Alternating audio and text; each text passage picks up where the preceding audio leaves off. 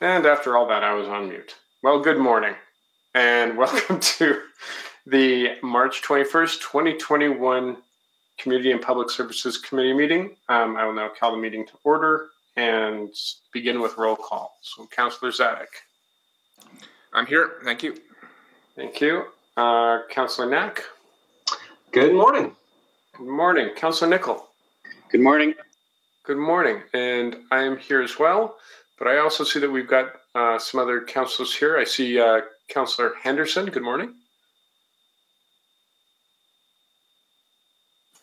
Morning. And I see Councillor Esslinger. Good morning. Good morning. And uh, Councillor Banga. Good morning. Good morning. And Councillor Cartmell, friend to the committee. Good morning. This always has a romper room feel to it when we start these meetings. I should know. hold a little, a little near. Anyway, Good. good morning. I hope it brings everyone some warmth. Good Tim, morning. that's polka dot door, just for the record. It's not romper. songs and stories and so much more. Okay, so uh, may I get a motion to move the adoption of the agenda? so moved. Thank you.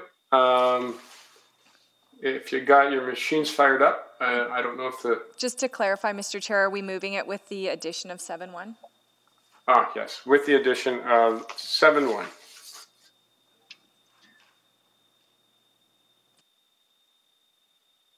So moved, um, and please vote. And I think it was Councillor Nickel who moved that.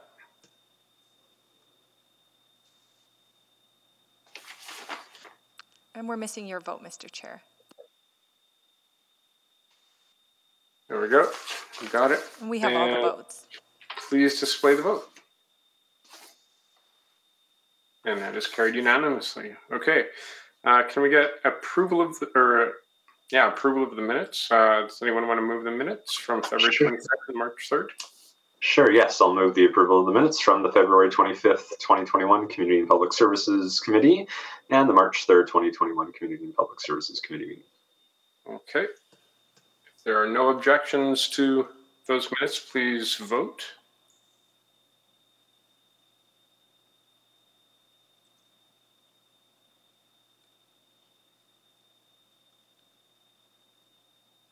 We have all the votes. Display the vote, please. And that is carried. Okay, so no protocol items, but I will respectfully acknowledge that we are on Treaty 6 territory, traditional lands of uh, First Nations and Metis people. As treaty people, Indigenous and non Indigenous, we share the responsibility for stewardship, of this beautiful land and for each other. So let's uh, move on now for, to um, selection of items for debate. It is now open. Feel free to jump in.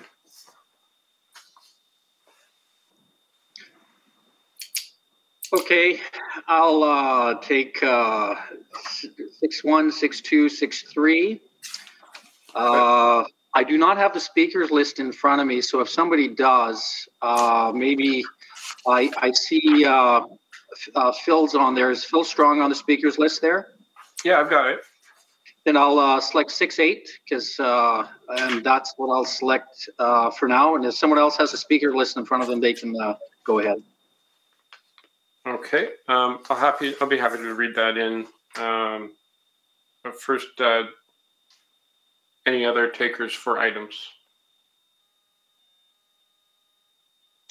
Uh, yes, sorry, I can't click in. So um, uh, I do have a quick question on item 5.3. And uh, I don't think I heard Councilor Nickel. Did you say 6.5? Did I miss that one? Because we have speakers You can on take that one. Yeah, you can take that one. Yeah. Perfect. Yeah, I'll take that one then. And I think I did also see Laura from EFCL registered for six seven. So we'll have that one too. Okay.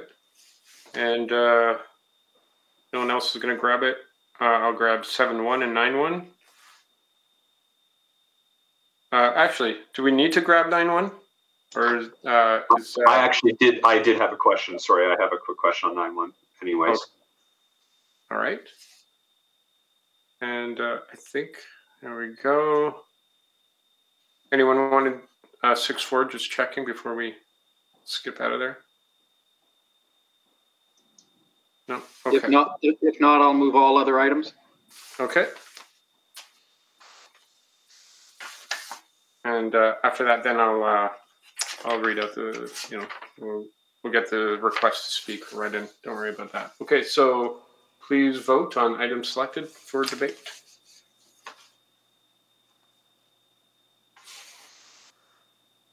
We have all the votes. Okay, please display the vote. Okay, and that is unanimous. Mr. and Chair, would you uh, like me to read out what has been passed? yes, please. Thank you. This morning, committee has passed the following items without debate. Item 5.1, Edmonton Public School Board Pool Operating Cost Sharing, revised due date April 14, 2021. 5.2, Weed Control Program, reduction in funding, revised due date May 28, 2021. And the recommendations in the following reports have passed. Item 6.4, Peace Officer, Peace Officer Statistics 2020 Year-End Report. And 6.6, Castle Downs Family YMCA Funding Agreement. Okay, thank you very much. And that, that covers obviously items that were not selected for debate as well. So uh, now to request to speak. Um, I'll just read it in since I've got in front of me. Um, the recommendation is that Community and Public Services uh, Committee hear from the following speakers and panels when appropriate on 6.5 uh, bylaw 19580, amendments to the Fire Rescue Services bylaw 15309, Naresh Bhardwaj uh, from uh, Bardia Cultural Society of Alberta. Now, this is just an addition to uh, to names that were uh, previously approved. Um, and then on 6 7, Edmonton Federation of Community Leagues requests to reallocate uh, council approved funds. We've got uh, Laura Cunningham uh, Shpeller from the Edmonton Federation of Community Leagues. On 6 8, Vehicle for Hire Annual Report 2021 update. We've got one, Olivia Burdick, two, Susan Burdick or Suzanne. Please correct me when you have an opportunity. Uh, three, John Waterman. Four, Phil Strong from the Greater Edmonton Taxi Service. And five, Sylvain Vizina. And then uh, that is it. That is it for the request to speak. So um, I will move that. Please vote to hear from these speakers.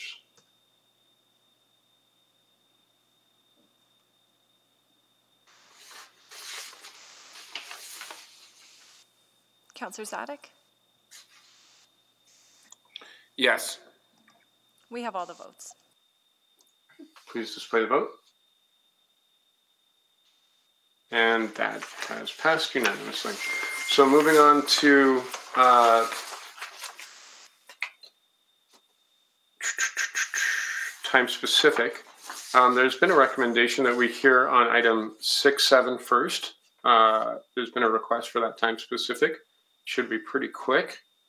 Um, and then moving on to six point five uh, immediately thereafter, so that uh, those folks who've been waiting for a few meetings now to speak will get their opportunity. Um, and then, of course, 7.1 time specific for 1.30 p.m. So, Okay, Mr. Chairman, I'll move we bring 6.7 forward. all right. Thank you very much. Any debate? Or other additions? No? Okay, please Sorry, vote. Mr. Chair, just to confirm, are we just um, voting to make 6.7 first item of business, or would we also like to do 6-5 as second? Then I'll move 6.7, that'd be first item, 6-5 to be uh, second. Thank you. Thank you, Madam Clerk. Thank you, Councillor Nickel. We're doing it by the book. All right, please vote.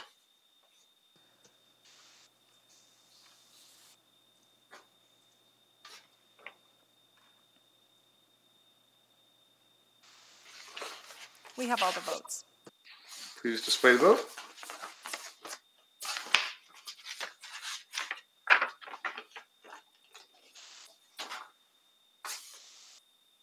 and that is carried. Uh, any councillor in- inquiries? I didn't uh, receive any notice of any, so not that I'm aware of. We've already done reports dealt with in a different meeting and requests to reschedule reports. So we will now, um, if there's no further questions, move ahead to item 6.7. And uh, I'm not sure if there is a presentation, but there is the request to speak, so we will hear from our speaker. Mr. Chair, we do have a no few introductory comments. Yeah, that would be great. I'll just, here we go. Yes, just so, just to briefly introduce this item, I am here with Mr. Mr. Aiken. So just by way of background, in 2012, council did approve $78,000 for the EFCL to conduct a pilot outdoor roof rink project to extend the outdoor uh, rink season for one of its member leagues. Several attempts were made, but the cost and effort of the pilot were significantly more than initial estimates, and the project was deemed not viable. So today, uh, EFCL is seeking City Council's permission to reallocate that seventy-eight thousand dollars to two projects, both of which we in the administration do support.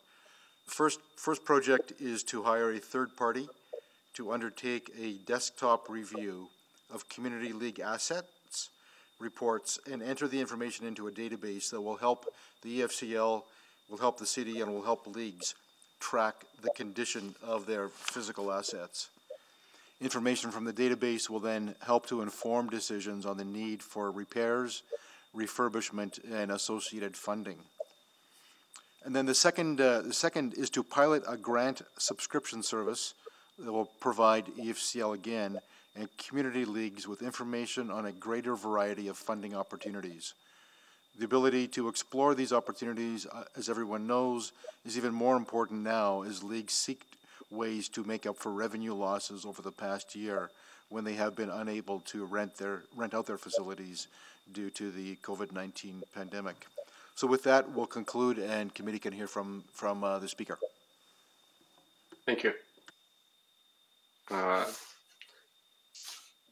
Please go ahead. The floor is yours. You have five minutes. You're, Okay. You know how it goes. I know how it goes. Good morning. Thank you so much for allowing me to present this morning at uh, this time. So, as as um, uh, Mr. Smythe just explained, the background to the project that seventy-eight thousand for the rink roof project was provided for the EFCL um, back in two thousand twelve, and and over the course of since the summer, when the city came to the EFCL to really ask for how this funding was going to be used, um, it's given the EFCL an opportunity to consider you know how best to use these funds given those covid-19 realities as well as how to do this in a way that ensures opportunity for all leagues to benefit from this funding so the EFCL Board of Directors identified two significant areas of need. One being a way to understand the current state of the assets and amenities that leagues have across the city, as well as providing an opportunity for leagues to explore other funding opportunities uh, through the Grant Advance database. So the EFCL brought these two motions uh, as notice of motion at our fall general meeting in October to the Community League members.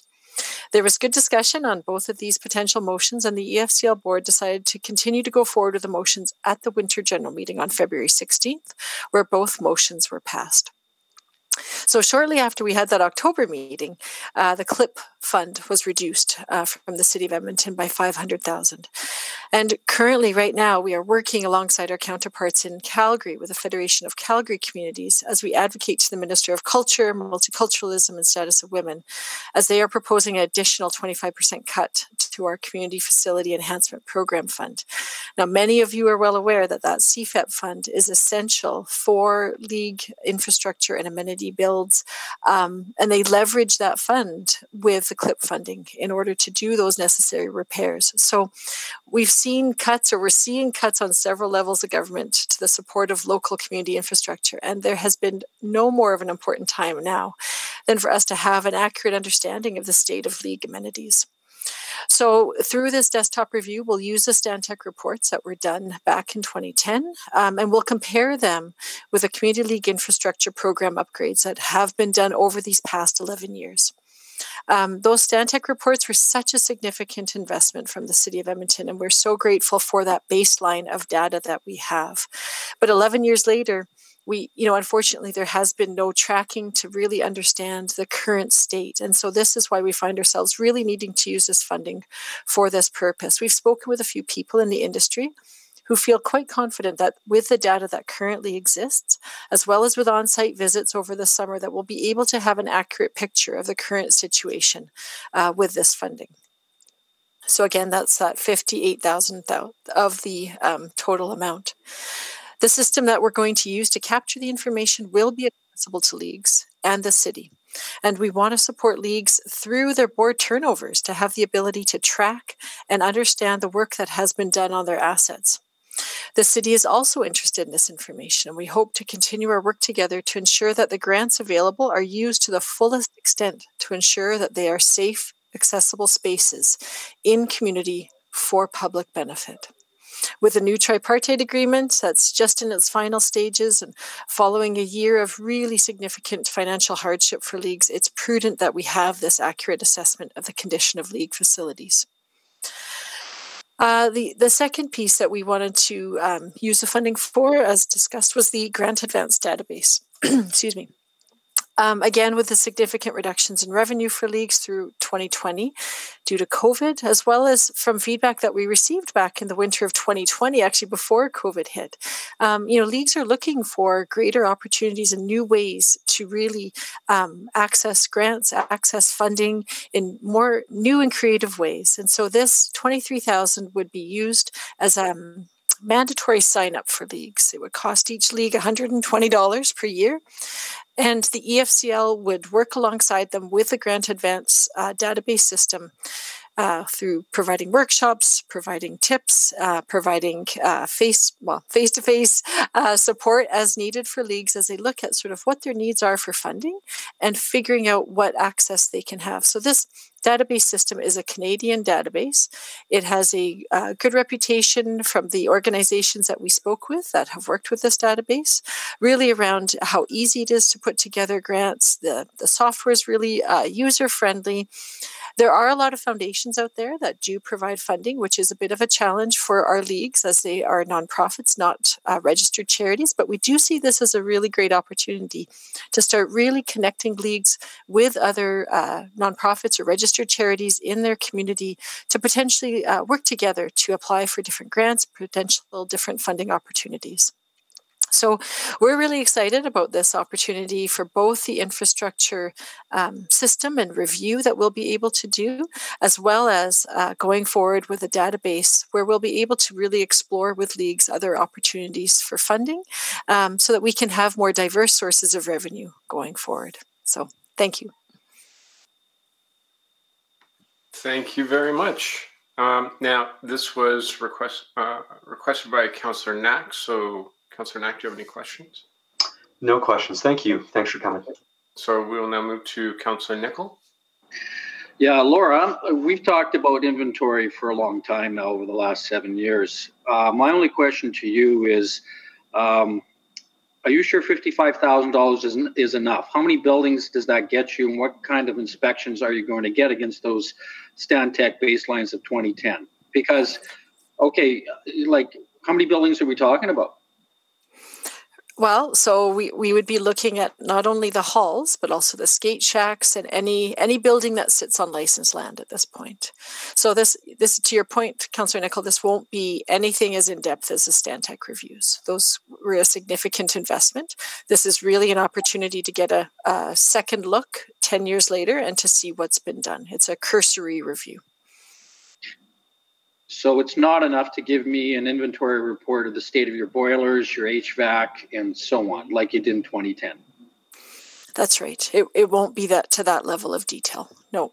But what we're hoping is that we'll be able to ensure that we could say this league at least updated their HVAC in 2013. And so that was done. So we can look at that Stantec report, we can check off that list what was completed, and so that we know at least the state. So we can know a bigger picture across the, the league movement. Okay, there's this many roofs that look like they need repairs in the next 10 years. We can imagine that this might cost us this much money. So how do we then come come back to the city, to the province? How do we find different ways to advocate for more specific things that we're needing for our infrastructure? Okay, I, I have no problem with 55,000 and that sort of thing. I just just wondering if you're going to get really good value uh, given the, the number of buildings you have to assess. That's my only concern I have. But um, okay, thank you. If Thank you, Councilor Nickel. Uh, that was actually my question as well, so thank you. Um, all right, well, it looks like we have no more questions for our speaker. Um, I'll move the uh, recommendation then. All right. Um, just, I'll just make sure there's no questions for administration on this.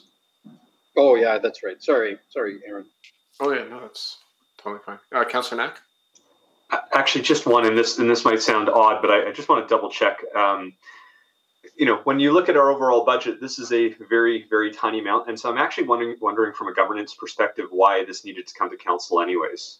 it just we EFCL is asking to reallocate this money. It's not new money. It just, feels like a bit of a not not the greatest use of all of our times. So, is there something that we should be flagging for the future that if organizations want to reallocate money that's already been authorized, that you don't have to write a report, which is not a great use of their time. Laura doesn't have to take half an hour off her time, and we don't have to spend time on that. So, just wondering from a governance perspective if there's a better way to deal with things like this in the future. Councillor, we can certainly take that back internally and, and talk to clerks and talk to, to answer that question. We had the same question, in fact. But okay. when council made the motion to approve that funding, it was very much specifically for the outdoor rink roof. And okay. my understanding is that they don't have the authority then to reallocate it as, uh, as you suggest, because it was very specific for that one thing. Okay. But, no, that's fine. Something for us to flag in the future so we can all save ourselves a few steps, uh, it feels like when we're looking to reallocate. Thank you. Okay, thank you. And if there is nothing else, I believe Councillor Nickel uh, moved to receive this information. So please vote. I'm sorry, just to clarify, Mr. Chair, it's uh, it's not for information. It is a request for decision. Right. Okay. So it is a decision point. Okay, I see it up here now. Yep. Okay. So Please vote on the request to reallocate council approved funds for the Edmonton Federation of Community Leagues. We have all the votes. I vote yes. Just joined the meeting a few minutes ago, but it's not coming up in eScribe for some reason. We'll just need to add you to the meeting. Mr. Mayor, we'll record your vote. Awesome. Thank you.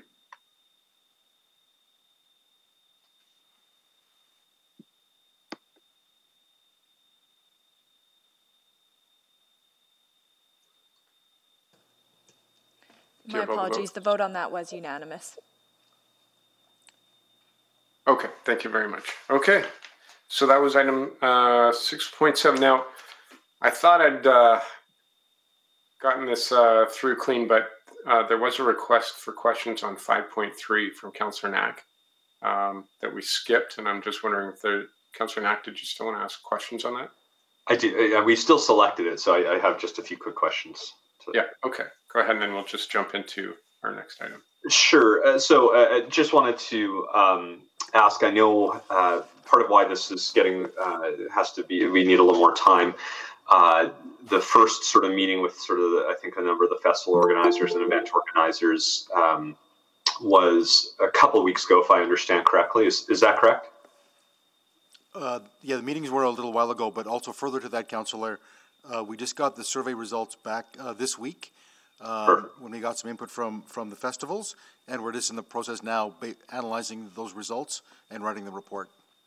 Great. Uh, the the follow up question I have is that um, just recognizing that, and we still have uncertainty whether anything will be able to happen this year or, or what scale. So it, it's maybe not quite as urgent to be, you know, any earlier than June 30th, as an example.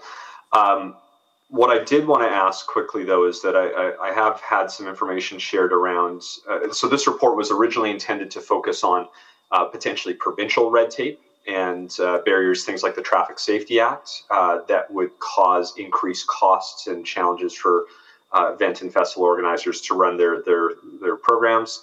Um, I have had some information, and I'm sure I think it was shared with with you during some of those meetings around some of the increasing costs from a city perspective too. So when this report comes back, while I think the original intent was focused more on the provincial government and changing that, will there be some reference and maybe some some context and some history around the uh, changing costs that have come from the city side over the last, you know, call it 10 or 15 years? Uh, Councilor, we can, we can take that and, and do, you know, pull together that information for our report.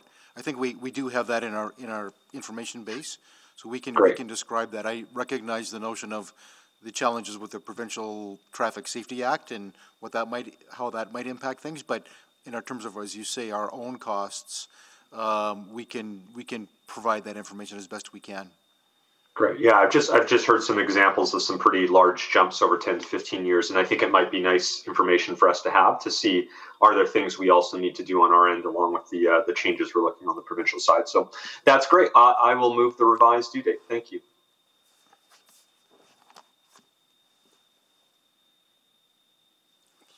Um, Mr. Chair, I think you're muted again. Thank you. Uh, okay, so you moved the, uh, move five three. Um, please vote.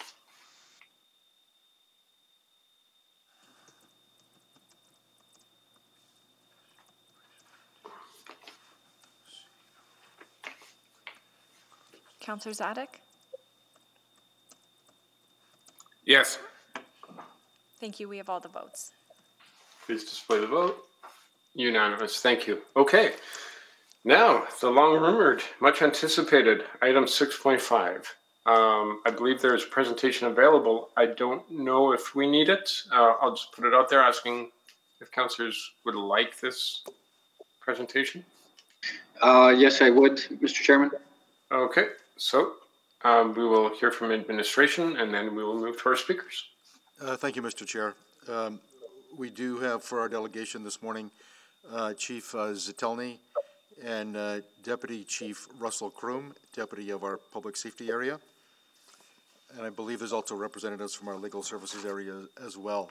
So administration is proposing two amendments to bylaw 15309, which is the Fire Rescue Services bylaw. First, administration has prepared a proposal for fuel storage tank registration. This will require an update to Schedule B to reflect the registration fee. And then secondly, administration is recommending the introduction of vendor permits to sell fireworks in Edmonton, which will also require an update to the Fire Rescue Services bylaw. I'll now pass the presentation over to uh, Chief Zatylny to walk through uh, a few slides. Thank you. Uh, Thank you, Mr. Chair, members of council, and our uh, guests that are, are with us today. Any business with fuel storage tanks of 25 liters or more must obtain an annual registration certificate to use a storage tank. This is required to receive or dispense fuel. This program was previously administered by the Petroleum Tank Management Association of Alberta.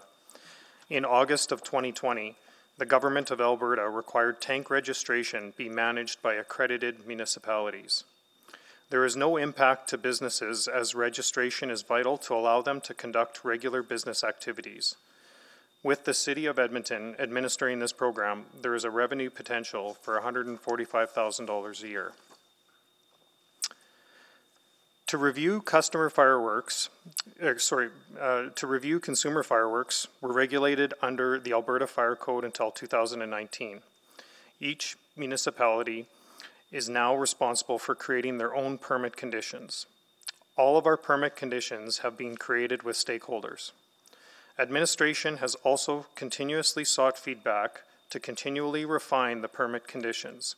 This includes an insight survey, a community league survey, direct follow-up with six additional community leagues and show providers.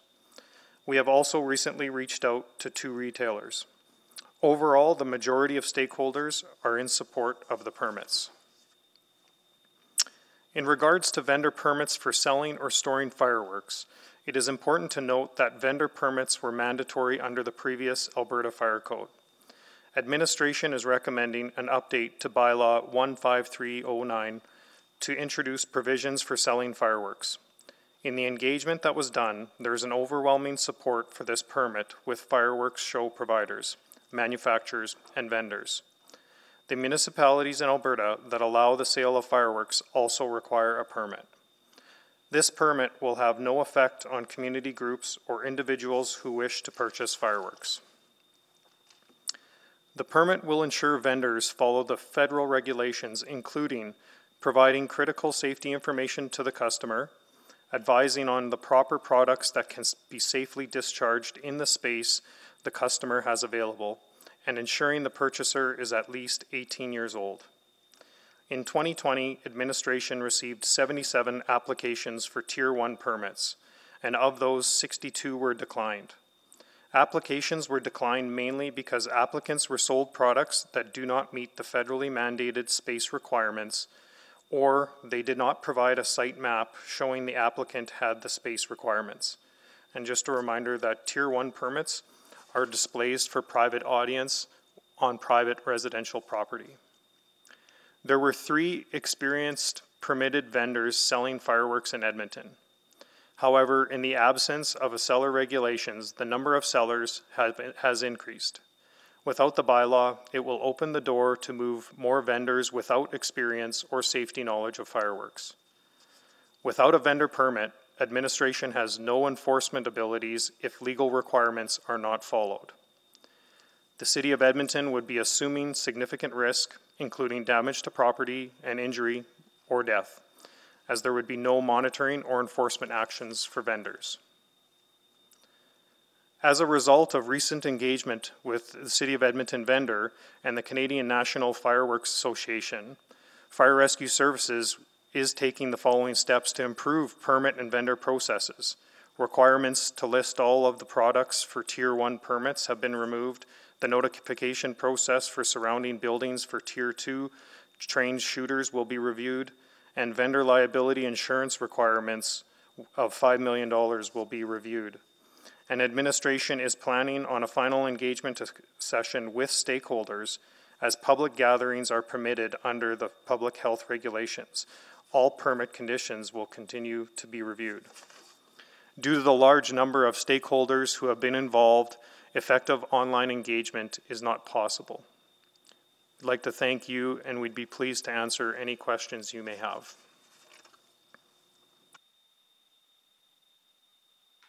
Okay, thank you very much for that. Um, uh, we will now move to speakers. And uh, I will just mention very quickly that each speaker will have five minutes to make comments. The clerk and myself will run an official timer. However, those attendees uh, participating may wish to run their own uh, timer at home so you're not caught by surprise. Uh, when the speaker is finished, please stay uh, at your mic or on your phone so that uh, um, you can respond if committee may wish to ask you questions. Um, please refrain from using the chat function in Google Meet during the meeting. And that is it. We will now move on to our speakers. I believe we've got someone's mic on, but we will begin with uh, John Adria. I'm John Adria of Uncle John's Fireworks, a small chain of consumer fireworks stores in Alberta. Our retail customers use consumer fireworks on private rural land. We shoot more than 70% of the professional community consumer fireworks shows in Edmonton, according to data from the City of Edmonton.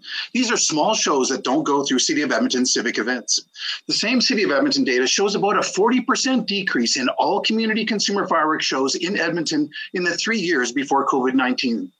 In 2019 alone, 100% of Diwali consumer fireworks celebrations by Hindu and Sikh communities were not allowed as a result of new regulations, shows that have run safely for many years on private temple grounds. More shows were canceled within weeks of the very consultations that were supposed to save them. When we opened in Edmonton, many retailers sold consumer fireworks variety stores, gas stations, hobby shops, hardware stores, Canadian Tire, Shoppers Drug Mart, dozens of retailers. By 2019, there were only three retailers left. Before 2015, community leagues spent a few hundred dollars on consumer fireworks and safely did their own fireworks shows with the support and guidance of the City of Edmonton neighborhood resource coordinators. This increase in regulation was not driven by injuries, accidents, or even noise complaints. Like most of Canada, Edmonton has, a, Edmonton has a long tradition of safely using consumer fireworks. Local retailers are a key part of that success story. Every year, we tell hundreds of people they can't shoot aerial fireworks in Edmonton and they can't shoot any fireworks in city parks. And we provide safety information to all our customers. But Edmonton's new regulations will harm the same businesses that have been a key part of consumer fireworks safety in Edmonton. Administration told me just a few weeks ago that the $5 million insurance requirement is designed to keep out small retailers. They told me that in Strathcona County, the same insurance requirement was so successful that only Canadian Tire can sell consumer fireworks. But it's the impact on our customers that will close Uncle John's Fireworks in Edmonton. Our customers' personal information will be collected and analyzed by the City of Edmonton and shared with other jurisdictions. Our customers will desert us. But it will get worse. The CPSC rejected the permit to purchase in November 2019, but it was still in a report to Council on June 22, 2020, where councillors spoke against it again. Just a few weeks ago, administration told me that the permit to purchase was only temporarily removed from the regulations. The wording of this bylaw gives the force of law to any regulations created at administration at any time in the future. We were told a year ago that this was the mechanism that was going to be used to implement the permit to purchase. It was going to be a condition of the fireworks seller's permit. This bylaw would allow the uh, administration to implement this permit to purchase at any time in the future against council's direction.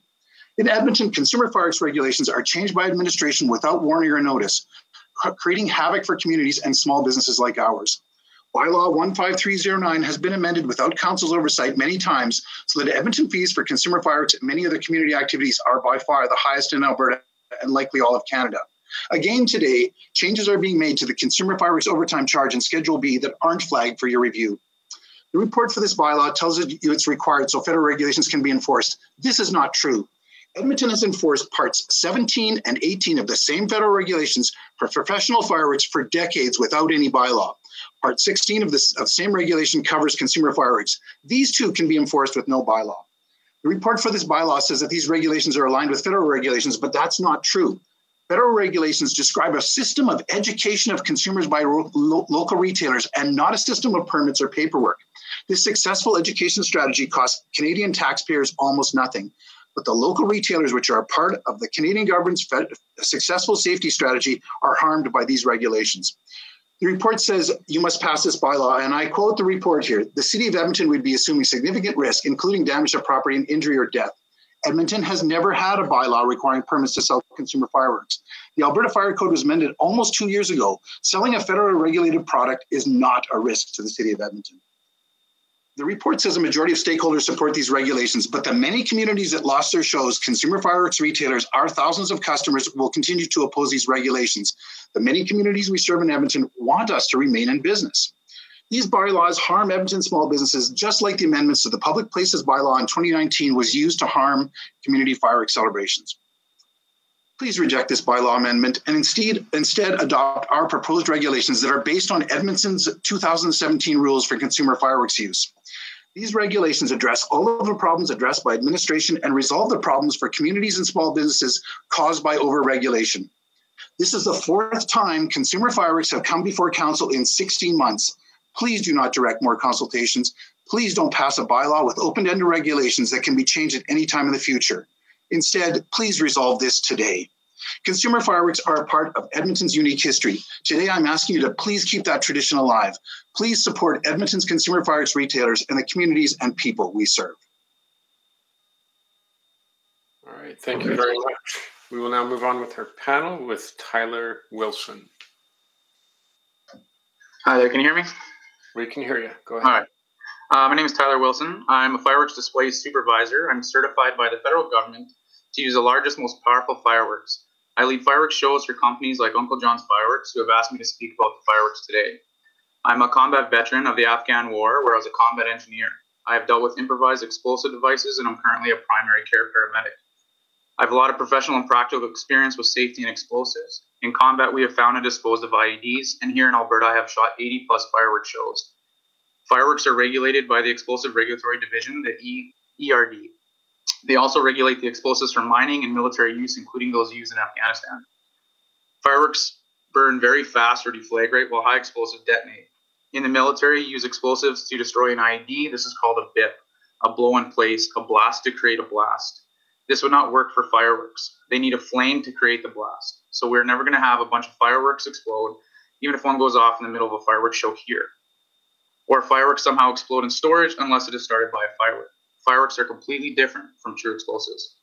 High hazard fireworks are the largest fireworks and can only be used by federally trained and certified techs like myself. There are about 3,000 display supervisors like myself across all of Canada. High hazard fireworks are so dangerous that a single shell could kill, maim, or damage a building. Even though I have all the qualifications, I still need to get a permit every time to use high hazard fireworks. To just store high hazard fireworks, I need a permit from the federal government. This is the opposite for consumer fireworks, which is what we're talking about today. If a consumer firework were to hit you, it would cause a bruise or injure an eye if you were not wearing your PPE or it could give you a burn on bare skin, but they're not powerful enough to break a car window. For consumer fireworks, the federal regulation says you have to be an adult and follow safety instructions on the firework and wear PPE. Even children can light consumer fireworks if they are supervised by an adult. Under federal regulations, no permits are required to use them, sell them, or buy them, and there's no special training. Under federal regulations, anyone is allowed to store 1,000 kilograms of consumer fireworks in a shed. You do not need a permit at all. The same regulations that make a trained tech like myself get a permit to store high hazard fireworks allows anyone to store huge amounts of consumer fireworks because they are not dangerous. The challenge is Edmonton treats consumer fireworks like high hazard fireworks that could kill you. Getting a permit to use consumer fireworks in Edmonton is as hard as getting a permit for high hazard fireworks, and this makes no sense. Consumer fireworks are designed to be used safely by anyone. Professionals like me use consumer fireworks to put on displays for communities. Most of these communities have a limited budget. The process in Edmonton to acquire permits and insurance for shows is very time consuming and expensive. These expenses to get permits put financial strains on communities to afford all aspects of their events. These expenses to get permit, uh, sorry, adding fees such as overtime for fire prevention officers at the shows and increasing permit costs will extremely limit the community's ability to put on fireworks shows. These limitations will also cost communities the ability to really engage with the people that populate them because fireworks shows always draw always draw more people to the events. More people that attend, more money that goes into the communities, and more volunteers for future events. As I've tried to explain, the Federal Explosive Act does not require permit to shoot consumer fireworks. All this extra paperwork we do in Edmonton for consumer fireworks shows does not make it any more or less safe. High hazard fireworks are dangerous, which is why they are restricted. Consumer fireworks are not dangerous, which is why there is no need for special training to use them. Edmonton permit fees are also too high. Most places don't charge fees for permits for fireworks shows of any kind, even for high hazard shows. But Edmonton is charging fees to small community groups that use consumer fireworks. There has been also some concern that fireworks could create some issues for veterans that may be in the communities where these shows may be uh, being displayed. Though it is true that most combat vets have PTSD of one form or another, including myself, but PTSD isn't triggered solely by loud bangs combat vets suffer mostly from being isolated in their homes. And I know you've seen in the movies, but watching fireworks shows would not trigger most vets. And I do not know anybody who is affected by fireworks. So please do not cancel community fireworks shows for us. Instead, try to get veterans out into the communities. Please lighten up the consumer fireworks regulations in Edmonton. Thank you. Okay, thank you very much. Uh, we'll now move on to Perry Logan. Good morning. Uh, first of all, on behalf of the CNFA, I'm the executive director, and I want to thank the City of Edmonton for everything they've done to date to get us to this point. So, the CNFA looked at the amendments that the fire department is in the cities uh, presented to you, and we have four questions, concerns, just for clarity. To go to the insurance that has already been discussed, our concern is the effect on small business, like John brought up. Like we have small stores in Edmonton that sell for Diwali, uh, Asia, Chinese New Year, things like that. So to put this added burden on there is important uh, to understand why, because it's not required in any other communities that I'm aware of. And the other question, there's a line in the bylaw amendment that uh, this or to, the term is or to the satisfaction of the city manager on the rate. So that's a little sketchy as well. We'd like to get some clarity on what that actually addresses. Like, is he going to lower? Is he going to raise it depending on the time of day, the time of year? So that is a concern. The second point is under record keeping. Uh, the amendment that's in front of you, they're requesting that a store keeps every document, every receipt, or keeps a copy of receipt for every purchase of fireworks for two years. Uh, again, don't understand why. You know, you need to understand a dollar store that sells sparklers on the counter is included in this, and who's going to handle all this paperwork? At the federal regulation for safety requirements, which what is the story? There is a regulation already in the ERD that it has to be 150 kg or more. We support that because again, we do support safety. But we're I'm trying to understand why a store would take on this extra burden and cost to keep receipts that no one's ever going to look at. Uh, the third point is is under storage. Uh, the way that it reads is vendors are required to ensure that storage and product displays comply with current versions of federal, provincial, and municipal regulations. We agree with up to municipal.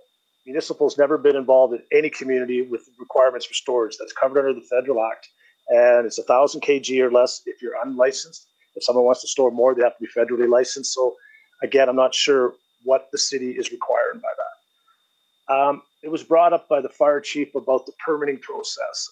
Uh, they had the numbers were there were 77 applicants over a six month period based on their time sample, and only 17% of those applicants were approved, and 83% failed to meet the requirement. Um, we looked at as as justifying our education program, which is part of the bylaw, which we totally support.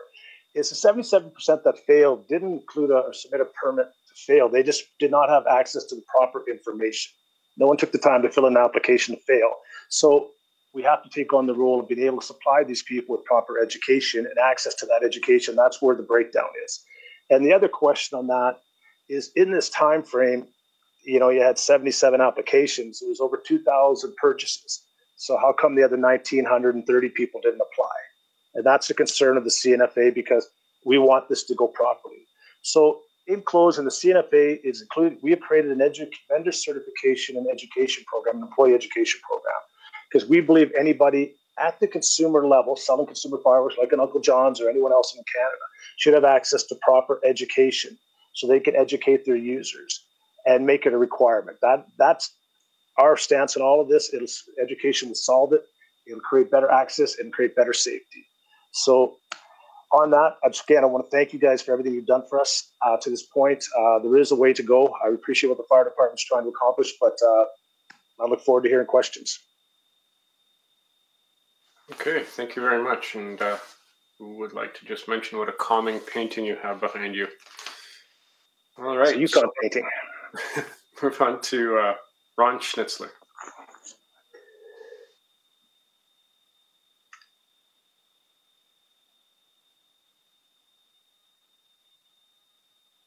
Do we have Ron on the line today? Yes, they did check in this morning. Hello?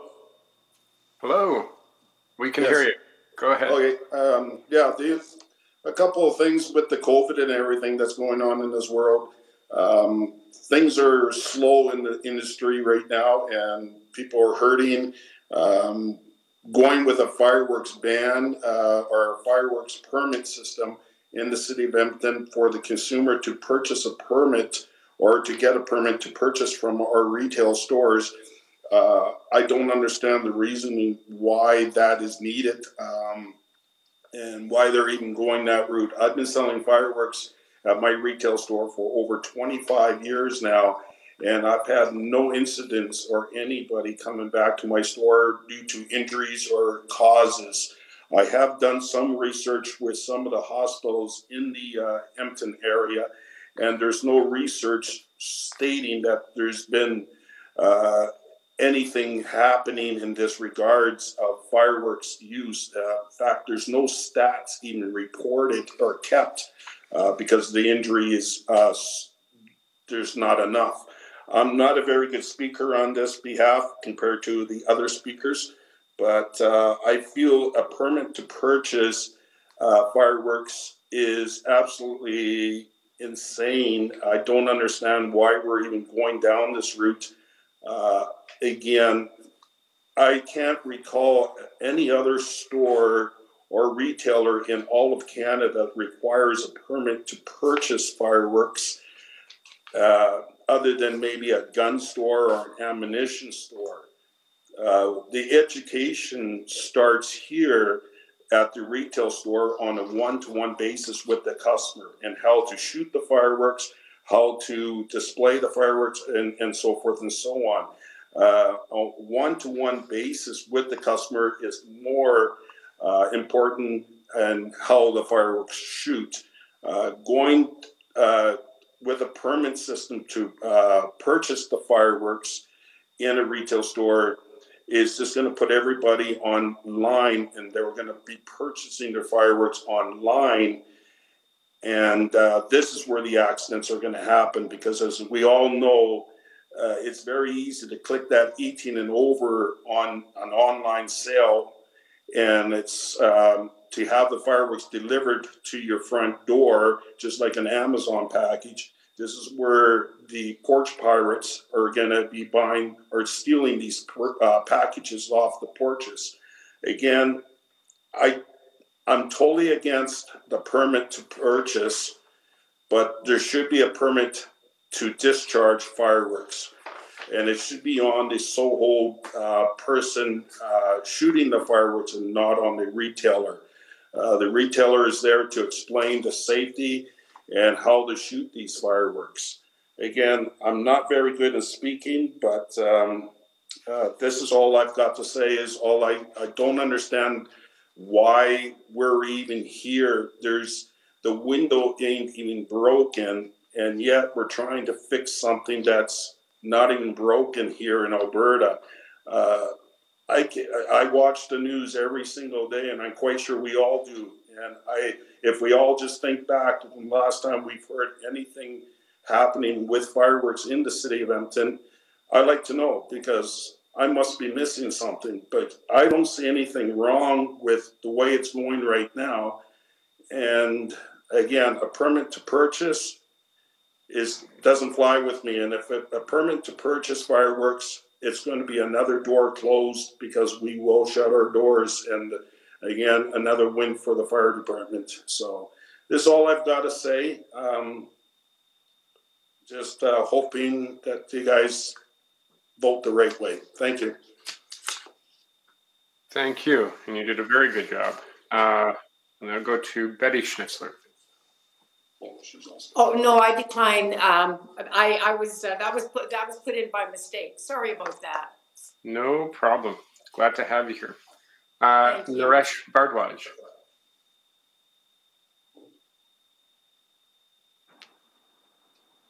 Hi there. Can you hear me now? We can hear you. Go ahead. Okay. Well, good morning, guys. Uh, my name is Naresh Bhardwaj. Uh, I'm actually a former president of Council, uh, Bharatiya Cultural Society, and we've been uh, displaying fireworks probably for the last 20 years. And I think since last year, uh, you know, or past two or three or four years, things are progressively getting worse and worse and worse trying to uh, have our cultural displays because of the restrictions being put on by the fire department. Last year was just a disaster because we were pretty well stopped.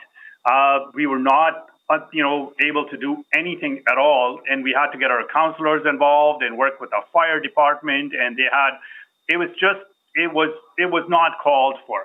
So I think, uh, you know, uh, speakers previous to me who have spoken very eloquently um, as a business, but I'm going to speak as a cultural association who's been doing it for the last 20 years uh, quite safely. I think trying to over regulate kills not just businesses, but it also kills uh, organizations like ours because this is absolutely critical that we maintain our culture, we maintain our heritage, and this is that's one of the reasons we have so many different uh, organizations who are trying to maintain their culture, trying to maintain their uh, religious affiliations, and all of that. And this is absolutely critical. So I think uh, having overburdening organizations with all kinds of licenses and regulations and uh, killing people to death, having the fire department standing by and, and like, like it was the case last year for us, uh, it's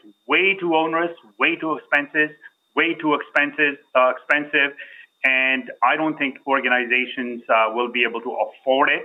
And from a business point of view, I think you guys will kill the businesses. Absolutely will. Okay, thank you very much, and thank you for your previous public service. Uh, we'll now move to questions, and uh, this was selected by Councillor Nickel, I believe. So, um, and by the way, Councillor Nickel was selected by Councillor Knack. Didn't uh, Councillor Knack select it? I don't remember. Andrew, did you do it? Go ahead, I did, Andrew. It doesn't really matter. You and I are going to ask the same questions, so you can. Yeah, go ahead, Andrew. Yeah. Um, uh, sure. So I'll, I'll, just kick it off. Uh, first, uh, uh to Naresh, thanks for um, uh, speaking on this. I just want to double check because I part of what I'm struggling with is I'm trying to figure out what what problem the city's trying to solve in all of these changes. Um, so up until and you you talked about some of the more recent ones. I just want to double check. Have you ever had any safety issues or uh, you know, in the 20 plus years that you were doing it, did you ever come into any challenges uh, of running the event where there was a safety concern?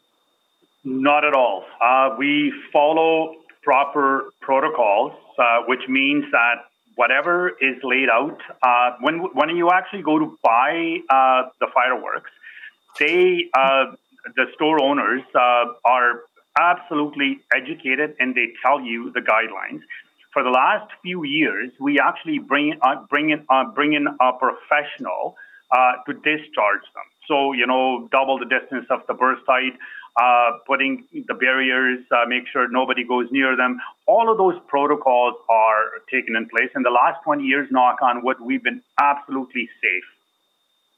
It, it, it, it, only happened last year when fire department declined it, and uh, you know, thanks to Councillor Nickel, who uh, went batting for us, and we were able to do it. But fire department, they sent their truck there, and they had a whole bunch of people in uniform walking around. It was it was intimidation to a lot of our members, and I bet you we had a lot of people there, but they were absolutely intimidated by the fire department.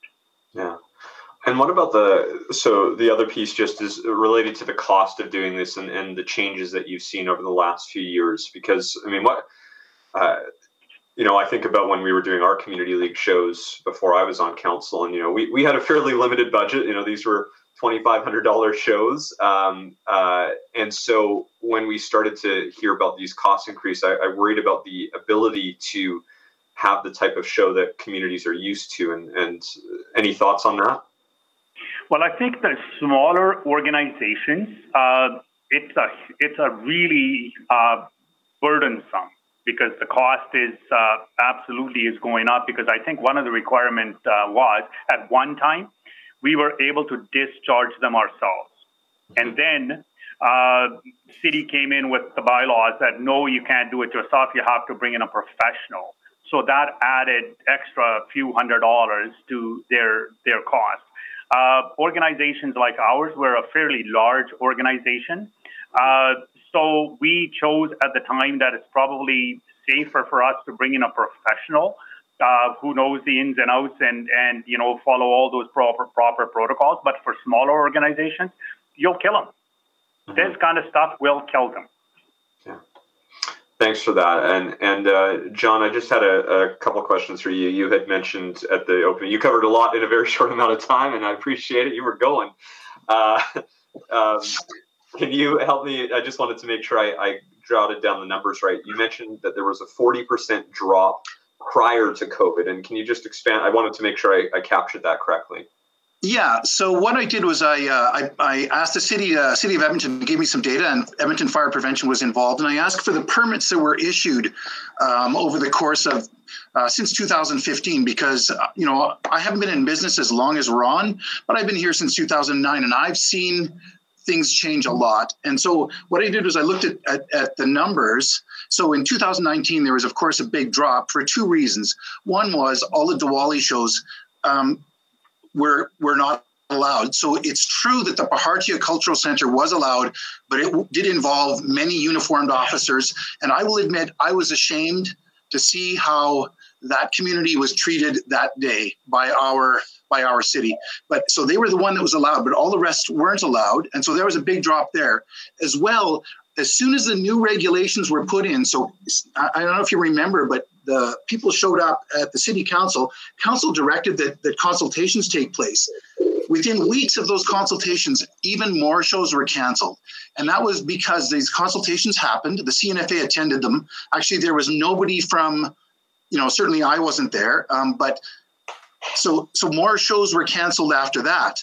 So there was consultations, but they created more regulations as soon as consultations ended, and that killed, like for example, uh, thirty uh, percent of the New Year's Eve shows, and and more shows in the new year. So so what so anyway that 40% what that is is i looked at the permits that they've they've issued uh, in over the years from 2017 to 2019 um, and so that's how i came up with that number um, uh, maybe it's wrong but uh, that's certainly the name the ballpark that's helpful thank you appreciate it okay thank you very much for that we'll now move to councillor nickel Okay, uh, Perry, fireworks are not illegal, are they? No, they're not. They're, they're mandated and regulated by the federal government. Yeah, are there age restrictions on fireworks? You have to be 18 years of age to purchase them, and if you're under 18 and you want to discharge them, you have to be under the supervision supervision of an adult. Okay, that's the way I understood it because when I was a kid, that's kind of how it worked as well. So I'm going to go to you, uh, John. John, you carry insurance, right? I do carry insurance um, because we we're also a display company. Yes, I do carry it. Uh, John, have you had any claims against your company with regards to selling fireworks? No, and so yeah, for selling fireworks, uh, no, of course not, because um, let's say let's say we had a customer who used them.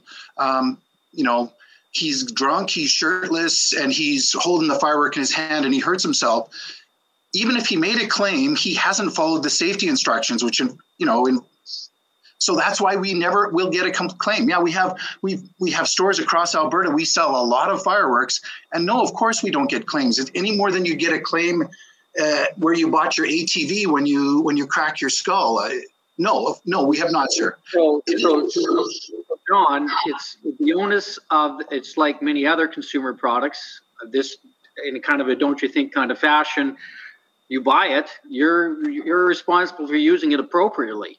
Is that's basically your contention, correct? Why why is the vendor being punished uh, for a potential bad operator? you know, absolutely. I think I, you know, so the federal. I should be really clear. The federal regulations do charge the retailer to provide safety information in written or verbal form, and even to, there's a there's a video now. So we are responsible to provide fireworks safety information. However, that's now printed on all the fireworks. So we have that onus. In Edmonton, there's a long tradition of telling people not to shoot in parks. Ron can tell you that. He's he and I have been doing that for years. You know, we have signs in our store you can't shoot aerial fireworks, but yes, the onus should be on the user. It has to be. So, so Ron, let's let's let's. You know what? There, there's no statistics in the report with regards to incidents regarding fireworks. Uh, do you can you recall any incidents or issues of fireworks that have caused any problems?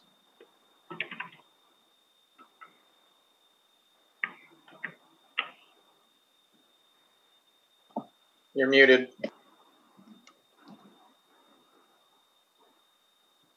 Okay, uh, Ron. Once you, if you click on, you click on. I guess uh, I'll go to you. I go to you, Mr. Wilson. With regards to you, do you recall any any incidences or issues? You didn't have my speaker. Industry of of uh, of, of uh, operating fireworks. Uh, no, I've never, out of the 80 shows plus that I've shot in Edmonton, uh, and in throughout Alberta, I've never had any issues.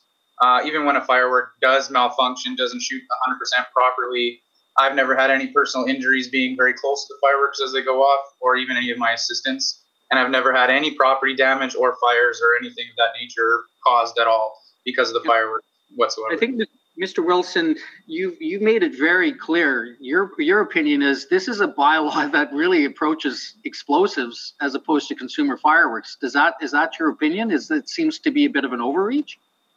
Well, from what it how it reads and, and the restrictions that we have to go through, they're treating it as if it, they're handling C4. Um, obviously, high hazard fireworks are the dangerous types of fireworks, but the amount of explosives and how they're actually discharged Um, those are the shows you're going to see at like Stampede or K Days. They're much more powerful and they're designed to go, you know, double or triple the height of your consumer fireworks. Uh, consumer fireworks, they just don't have the power behind them um, to cause the damage that they're saying that Edmonton's going to take on the risk of. Um, so they're very simple. So My, my last question will go to Naresh. Naresh, yeah. uh, we've talked about this a little bit off and on, and, and I want to thank you for all you do for the community. Um, Thank you.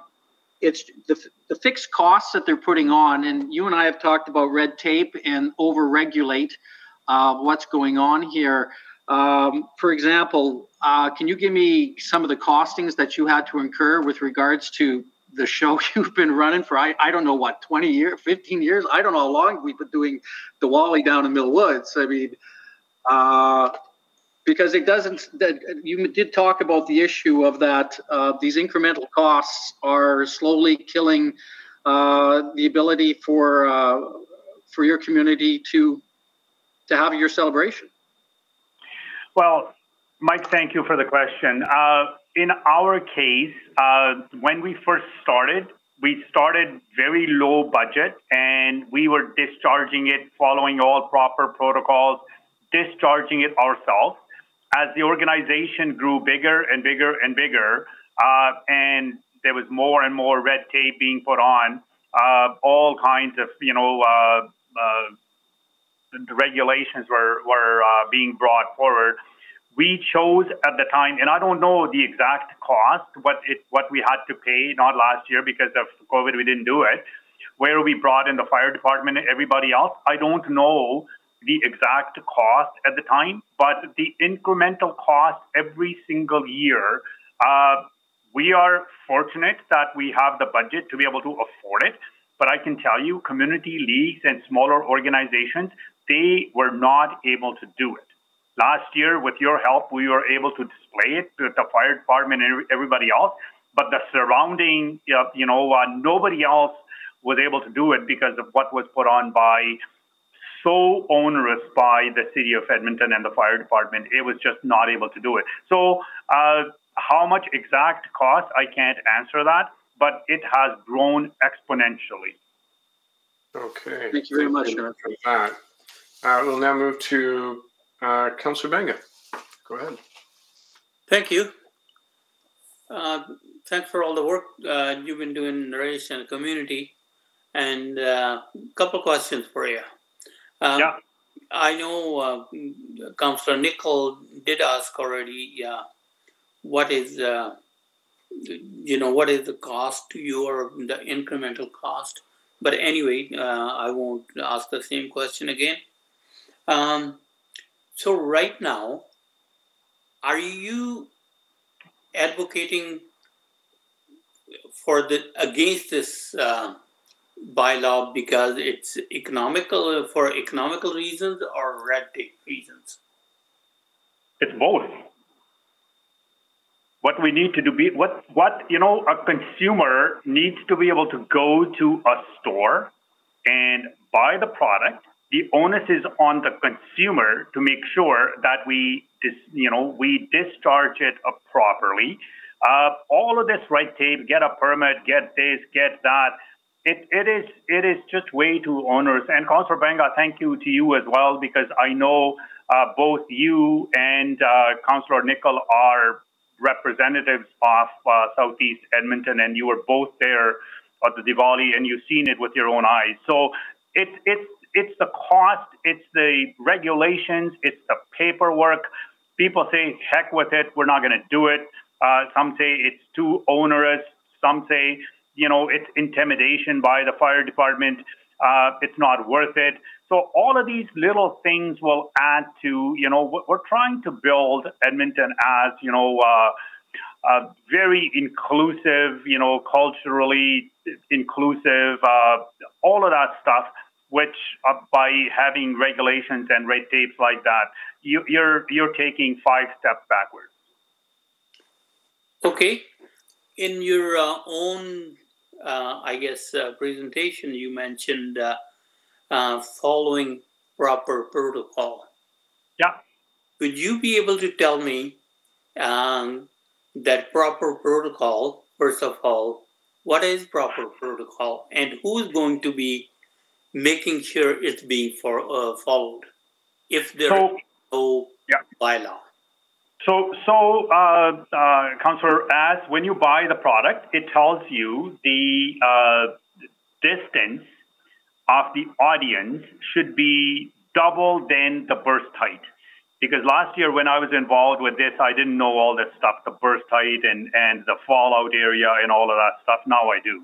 Uh, so who's following it? It is the onus is on the organization to make sure that it's following. When you buy it, they absolutely tell you that, hey, if this thing bursts at, call it, you know, 30 feet, well, your, your, uh, audience cannot be less than 60 feet away, double the burst height. I'm using it as an example, double. So at, at 60 feet, we will take a temporary fence and, and we will fence it off there. So nobody can get past that.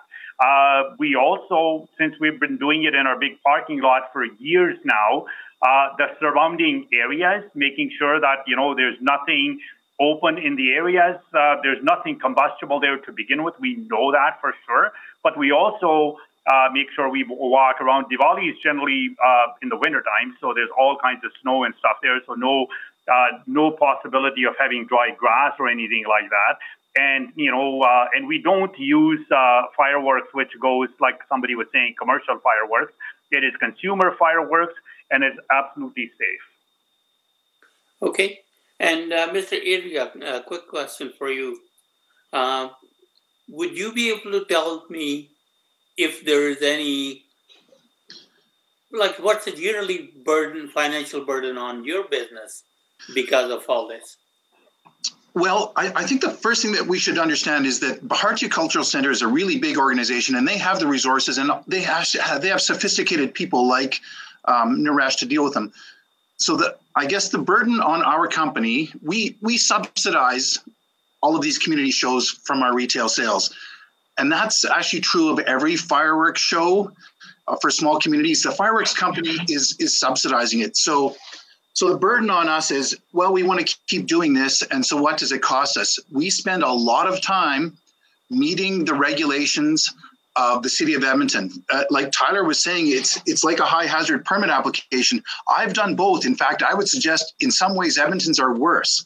And but the other problem is that even year to year, the regulations change in Edmonton. Like in 2019 alone, there's this thing we call the 250 meter rule. How it was interpreted changed three times. Um, so it's you know you put in an application, you don't know if you're going to get it through. And so in Edmonton, the regulations change all the time. So how much time do we spend doing these, these applications? Hours for each one. And I think the other thing we need to understand is we used to do shows for budgets of like $300 and community leagues used to do them for a few hundred dollars. And those shows have just ended. And that's something that nobody's talking about is that is, you know, for example, in the inner city, the Cromdale, Parkdale, inner city community, a thousand dollars for them is is more than they can afford. You know, they, they used to have a little bit of fireworks with their with their um, uh, dinner where everybody brought their their their dishes, their uh, potluck dinner. They don't anymore because they can't afford it. Thousand dollars is ridiculous. Same thing for the Bent Arrow Traditional Healing Society, or the, or in Little Italy, there used to be a show there too. These those shows have all ended. So the cost is is two things. One is yeah, we, we're willing to subsidize it just like every other fireworks company. Councillor Knack mentioned the, the show in his community. That's done as a labor of love by a company that just wants to do that show. So there's that, but also the fact that all these communities before 2017 lost their shows as soon as they started adding things like in, liability insurance and professional shooter and, and all of those requirements. People just get scared off. Thank you. Thank you. All right, thank you, Councillor Banga. Um, I've got a couple of questions. Um, might as well stick with uh, John. Uh, Mr. Adria, um, you talked about subsidizing community events. I'm just wondering if you can expand on that a little bit briefly. Yeah, so like every small community fireworks show, there's honestly, there's no budget to make money on it. So all the companies, it's not just us, everybody does it. You know, Councillor Knack can tell you the same thing in his community, but it's true across the province. Most of these shows are done by people like us because they love fireworks. It's awesome being in those communities, and so and so what we what most companies do is they they they get a budget from the community, they buy the fireworks, they pay for the permit. The subsidy that we do is we spend hours and hours of time somebody like me or Tyler or somebody like that of getting the permit through the city of Edmonton. And you don't know when the regulations are going to change and what's new this year and and and and and so yeah that's that's how we subsidize them through this this effort of we're happy to break even on the show but then you have to spend hours of painful a really painful paperwork and unnecessary. And I would suggest, sure, that's why we do 70% of the shows. It's not because we're so great, it's because we're the only ones still doing all that paperwork.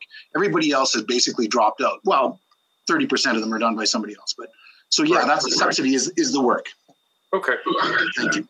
Clarifies it. Um, now, the next question is um, you know, one of the things that I anticipate folks um, asking me about when I go back to the community is, you know, I get woken up at night. People are putting off fireworks. I don't know if it's gunshots or if it's fireworks. What's going on? Why is there why are there so such an increase in public disturbance? And that's a good question. So I would say that there I have noticed that too in this past year with COVID. My neighbors who never shot fireworks, they know my position on shooting aerial fireworks in Edmonton. I got signs all over my store. They were doing it this year, and I think it's COVID is one of those things.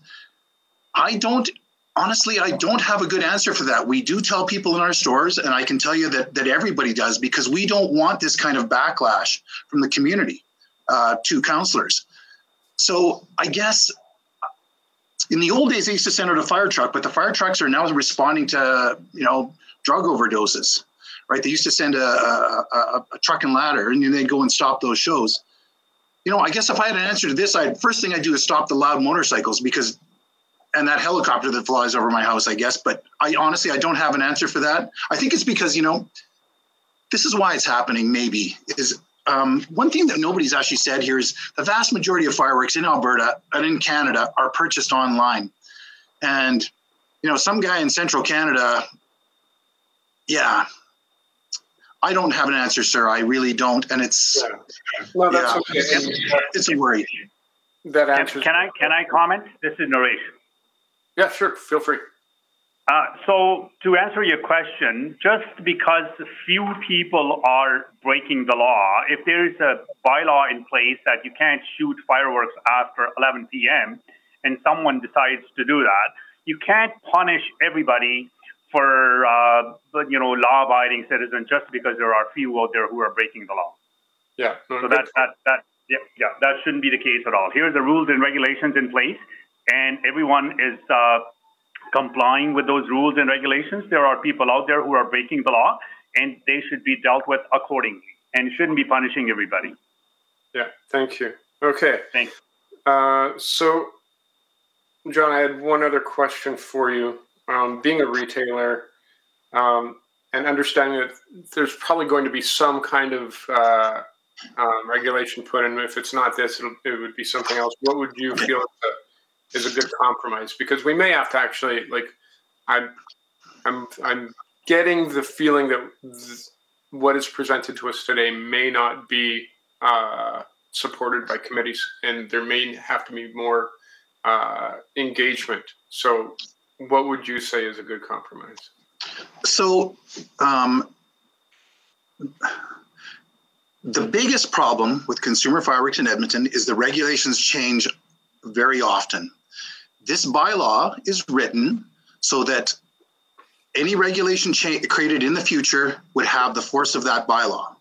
So I guess the first thing about any good regulation or, or legislation like this is it should completely outline the requirements for us. And there shouldn't be, so for example, if you look in how it's written, it says that whoever gets the permit has to follow all the conditions of the of the permit. I, I, I have the exact wording here, but um, any person is, issued a permit to sell fireworks within the city of Edmonton must comply with all conditions of the issued permit. And we were told a year ago that this is how they were going to implement the, the permit to purchase, which would absolutely kill our business. So whatever we council does decide, I'd ask you that you outline every one of those requirements in the bylaw itself so that they can't be changed in the future. Um, so for example, the insurance requirement, my insurance doubled this year. I believe that that happened because one of the companies sort of got a monopoly, and uh, so they doubled the insurance. Um, so insurance is an onerous um, uh, undertaking. You, you, can't have insurance. The, and having me having to give all of my uh, customer information and invoices and everything to the city every year is not acceptable. It's no other business has to go through that. So could the could the could the regulation say you have to have a business license, or I don't even know if you need to say that because maybe it's kind of obvious, but we could be certified by the CNFA, and that would be that would be a good uh, compromise. The CNFA, like us, wants to see this happen. So could we have the CNFA certifies us? We have to follow federal regulations, yes.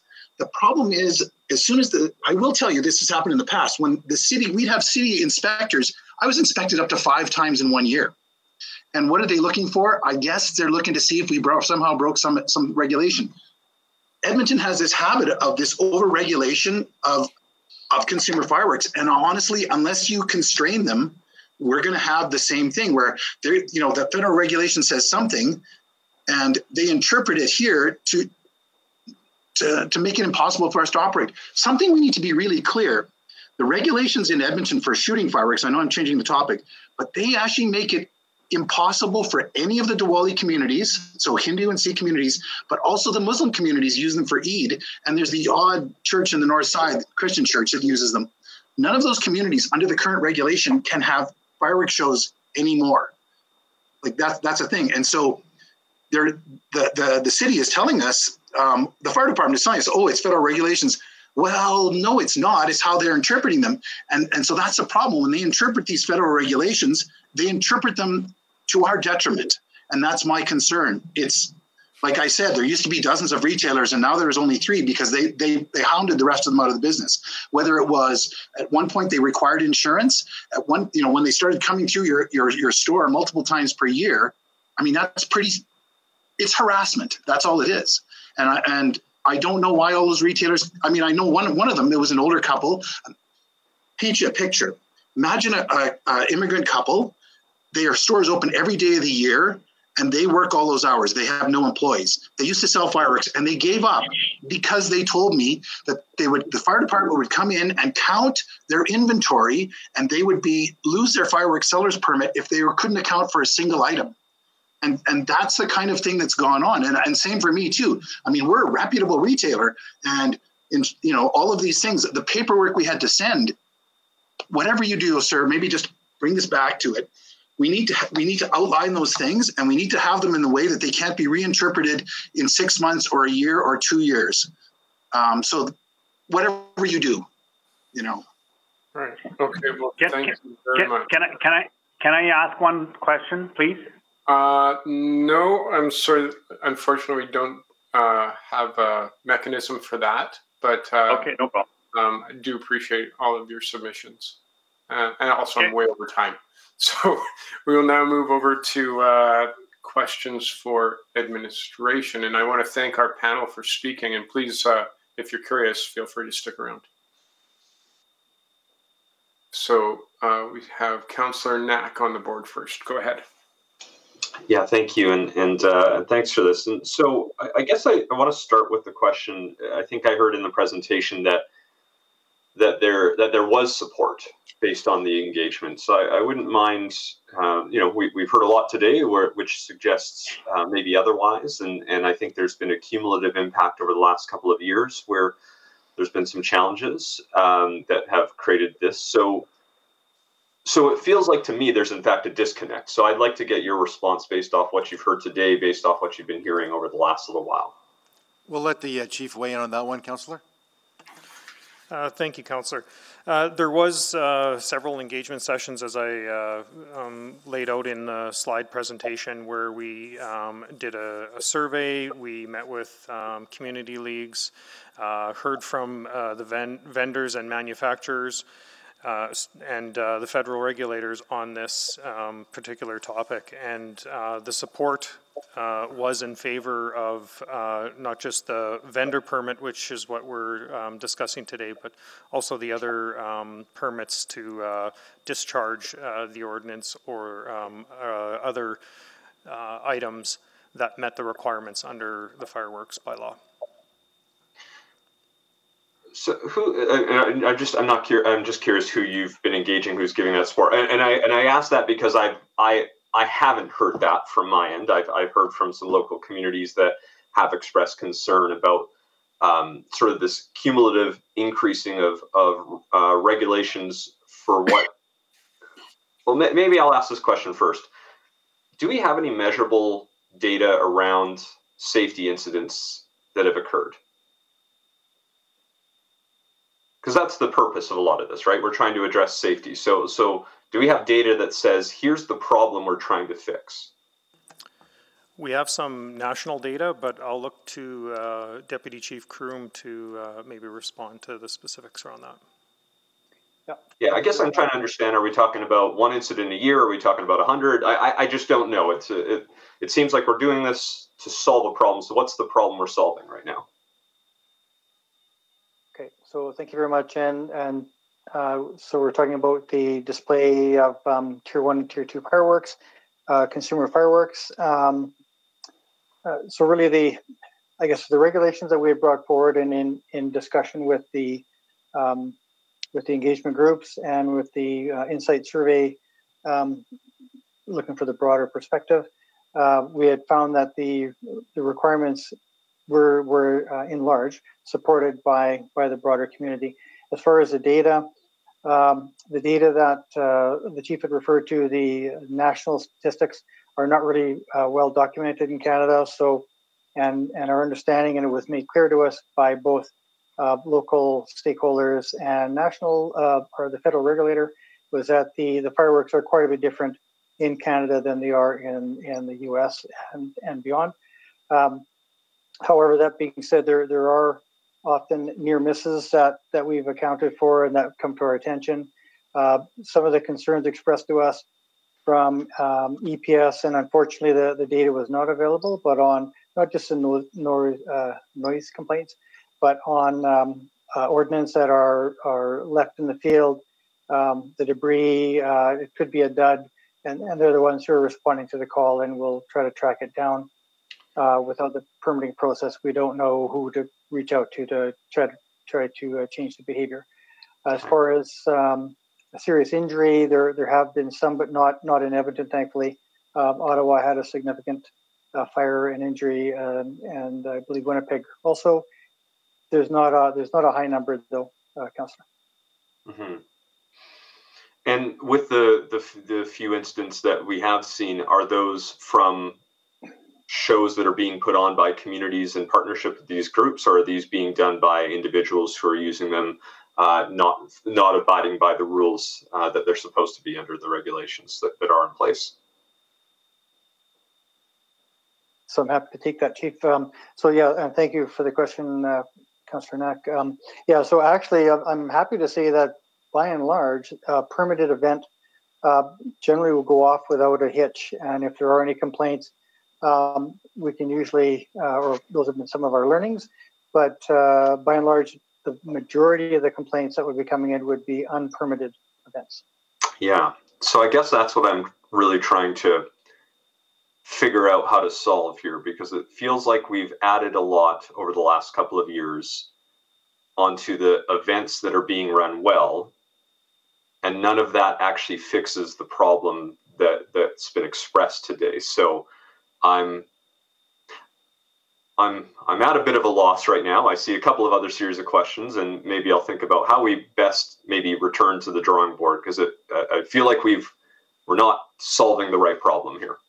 Just the other point, to add, other point to add, Councillor Knack, is some of those um, additional municipal requirements are in part in part in response to the changing of the provincial fire code. So as, as the province changes change the landscape, we had to kind of fill into that into that space. I don't know if the chief wants to add add anything to that, uh, chief. Yeah, I, I think that's a, the key part to this um, as well, based on the, the feedback we had uh, with the Insight survey, which was over 3,000 responses. Um, uh, we also had the three workshops, and, and the feedback was that uh, you know citizens did want to see fireworks, but they wanted some parameters around it and for it to be safe. And with the change in 2019 from the Alberta Fire Code removing this um, and, and our ability to actually enforce this work, um, we needed to move it into our, our bylaws so that we, we did have that ability to uh, enforce the regulations.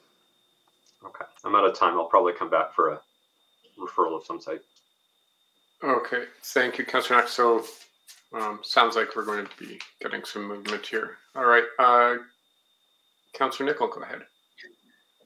Deputy Chief Kroom, I know you're a good man, but I got to ask you this question point blank. Over the last five years, how much, how many, how, how many injuries have we had due to fireworks operating in the city?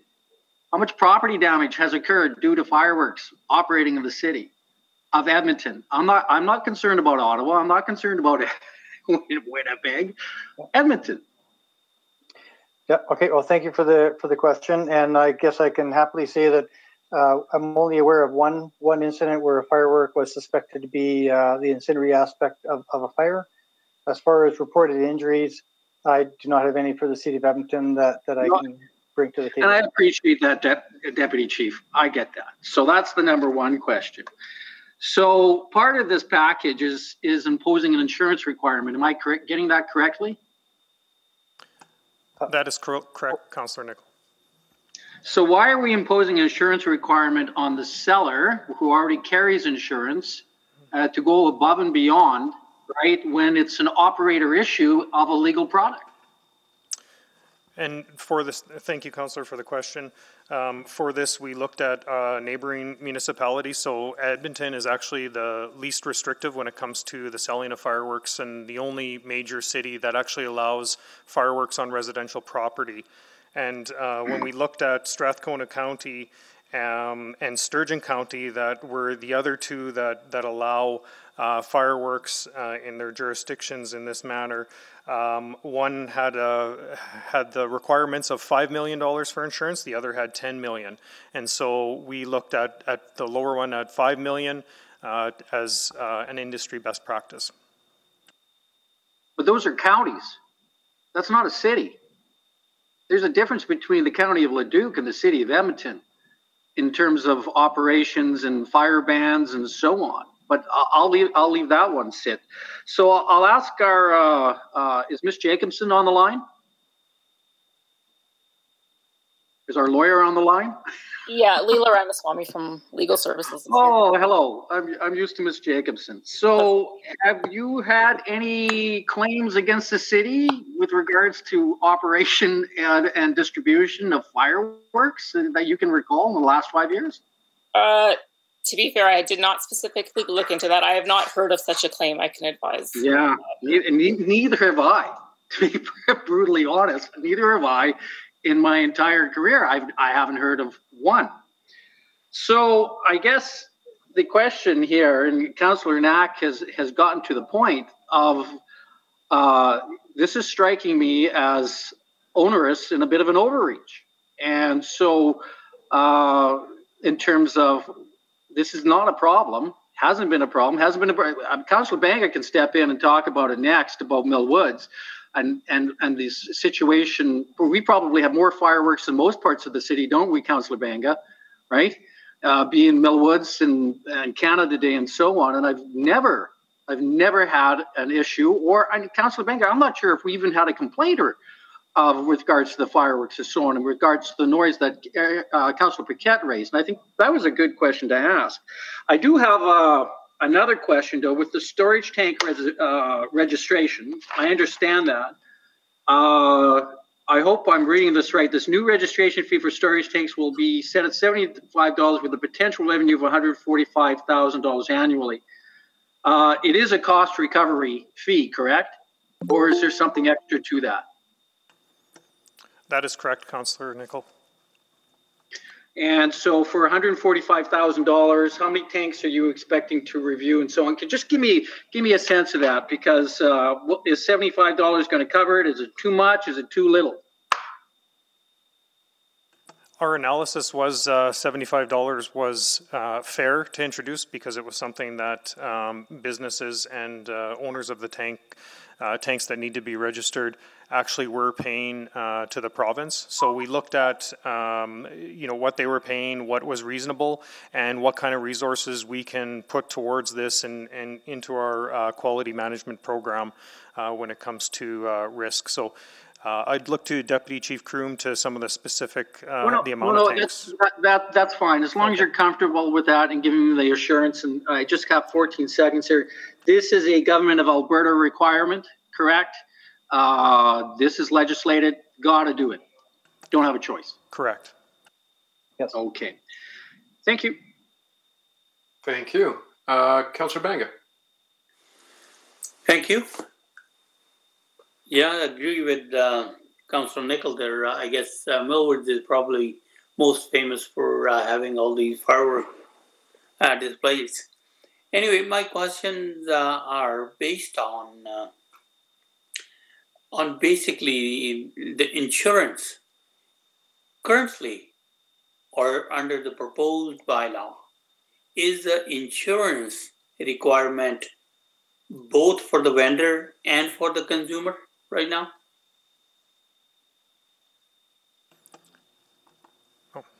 Uh, thank you, Councillor Banga. The insurance uh, requirement of $5 million is just for the vendor selling the fireworks. Okay, and there is uh, no insurance requirement for the consumer. So if we're looking at tier two permits, um, this with uh, community leagues and whatnot, uh, they primarily coordinate that through uh, neighborhood services section. And the community leagues are required to have uh, adequate insurance as part of their uh, agreement uh, with the city. And the majority of community leagues have this and, and, and work with the show provider to make sure that they're named on their policy as well. And this prevents uh, volunteers from insurance coverage if they uh, discharge fireworks. All right. And uh, my other question is uh, on this provincial fire code. Um, what does that require us to do? Um, thank you, Councillor Banga. The, the removal of um, fireworks from the provincial fire code uh, now puts the onus on the on the city, and I would uh, maybe look to uh, legal to, to comment on on what requirements now fall on the city with that removal. Um, Councillor Banga, because of the removal of the firework, um, anything to do with fireworks in the fire code, the intention of that was the um, provincial administrators felt that it was best for the municipalities, as they know their municipalities best, to undertake their own regulations. So, with respect to vendors, um, previously the previous fire code had requirements um, that a firework vendor permit was required, conditions that every sale there had to be a record of uh, the date of the sale, the buyer, their address, the type of fireworks that was sold, the amount. Um, and because the city of Edmonton decided, has made the decision to continue with the selling of fireworks, we felt that these um, these regulations that were in the fireworks before to regulate firework vendors should continue to some extent, as we are still going to continue with the selling of fireworks in the city of Edmonton. Okay. So, um, under uh, just make me understand, please. Uh, under the current uh, system, if uh, two businesses are, uh, businesses are located side by side, and one is uh, or business or temples, etc., etc., and fireworks are shot in the industrial area, and a fire starts, whose insurance covers that? Is it the vendor's insurance or is it the consumer's insurance? Sorry, could you repeat the question? If a if a, two businesses are side by side and there's a fire in the a business and uh, and a temple or uh, someplace where uh, fireworks uh, display is being uh, displayed, uh, and and somehow a fire starts, who is responsible and whose insurance is responsible? I think I better put it this way. Okay. Um, I will. I will have to add the preface that it always does depend on the particular facts. But if the fire is caused by the firework event, there's definitely some responsibility on on the fireworks display because that would be a, major contributor to the fire that has happened. All right. And my last question is um, um, I know um, we have uh, been kicking this uh, bylaw back and forth a few times, and uh, I have measurable that, uh, data of safety incidents. Uh, I only recall one that was probably around 30 years. Uh, if there was that was in Fort Saskatchewan, where some fire rescue officers' hand got blown off or damaged or whatever happened. And uh, that was a while ago. Um, I would say probably 30 years ago. Is are there any other incidents besides that in the last few years? Maybe the deputy chief can weigh in on that. Uh,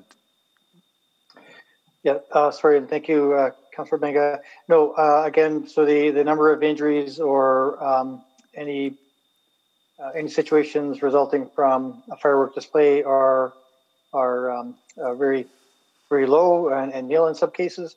However, the number of complaints, uh, uh concerns expressed by uh, EPS on on the um, uh, unpermitted events, um, those those still remain, and and why when they are at, at with us at the engagement sessions, some of these regulations were were embraced by by that group and and the rest.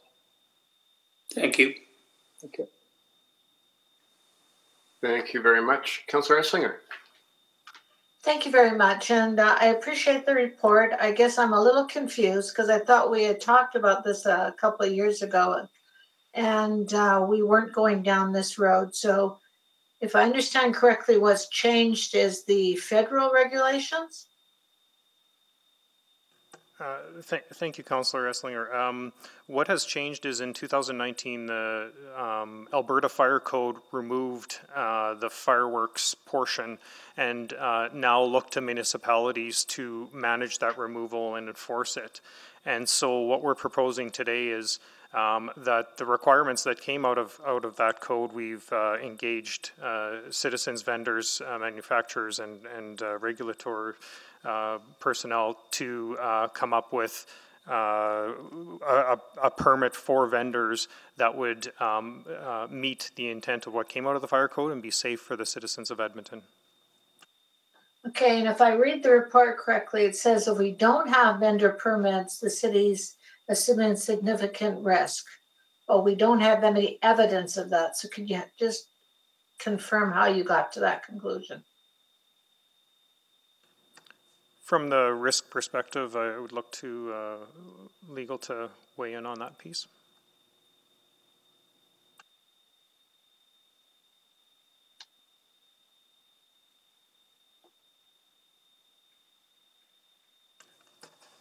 And I can I can jump in a bit while we're while we're waiting. Um, without a vendor permit, uh, administration has no enforcement ability for the vendors who do not follow the regulation requirements for uh, storage or sale of consumer fireworks. And so these regulations are also critical for the safe usage of fireworks, where vendors must provide safety information, uh, ensure the purchasers of 18 years of age, and uh, most importantly, um, advising on the products so that they can safely be discharged in a space that the consumer has available. And so there are also strict regulations regarding the quantity and type of fireworks uh, that can be can be stored. So without these vendor permits, the city of Edmonton is assuming that risk, including damage to property or injury, um, as there would be no monitoring or enforcement actions for vendors. Thank you, Chief Zatylny. And one more thing that I would add as well is that um, under the under the Explosives Act, only only uh, a rep, an agent of of the federal government can enforce those provisions. Um, when these provisions are made into a municipal bylaw, which we have to do because the fire code no longer regulates these items, the city of Edmonton can actually um, directly enforce. They have the enforcement powers under the bylaw. So uh, the one speaker said uh, if we had regulated or certified the vendors through the CNFA, I think I got that right, uh, that would have addressed some of these concerns. Would that alleviate any risk? Uh, thank you, Councillor. That, that would be the minimum training that we would require um, uh, for vendors to uh, to have and be able to um, uh, display the fireworks. I'd look to uh, Chief Kroom to maybe um, add to that statement.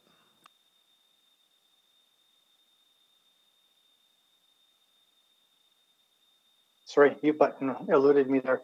Um, yes, um, yeah, actually, that that is a desired state. Actually, that CNFA become an integral partner in in communicating to the vendors and, frankly, the shooters, and uh, even better yet, all all users of uh, consumer fireworks. We'd be quite quite happy to um, to get to that point. Uh, we just didn't feel that we were there yet. We weren't know we didn't know if CNFA was uh, able or had capacity to to manage that aspect. So the regulations um, appear to us to be um, a reasonable approach to get this um, established.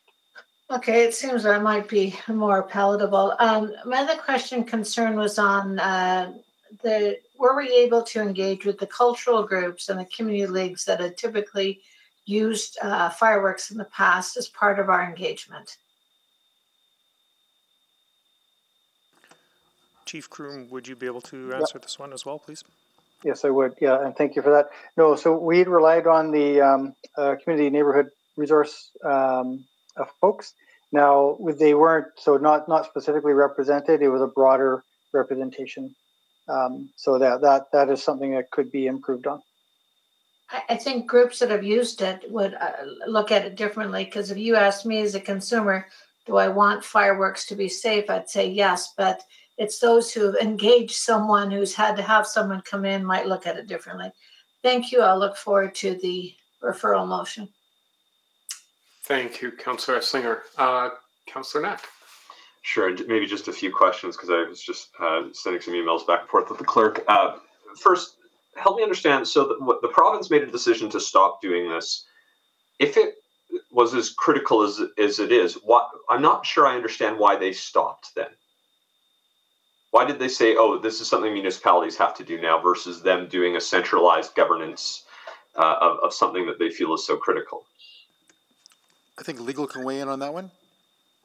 Yes, um, Councillor Knack, my understanding was they felt municipalities were um, better able to determine what was best for their own municipalities with respect to consumer fireworks. And I believe that came as a result of the province regulating fireworks for many years, and th- these were comments that had come back to them from the municipalities.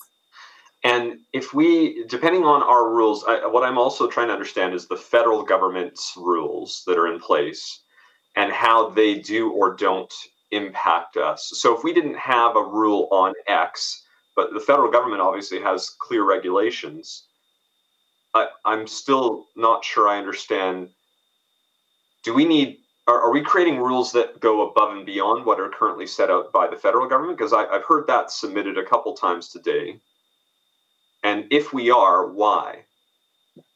Um, the Explosives Act does regulate some aspects of uh, of fireworks. Um, where there's a gap that the fire code had previously filled in was that um, with respect to uh, sorry fireworks um, that are stored that are 150 kilograms or more, um, there's a requirement under federal legislation that all records of sales have to be kept. If they're under 150 kilograms or less, the previous fire code required that sales records be kept for all of those transactions. So that's one gap that the fire code filled, and that um, with the fire code no longer regulating uh, fireworks sales. That's a gap that that we now have that the municipality feels it needs to, um, sorry, that it needs to fill. Another one is uh, regulation or enforcement. Um, so under the Explosives Act, only federal agents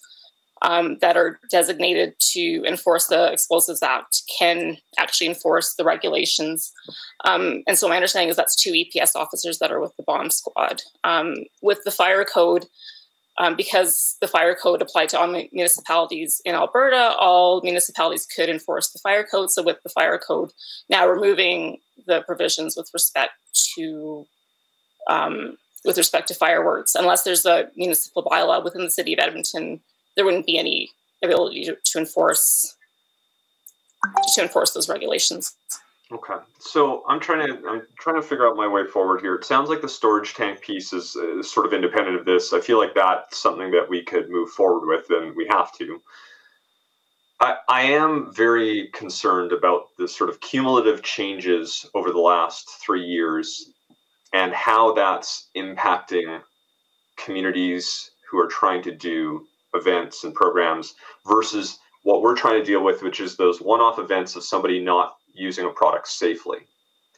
So it feels like we've created a series of bylaws to try to fix that. It hasn't fixed that.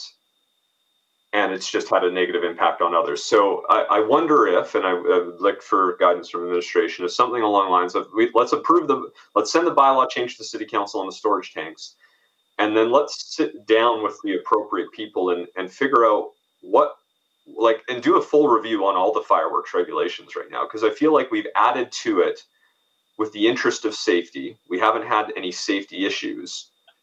And so all we've done is add cost and complication. And that might be an unfair oversimplification.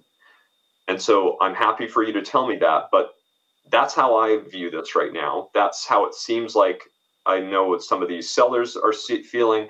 And I'm hearing that from some of the community leagues.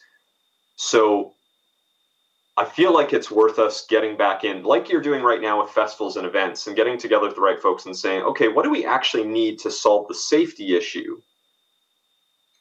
And how do we make sure we're not adding unnecessary costs to leagues and groups that just want to put on shows for their residents to come together?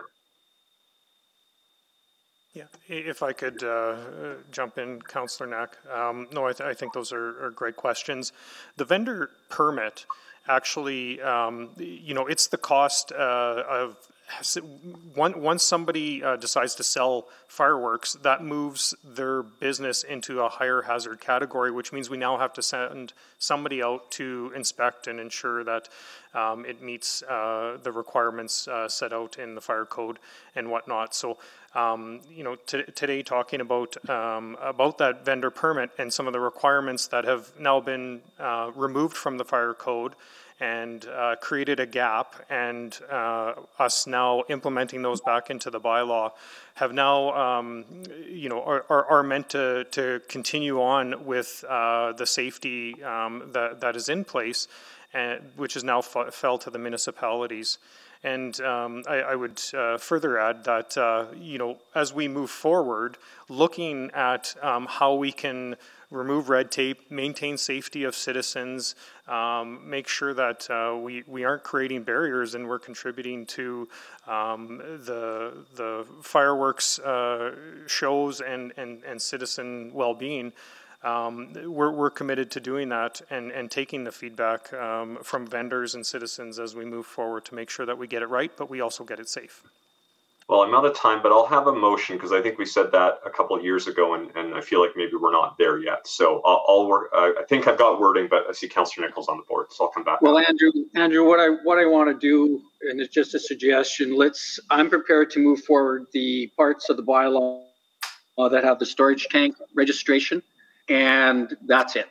And the rest, you're going to have to. I feel that we should start from scratch on everything else. But that's what I'm prepared. Madam Clerk, can uh, Andrew, if that was your intention, you can make that motion. I can make that motion. I don't care. One of us can. But I, I think, think, that's what we're in the chat now. So I, either one of us, I'm, I'm okay with it. It's the okay. same. So uh, yeah, I guess we can just put that motion up, and then I'm I'm prepared to to speak to it. But uh, let's get on with our day here because I think that's how I feel, anyways. If anyone else wants to add in. That's very appreciated. Um, okay, so do we have wording of that motion? I can read it in if that's okay. I think I've, i think we've got it now. The clerk said put something there. If you're okay, okay. with it, yep. sure. Uh, so it would be the Community and Public Services Committee recommend to City Council uh, that bylaw 19580 be amended as follows delete section 3, delete section 2A from Schedule B, that bylaw 19580 as amended be given the appropriate readings. And then separately, the administration review requirements, uh, I would add in consultation with appropriate stakeholders related to fireworks and provide draft amendments to ensure safety of Edmontonians while removing barriers and costs. Yeah, that works. So who's making this motion? Uh, sure. I, I've Andrew, moved it. can, go ahead. Sure. Yeah, Andrew, Andrew, I'll, and I just want to speak to it too, so. It can Yeah, be a group motion. Okay, so uh, go ahead, uh, Andrew. Do you want to speak to this, or, or you? Uh, I'll just quickly close at the end. That's fine. okay, go ahead, Councillor.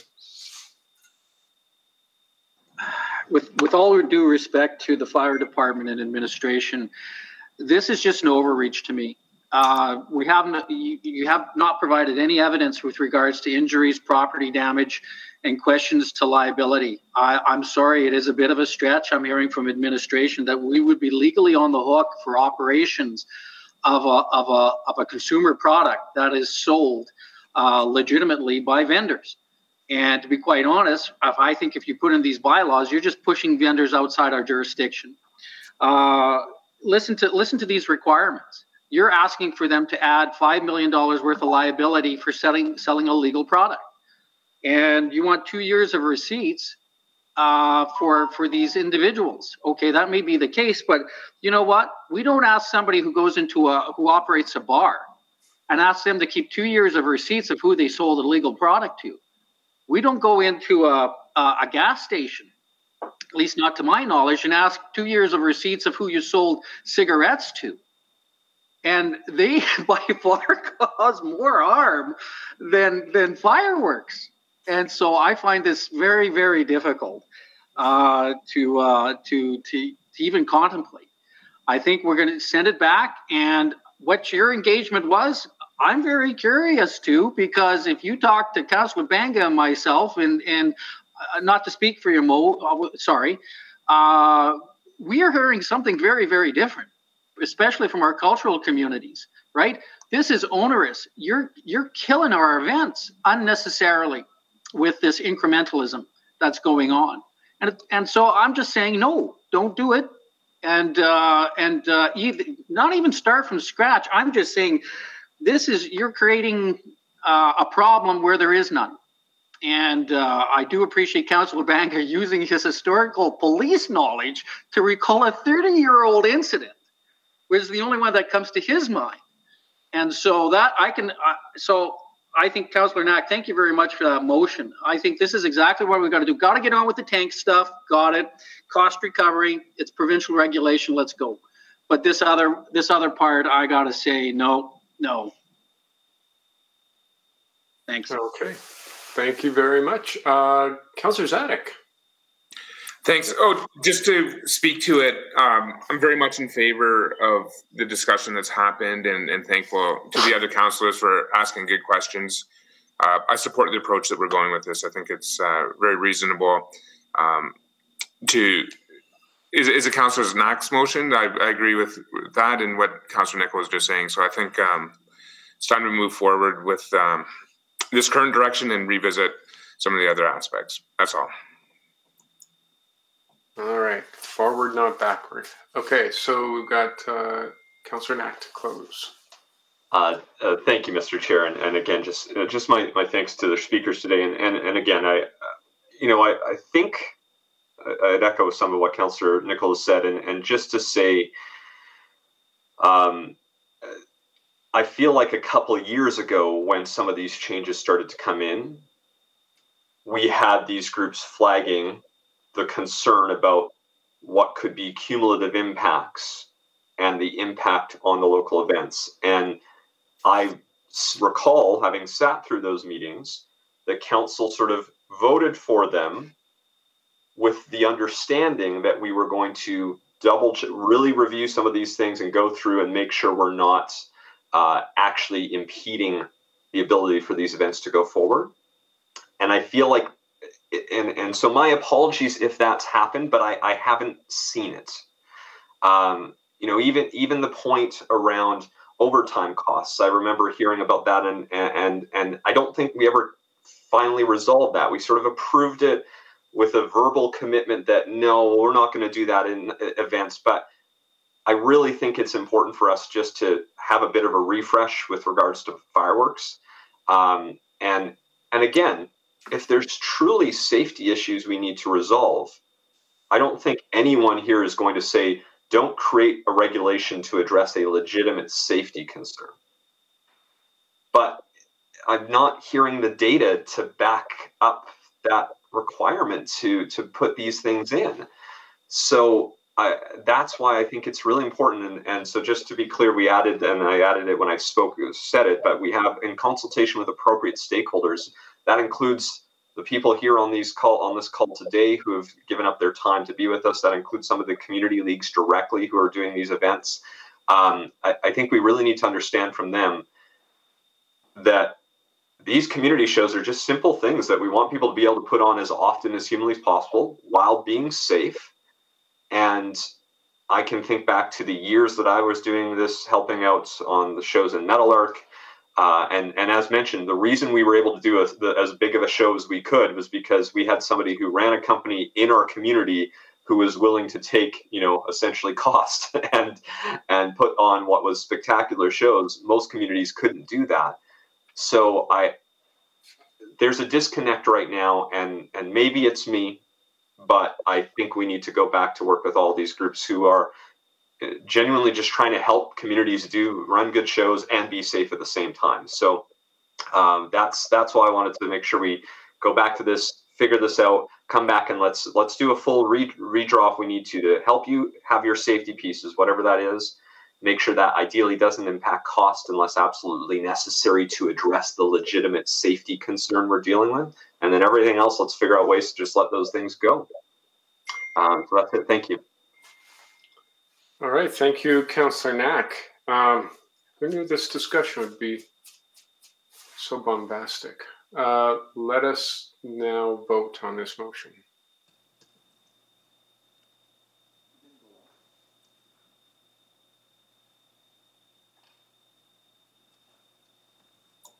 Yes. We have all the votes. Display the vote, please. There you have it, unanimous. Okay, and uh, so that ends uh, item 6.5. Now, we've got uh, three more items uh, uh, in public, and we've got one in private. It is 11:35. Uh, I'm just check with committee. Would you like to hop into private if administration is ready in order to manage our time? Andrew, you're pretty quick. Yeah, okay. that would be very, very quick. Then I'll move to bring uh, item 9.1 forward. And uh, we can, and then we can move into private if if that is okay by everybody. Yeah. Okay. Um, so vote on moving 9.1 forward, please.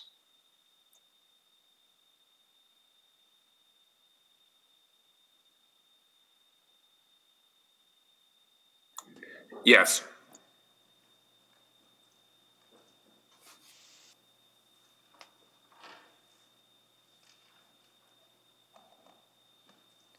Apologies, Mr. Chair. It's coming right now.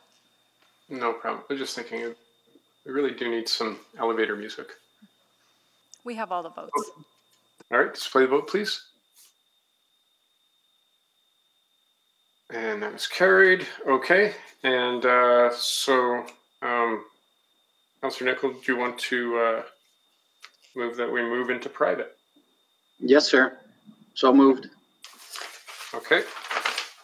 And uh, so that is uh, according to section 16, disclosure harmful to business interests of a third party. Okay, so please vote.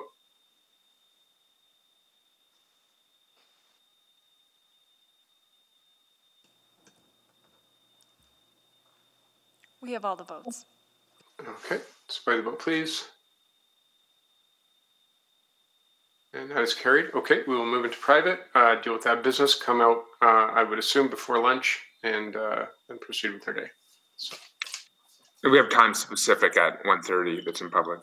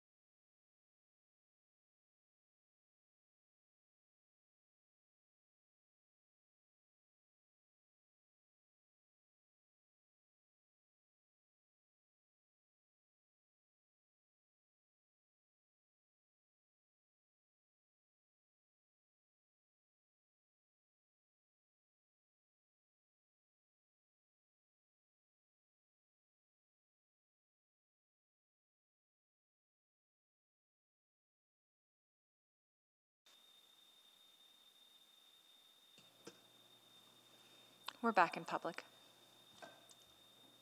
All right, thank you very much. Uh, Councillor Knack, did you have, did you have a motion? Uh, yes, I can just remove the recommendation as written in the report. Okay. Um, I don't think there's any discussion, so please vote.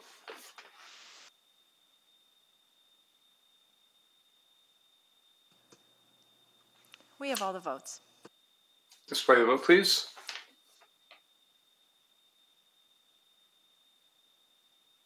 And that is carried unanimously.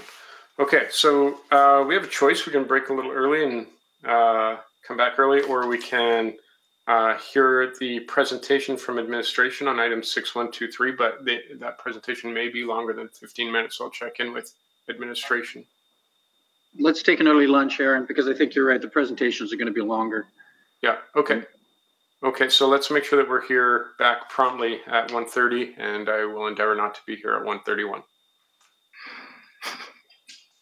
Thank you. Thank you. I don't want to have to call the meeting to order, Aaron. Understood. I can see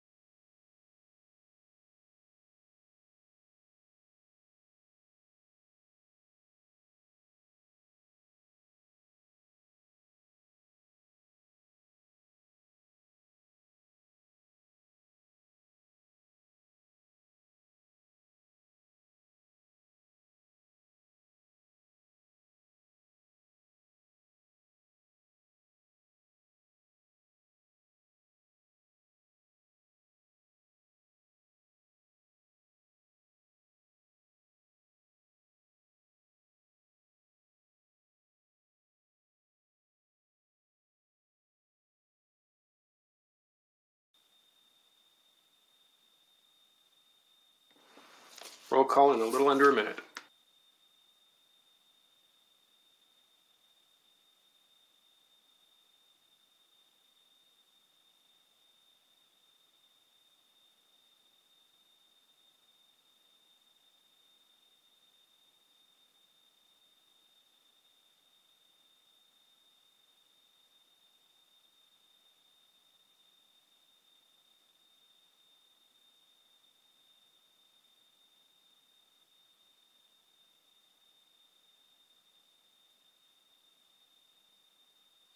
And welcome back to the March 24th, 2021 edition of the Community and Public Services Committee.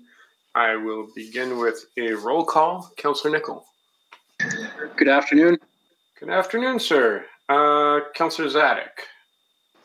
Good afternoon. Hello, hello. And Councillor Knack. Good afternoon. Good to see you. All right. We also have, uh, I see Ben Henderson I am still here. A wonderful counselor. Uh, speaking of wonderful counselors, we've got uh, Counselor Esslinger on the line. Good afternoon. Good afternoon. Good to see you. Um, I hope it's appropriate that I mention I really like your haircut. Uh, and I see we've got Counselor Hamilton. Yes, good afternoon. Good afternoon to you. And Counselor McKeen.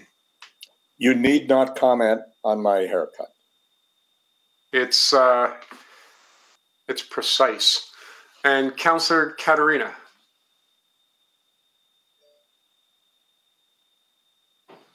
is on the line and will surely be joining us soon. Okay, so uh, here we go. Uh, we did some great work this morning. Um, out with a bang. And here we go now onto item 6.1. And I believe administration uh, does have a presentation after which we will hear from any speakers. I understand we have one speaker who came in. Should we actually move? Like, let me just double check. Do we have that speak, uh, a speaker signed up for these? For this? Uh, Mr. Chairman, I think we have a 1:30 time specific, do we not? Oh, you are so right. You're wrong? Councillor Nickel, thank you for being on top of things. I really appreciate no worries. it. No worries. Super helpful when people point out things in the meeting. I really appreciate that. Okay, so um, we will go to item 7.1. But before we do that, just as a matter of order, uh, I believe we may have a speaker who signed up to speak for item 6.1, 2, and 3 cross-referenced, and we should probably enter that in if that is the case. Clerks? That is correct. We do have one, one speaker who is registered for 6-1. Okay, and I believe that is Paige Gorsak, is that correct? Correct. Okay, so if anyone would move uh, to add her to the list. I'll move. Okay, please vote.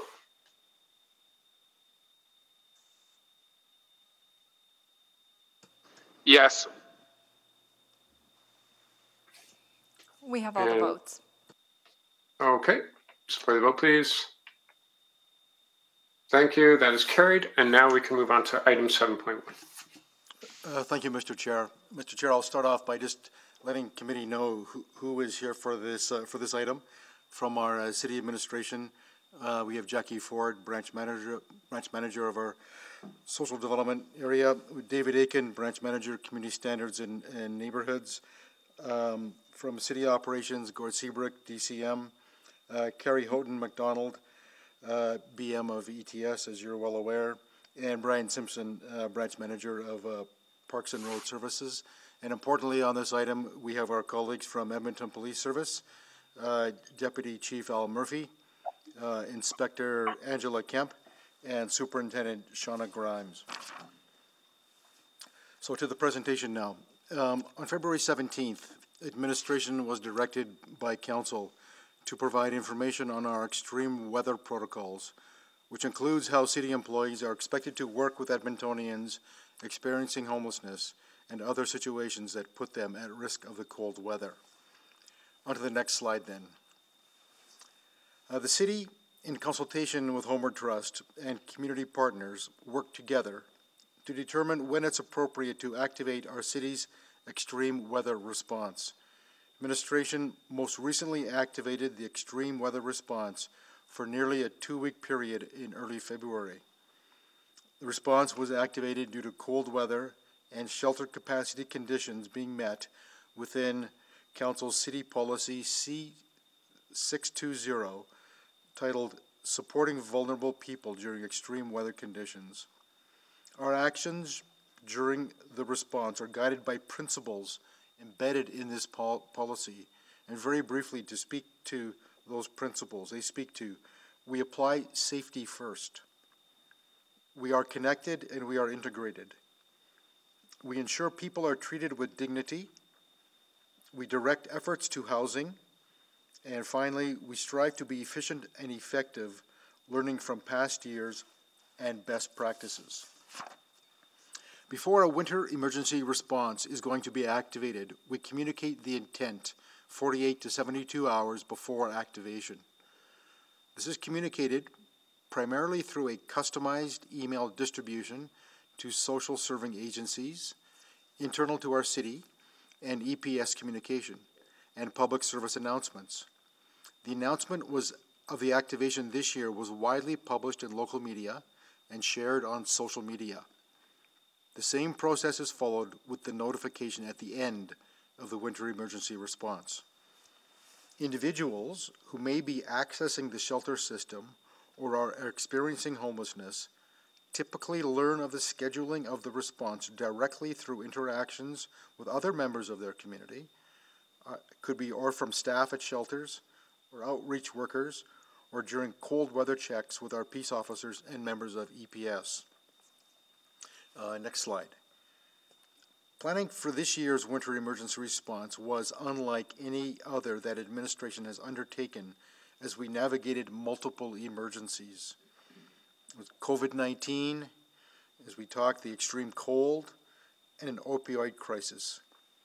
Homeward Trust and the administration did develop multiple contingencies based on outbreak status at different locations, how to handle symptomatic individuals, and ensure the right tools like naloxone and Narcan were present for frontline staff undertaking wellness checks. With all of these external factors, our planning for the potential response changed on a week to week basis and sometimes even on a day to day basis. The measures put in place during this year's activation included the addition of approximately 160 temporary shelter beds to the system. The additional spaces provided during the nearly nearly two-week period created a system of shelters where some of the shelters were in fact full overnight, but at all times the shelter system had capacity during the day and overnight. The shelter spaces were complemented by up to four dedicated ETS overnight buses traveling between emergency shelters and high demand transit centers, an enforcement pause, which included transit peace officers refraining from issuing bylaw tickets to those who were using transit without paid fares in order to stay warm, and a pause in removing illegal encampments. Through the nearly two week period, there were in fact thousands of positive interactions between shelter staff, crisis diversion and outreach teams, our administration, and EPS as individuals and organizations did come together to ensure those experiencing homelessness had a safe and warm place to sleep during that extreme cold period. However, on the final weekend of the extreme weather response, social media posts circulated regarding police responses to two separate events. One involved removing an encampment on public land near Hope Mission, and the other involved removing vulnerable individuals at an LRT station for public health violations. So now to get to the specifics on the next slide. On February 13, Hope Mission contacted police to check on the well-being of people sheltering in an encampment outside their facility. EPS contacted city administration to remove the encampment and the individuals affected accessed the support resources of Hope Mission for continued shelter. The decision to remove the encampment by EPS was completed in the interest of safety for the affected individuals. The removal of the encampment near Hope Mission occurred outside the formal encampment response team process. The encampment response team is a collective of administration and social agency individuals who meet to prioritize, plan, and then resource the removal of encampments with wraparound services. Since that event, administration and EPS have realigned operating procedures, ensuring a single source referral occurs from EPS to the encampment response team. This encampment response team will then evaluate, including a review of externalities like COVID 19 or extreme weather, and then make a decision to trigger a camp removal. That was the first, that was the first instance. Second event occurred actually the next day on February 14th, in which vulnerable individuals were, were removed from an LRT station. As Council is aware, uh, the city formally did operate LRT stations in past winter emergency responses as a temporary shelter. Since the approval of policy C620 in 2019, the LRT station is no longer used as part of this response, as they really do not have uh, adequate washrooms and temperatures still remain quite cold. However, some individuals do choose to temporarily seek respite from the cold at these locations. During the extreme weather response, peace officers will increase patrols in the transit system to conduct wellness checks on individuals, They'll assist with referrals to shelters and the winter emergency bus and act when enforcement is necessary. Not just during winter emergency, but at all times, peace officer interactions begin with respectful conversation, empathy, and offering connections to services instead of formal sanctions like ticketing or removal from the LRT system. However, individuals will be asked to leave the premises at scheduled closure times and as a last step if they are creating a disturbance or disorder. When individuals are asked to leave a transit station, the transfer of individuals to shelter is coordinated with transportation options, including a REACH 24 7 crisis diversion and the dedicated overnight ETS bus during winter emergency. And on board each of the ETS buses this February was a team of social agency workers and peace officers The Peace officers were in constant contact with ETS Control Center, who were monitoring and coordinating other officers in the field who may be looking for a referral. With this coordinated approach, individuals may then choose to use the transportation options to access available shelters.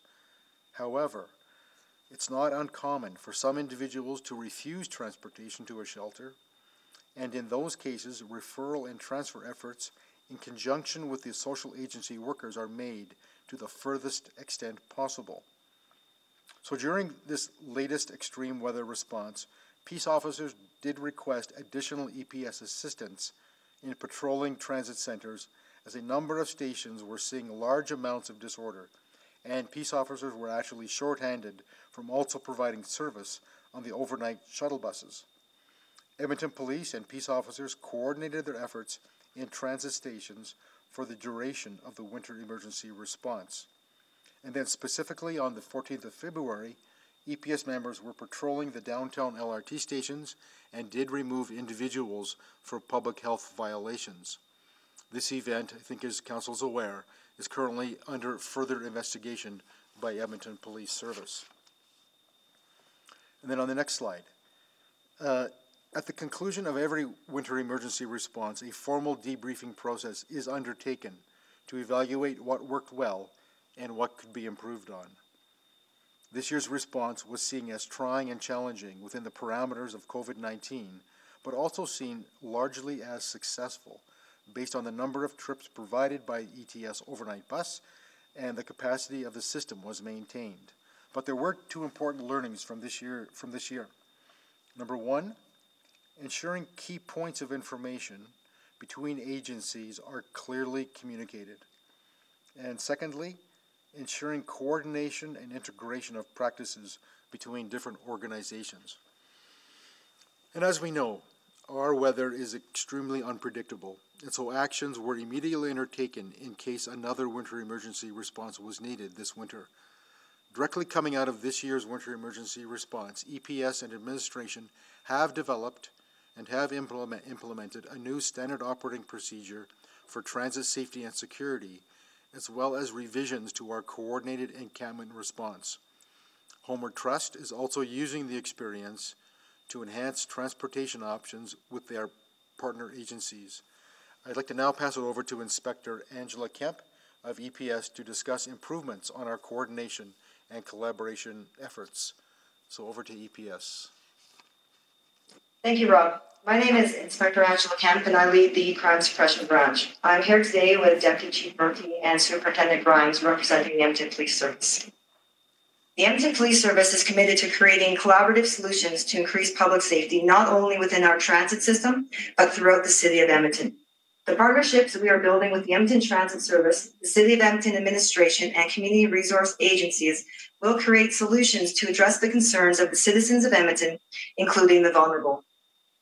The ongoing joint problem solving initiatives that will be implemented to address concerning behavior with a human centered approach focusing on community engagement and education.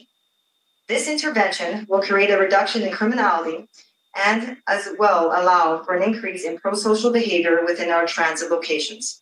It is our goal to ensure the continued support of transit safety initiatives and to partner with outreach agencies for the best possible conclusions. In addition, the Edmonton Police Service, in conjunction with the City of Edmonton, have developed processes to ensure alignment of police and peace officer engagement to best address encampment concerns while understanding the complex needs of Edmonton's most vulnerable population. We thank the committee for this opportunity to contribute to these problem solving initiatives and continue to work for the betterment of Edmonton. Uh, thanks, Angela. So, just to wrap up then, while the two events we described in our presentation this afternoon are clearly very troubling, and as I hope we have communicated, communicated to committee this afternoon, we will do better.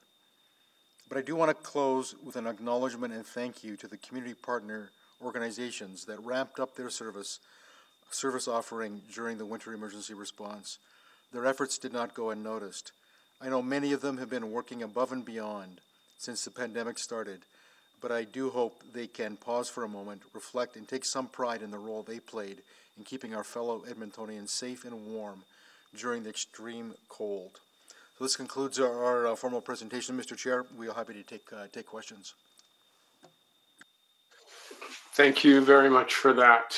Um, I see that uh, we have uh, Councillor McKeen on the board. However, this was uh, Mayor Iveson's inquiry, so I'll just check in. Go go ahead, Councillor McKeen. I'm just organizing my questions here. So, okay. Go Thank ahead. you. Uh, if you don't mind, Mr. Chair, then. Um, so I've been struck by, uh, I guess, a lot of information that has come to my office over the last few months and, and, and since the incident of February 14th, I think you said it was. Um, I personally, as the counselor representing downtown, I'm getting constant emails from businesses, but also residents downtown who have had uh, what they describe as very scary incidents. And I, I I don't think I have to uh, defend my record on on advocating for the homeless, but we have a complex issue. So I just I guess I wanted to say that from the very start. I understand the police are getting pulled every which way in every direction on this, and our peace officers too. Um, so I don't, I guess the question I have, because we know that some people get banned from shelters. Uh, let me start with that group of people. There are homeless people who get banned from shelters. And if it's cold, or whether it's or not, it would seem to me then we have no answer for that particular subpopulation. Am I right? I don't. I, like I'll start with the police, if you don't mind. What would you do in that situation if you had somebody that had been banned from a shelter and was maybe um, causing some, I'll use the word disturbance in a in an LRT station or something? What would be your options? Uh, thank you, Scott. From an Edmonton Police Service perspective, um, during the cold weather response, if they are banned, um, from the shelters. Bans are lifted during those times, and every effort is made to take them to another shelter um, for servicing so they can find shelter in those aspects. Um, from my experience over this past winter response, there's always been a shelter that's been willing to assist in those circumstances. Okay, good. So we're not left, they're not left high and dry. Um, can you comment at all on the uh, complexity of this situation for peace officers and police officers when we, you know, we want a compassionate response. Obviously, everybody does, and when it's really cold out, there's there's risk to public health. But are you also getting pulled by the public on questions about um, public safety and social disorder? Uh, you're correct. There's definitely situations that are counterintuitive. We have some public uh, residents who are very concerned about encampments in their areas. And we also have the issues of the social disorder. But more importantly, we also have to remember that the vulnerable population needs the resources and the outreach. Um, what would help um, all these situations is having more access to outreach agencies working 24 7 would really be a benefit to help these situations that you're speaking of. So there would be situations, Angela, then where it's not really a matter for the police or peace officers, but and but we don't have the outreach teams available right then and there to respond. Is that am I hearing that right? Uh, in some situations, that's correct, sir. Yeah. So the yeah, and and I know that our twenty four seven um, outreach is pretty good, but I've called it myself and been told it was going to be quite a wait. So that system may be overrun uh, as well. So I guess my point I wanted to make is first of all, and I may have further questions to come around on, is I just want the Edmonton Police Service to know that I understand you're getting pulled in at least two different directions here um, um, by this issue, and and I don't know what the answer is, um, but I understand that you, um, you you face public criticism at times when maybe you're fulfilling the wishes of the downtown of a downtown business or a downtown resident. And and i think in a lot of cases just try, trying to do right by the world but i just wanted to get that on the record for you guys. So thank you very much. Thanks mr chair. All right. Thank you. Uh, mayor Iveson. Well thank you mr chair. And uh, appreciate the report. Uh, obviously, we've come a long way from several years ago when the LRT stations were the best we could do to the point now where uh, we see many different ways to meet people's needs um, uh, and get them to safer places and maintain safety and order uh, on the transit system in a better way. Further to yesterday's discussion, actually, a committee. So, uh, but uh, maybe just starting chronologically, I guess, with the um, the incident on February 13th with the decampment, or the, I guess the non-standard decampment um, uh, uh, next to Hope Mission, um, that I understand started as a welfare check. But so in in that case, um, if I understand correctly, uh, that was a police response and not not a peace officer, park ranger, encampment response team response. Uh, that's correct, Mr. Mayor. Okay. Now, and and the note is that administration and EPS have made adjustments to improve coordination in responding to complaints of encampments on public land. Um, what is tangibly? What does that mean? What are the adjustments that have been made uh, in order to make sure that the integrated response comes forward? Maybe that's a EPS response, Mr. Mayor. Yeah, Rob, I can take that question. So the Hope Mission um, request for encampment removal was completed by the Hope Mission asking for assistance. Um, there were uh, circumstances surrounding that on the welfare checks of those individuals, and both individuals from that camp were um, given resources from Hope Mission. Uh, the cleanup was done for the public safety issues to make sure that no others were um, taking over that camp in that cold weather to make sure that they all had access to Hope Mission resources. In relation to the encampment procedures, We have aligned procedures with our city operations and city administration to ensure that there's a singular contact from EPS through the 311 app or to the um, uh, Troy Carriers area with the city of uh, Edmonton to ensure that all the encampment process for cleanup and outreach work is um, done in a manner that it's recorded and, uh, and acceptable. So I'll, I'll leave aside the irony that they were camped in extreme weather next to the shelter and that it was the shelter that that uh, asked for them to be checked on. Uh, I, am going to presume I'm going to give a benefit of the doubt uh, out of out of compassion, um,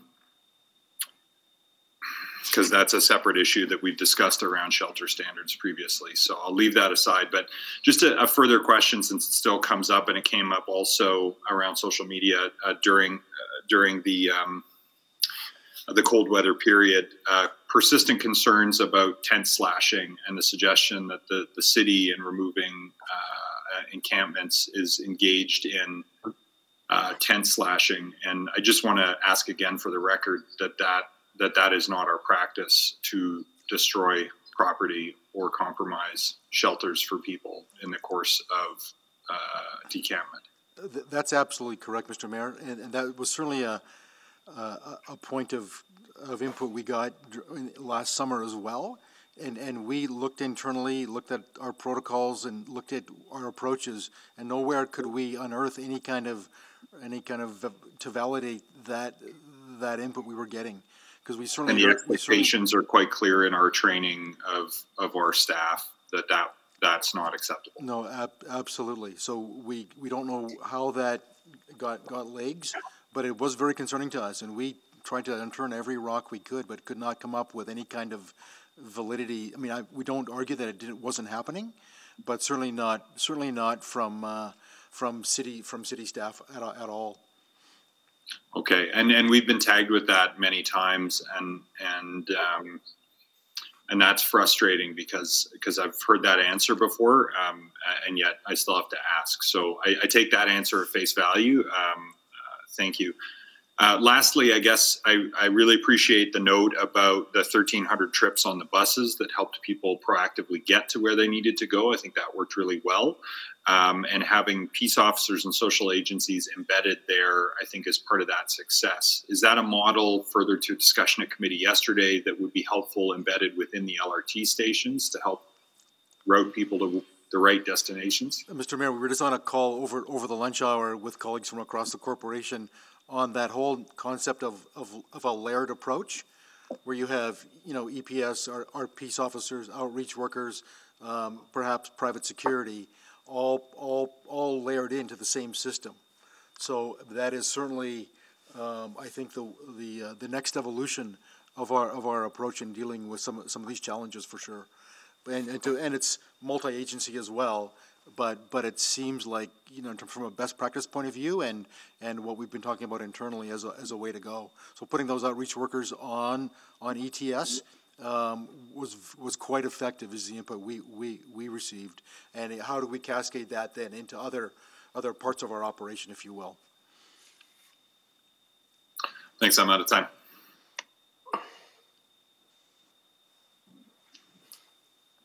Okay, uh, I'm just getting word that uh, we do have someone who has requested to speak, but uh, we missed uh, getting to them. So I'm just wondering. Uh, well, I will just make the motion. It's pretty simple. Uh, we have Robert Houle who would like to speak to this item. so if there are any objections, I mean, we can put it to a vote. But I, I'll just look for objections. Oh, seeing none. Okay. Thank you. All right, and thank you, uh, Mayor Iveson. Uh, so, since we do have a request to speak and there were uh, no objections, um, as a matter of order, we would actually go to the speaker at this point, ask questions, then return to administration. Um, if, are there any objections to following the, the proper order? No, go, let the speaker go, Aaron. Okay, thank you. Mr. Chair, I believe we're just getting the speaker on, um, on the call right now. They were waiting. Their request had come in after the item had started, so we were just making those arrangements. So you might want to go to your next speaker and we can make sure that they're connected. I see. Okay, well, if that's all the same, then I believe that uh, Councillor Nickel was next with questions from uh, administration. Thank you very much, uh, Councillor Paquette. Okay, Mr. Smyth, let's, you got to talk me through this a little bit, uh, how it starts and how it finishes. Okay, Mr. Smyth? So give me the cold uh, weather response definition. What, under what conditions do we flip the trigger? Uh, there's, uh, there's two triggers that are looked at by the team.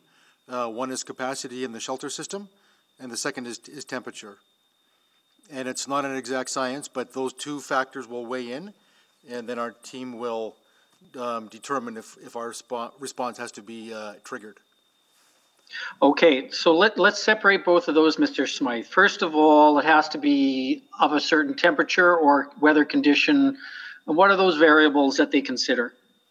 Just so I understand this clearly. Maybe I'll ask Ms. Foord to weigh in. Jackie, do you have a little bit of more detail on that? Uh, Yes, thank you. So around the extent, uh, the weather, we're also have to remember this is extreme heat or cold or extreme weather. So okay. the the temperature is one. The duration of how long that uh, that ex, that extreme weather could happen, if it's one day or maybe two, depending on the conditions, that might not trigger it. But its length and its uh, and its temperature. Oh, good. I, I'm glad you mentioned the heat one because I was I was always thinking cold. So I think that's that's an important thing to keep in the back of the head. So, what is it? Minus 20, minus 15. Um, speaking of temperature, not talking about uh, wind. Is it a wind chill factor? I just explain to me the mechanic of the weather call. It is actually we work, we rely on uh, um, Environment Canada, but a weather warning of some sort. So it may be extreme cold, it may be extreme heat, um, but it, so it is. Again, it's not an exact science because if, if there is room in the shelters, that may or may not trigger it, but it, in, a weather warning would have to be issued. Okay, I, I just, I'm asking this question because I just want crystal clarity.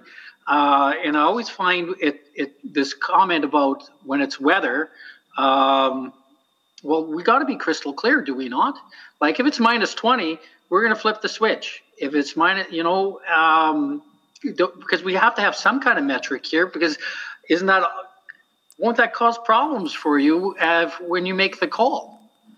That's why I'm kind of a little concerned about, you know, just the basic measure of when we, when we, let's talk about extreme cold, for example right? Um, minus 10 is not minus 20, but the wind chill could be minus 20. Is is that the metric? Well, the, if the weather warning is issued, that would be the that would be the first trigger. Again, uh, okay. Time. Uh, the other part of that would be the fact that again, it there is no precise point that I can say that there's a checkbox here, here, here. We look at all the conditions the number of people who are homeless at the time, the number of shelter beds available, the weather warning. And we do give 72 hours notice. So it's or 48 to 72 hours notice so that all of the shelters and the services uh, the crisis uh, mobile crisis center all have the chance to get ready for the weather that we see coming down. Correct. Okay, I understand that, but I'm just starting with a basic trigger. Then, then we enter the question of, of, of capacity. Uh, that's a different question altogether. So when the weather trigger goes, we flip the switch because we've got the weather warning. We have kind of two kind of exposures, do we not? We have an individual, and then we have an issue of whether they're in a, a place or a tent or a structure of some kind where they could be at risk. Yes? That's correct. And in terms of the shelter capacity, uh, we're looking at above 90% capacity. So that okay. would. Yeah, for sure, for sure. I have a question that that goes to this. What okay? What the person that you see out there? The weather warning's been, uh, you know, it's about our responsibility. So let's say we go to that individual on the street and we say we got to get you inside. That's one process. Then the second process uh, can be asked is what if they don't want to go? What do we do in that situation? And where do our responsibilities and kind of do we force them to go? I mean, for their own good? What what do we do in that instance? Councillor Nickel, we have staff from uh, legal services here. Nancy, maybe you could weigh in on like how far we can we can move down the continuum that Councillor Nickel's talking about. It, it would be helpful for me at least. Happy to, Mr. Smyth. Um, so, what I would say there is absolutely we're going to respect an individual's choice as long as they have the capacity to make that choice. So, if they're in a state where they can't make a choice for themselves, we will absolutely take the steps that any human would need to take in that case. But otherwise, it is their choice and we will respect that. So, oh, I'm out of time. Thank you, Councillor Nickel. Uh, we have uh, Councillor Banga next. Thank you, Mr. Chair. Um, my first question is uh, to EPS there. Uh, without commenting on uh, on that uh, current situation that's under investigation, could you be able to tell me uh, if a private or public uh, body calls you to a call saying that there are some unknown individuals uh, uh, at their property and uh, they need them removed. What is uh, the normal protocol for uh, Edmonton Police Service? That's a complicated question because it all depends on the type of property, if it's private or public property. Um, in relation to a private property complaint, the police would attend in a uh, standby, standby situation where they could have the municipal enforcement officers remove the camp, and then we would stand by in that event. Um, it'd also be complicated by the fact if EPS has agent status at those locations, and then they would be able to have those removals occur. The most important part I'd like to draw your attention to is the fact that we will make every effort to have these individuals be linked with resources. And that would either be calling our 24 7 or 211, or even having our own EPS members transport um, these individuals to shelters. Um, understanding from the last comments, it all is voluntarily, and we are unable to detain people to take them to shelters unless they wish to go. Okay, and what happened to a simple check on welfare call? Let's say somebody's camped in the in the river valley. There is a process that the city of Edmonton does entail for the encampment strategy. Rob, I'm not sure if you want to go over the process, but for EPS, if we do locate an encampment, we would then be calling 311 and our city partners um, outreach workers would attend the encampment and offer resources. Um, from then, they would then be scheduled removal with our city operations team. Maybe Mr. Akin can elaborate on that, Councillor? Sure. So, so, Councillor, as you know, the, the complaints come generally through 311 to our uh, park uh, park rangers. Uh, we do an inspection of the, the campsite, and there's uh, two decision trees. Uh, one, if it's abandoned, then we work with our city operations folks to get it cleaned up. Uh, if it is um, occupied, then there's a number of different avenues that we go down to uh, get the necessary support. Uh, we advise uh, some of the local uh, support agencies that we have a, a camp that is inhabited, and then we go through a process of trying to get them the necessary supports that they need. We do an evaluation of the safety and health risk, not only to the individuals, but to the surrounding communities, and then we take the steps to try to find them um, other locations or housing, um, and then also affect that cleanup. So we, that, that process is documented. We have a number of steps and considerations, and that does change during our extreme weather protocols. Uh, also during COVID, uh, also uh, in relation to um, other public amenities and residential areas. And so we, we consider all of those things in our approach. So, Mr. Smyth, um, um, my first uh, question to you is uh, uh, you mentioned in your presentation that uh, there are 58 unique users. What do you mean to say by that? Council, I'm just looking through my notes. I don't.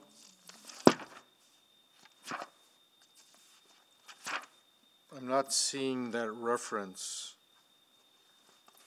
Uh, and it says that Tipinawâw reported 58 unique users. Okay, uh, yes, I see it on the slide there, that's right. Um, that was during, that was during our extreme weather response. I mean, during the cold weather, um, that facility accommodated up to 350 people. Those were individuals that, that may not have been staying there, but during the extreme weather response, uh, they, they were uh, transported or made their own way to that facility as, as to basically to get out of the extreme, extreme cold. Okay. Uh, my time's up. Thanks. All right. Thank you, Councillor Banga. Um, I'll just check in to see if our speaker is ready. Yes, I believe they're on the meet now. Okay, so um, why don't we just hear from our speaker and then we can move to second round of questions.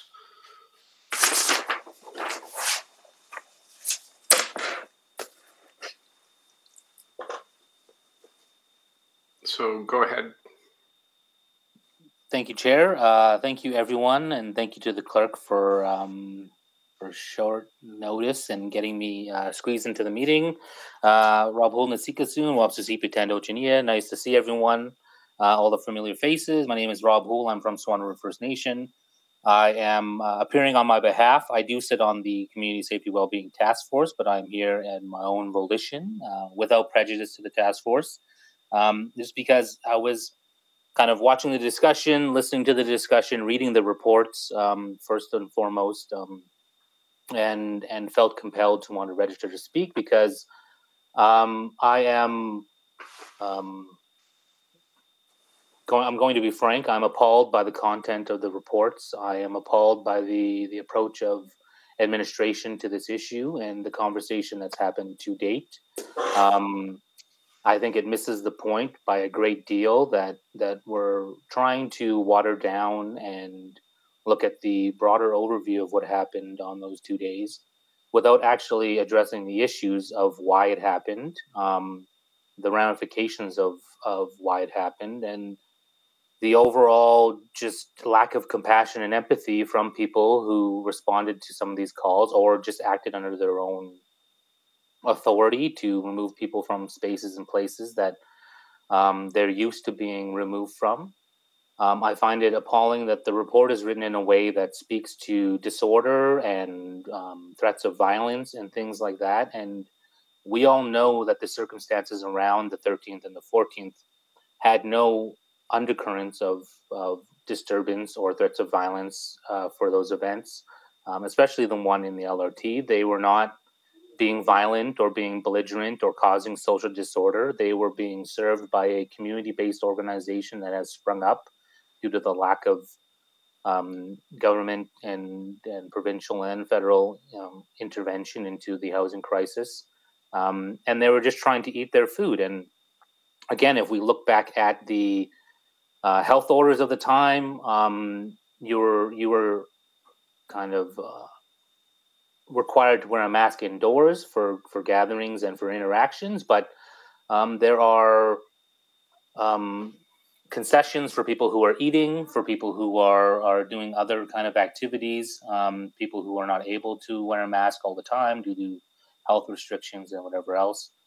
So again, we, we're getting kind of the runaround in why people were intervening. We're getting the runaround around uh, what happened to the people and the victims. And like I said at the beginning, the reports read very much like the victims of these actions are the perpetrators and that they're part of a larger issue at hand around social disorder. And I understand shopkeepers and people like that have complaints and they have to keep their businesses um, running and try to be uh, operating in any way, shape that they can. But again, we're missing the humanity of the people who were directly affected by this. We're missing any kind of direct follow up. And I think the whole intention of of the mayor's push to have this conversation happen again and in more of an elongated fashion is that um, it wasn't paid the attention that it had been at the time, and it and it, it, it I'm baffled by the uh, the conversation and very emotional um, if it's not coming off as such um, at at the conversations that we're having today because I don't see anything in the report that says that this will never happen again. Um, I see a lot of deflection. I see a lot of uh, victim blaming, and I'm more than happy here to appear on behalf of those uh, that are not available to speak to this because they are the victims of these actions and um, and how the system and our systems right now, when we're trying to do better, continually fail um, to address the issues at hand and to put them plain on their face so that we can have a real frank conversation on why uh, people and especially indigenous people continue to be victimized in all of these fashions and structures and systems and policies and and no one really addressing the root cause and the issue. And um, it just leads to ongoing frustration from people like myself who are trying to make change um, and seeing things happen in parallel that contradict that push for change. So I'm happy to be here to speak to it. Um, and I also have a personal connection to the story um, because, and I shared this at the task force, my family, uh, some of the meals that were being handed out that weekend were created by my kids. Um, they put love and passion into those meals, and to have the police reportedly throw stuff in the garbage, to be um, very direct in in just vile actions, I think it, it it's affected my family personally because we were connected to it, and and um, happy to be here, happy to speak, happy to have the time to express those concerns and that um, frustration, and happy to field any questions from council. All right. Thank you, uh, Mr. Houle. I believe that Councillor McKeen may have a question for you. Yeah, Rob, thanks. Thanks for showing up and thanks for your passion. Uh, understandable, especially with your family connections. What what would um, and I'm really interested in this because it seems like um, we may not have the nuanced systems that we need in place. And what would you suggest um, it, you know, I think if maybe we need more outreach teams to be responding to this, people with, you know, either lived experience or knowledge of um, of the issues that are behind homelessness, that sort of thing. What what what would if you could give us a recommendation today? What would it be? I'm frustrated too, and you know, and I keep saying in my writing and my comments that homelessness creates conflict and I'm tired of the conflict. Uh, and um, and I, I just think we need to find more nuanced systems to deal with these these situations, which are in the midst of a pandemic are not ideal either. But please tell me what what what would you what would be your advice to us?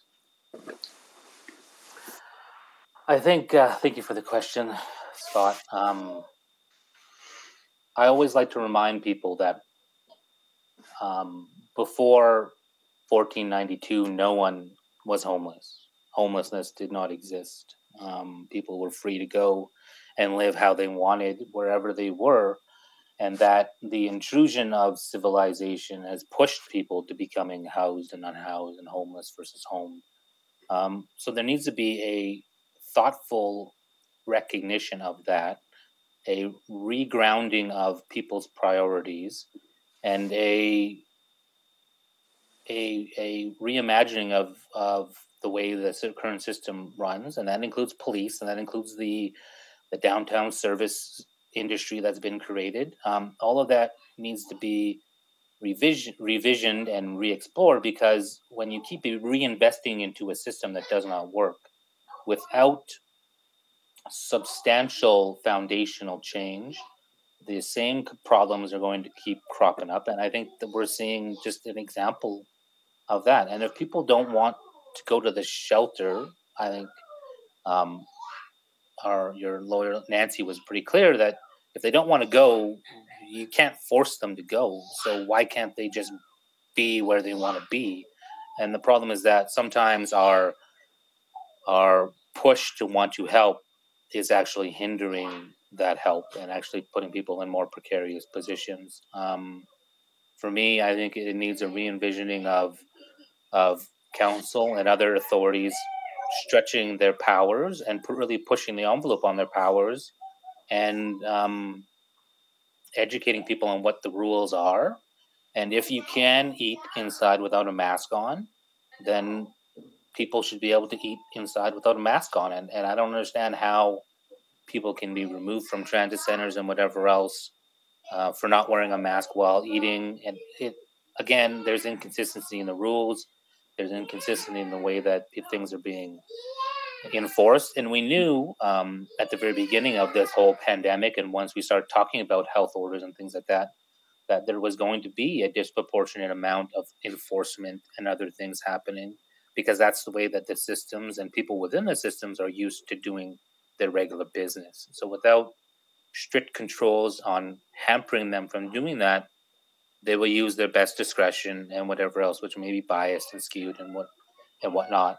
But that's just the way that they've always done it, and I think that's evidence in some of the responses we've seen from leadership on the police were just doing their jobs, and and that's fine. You can just do your job, but do you have to?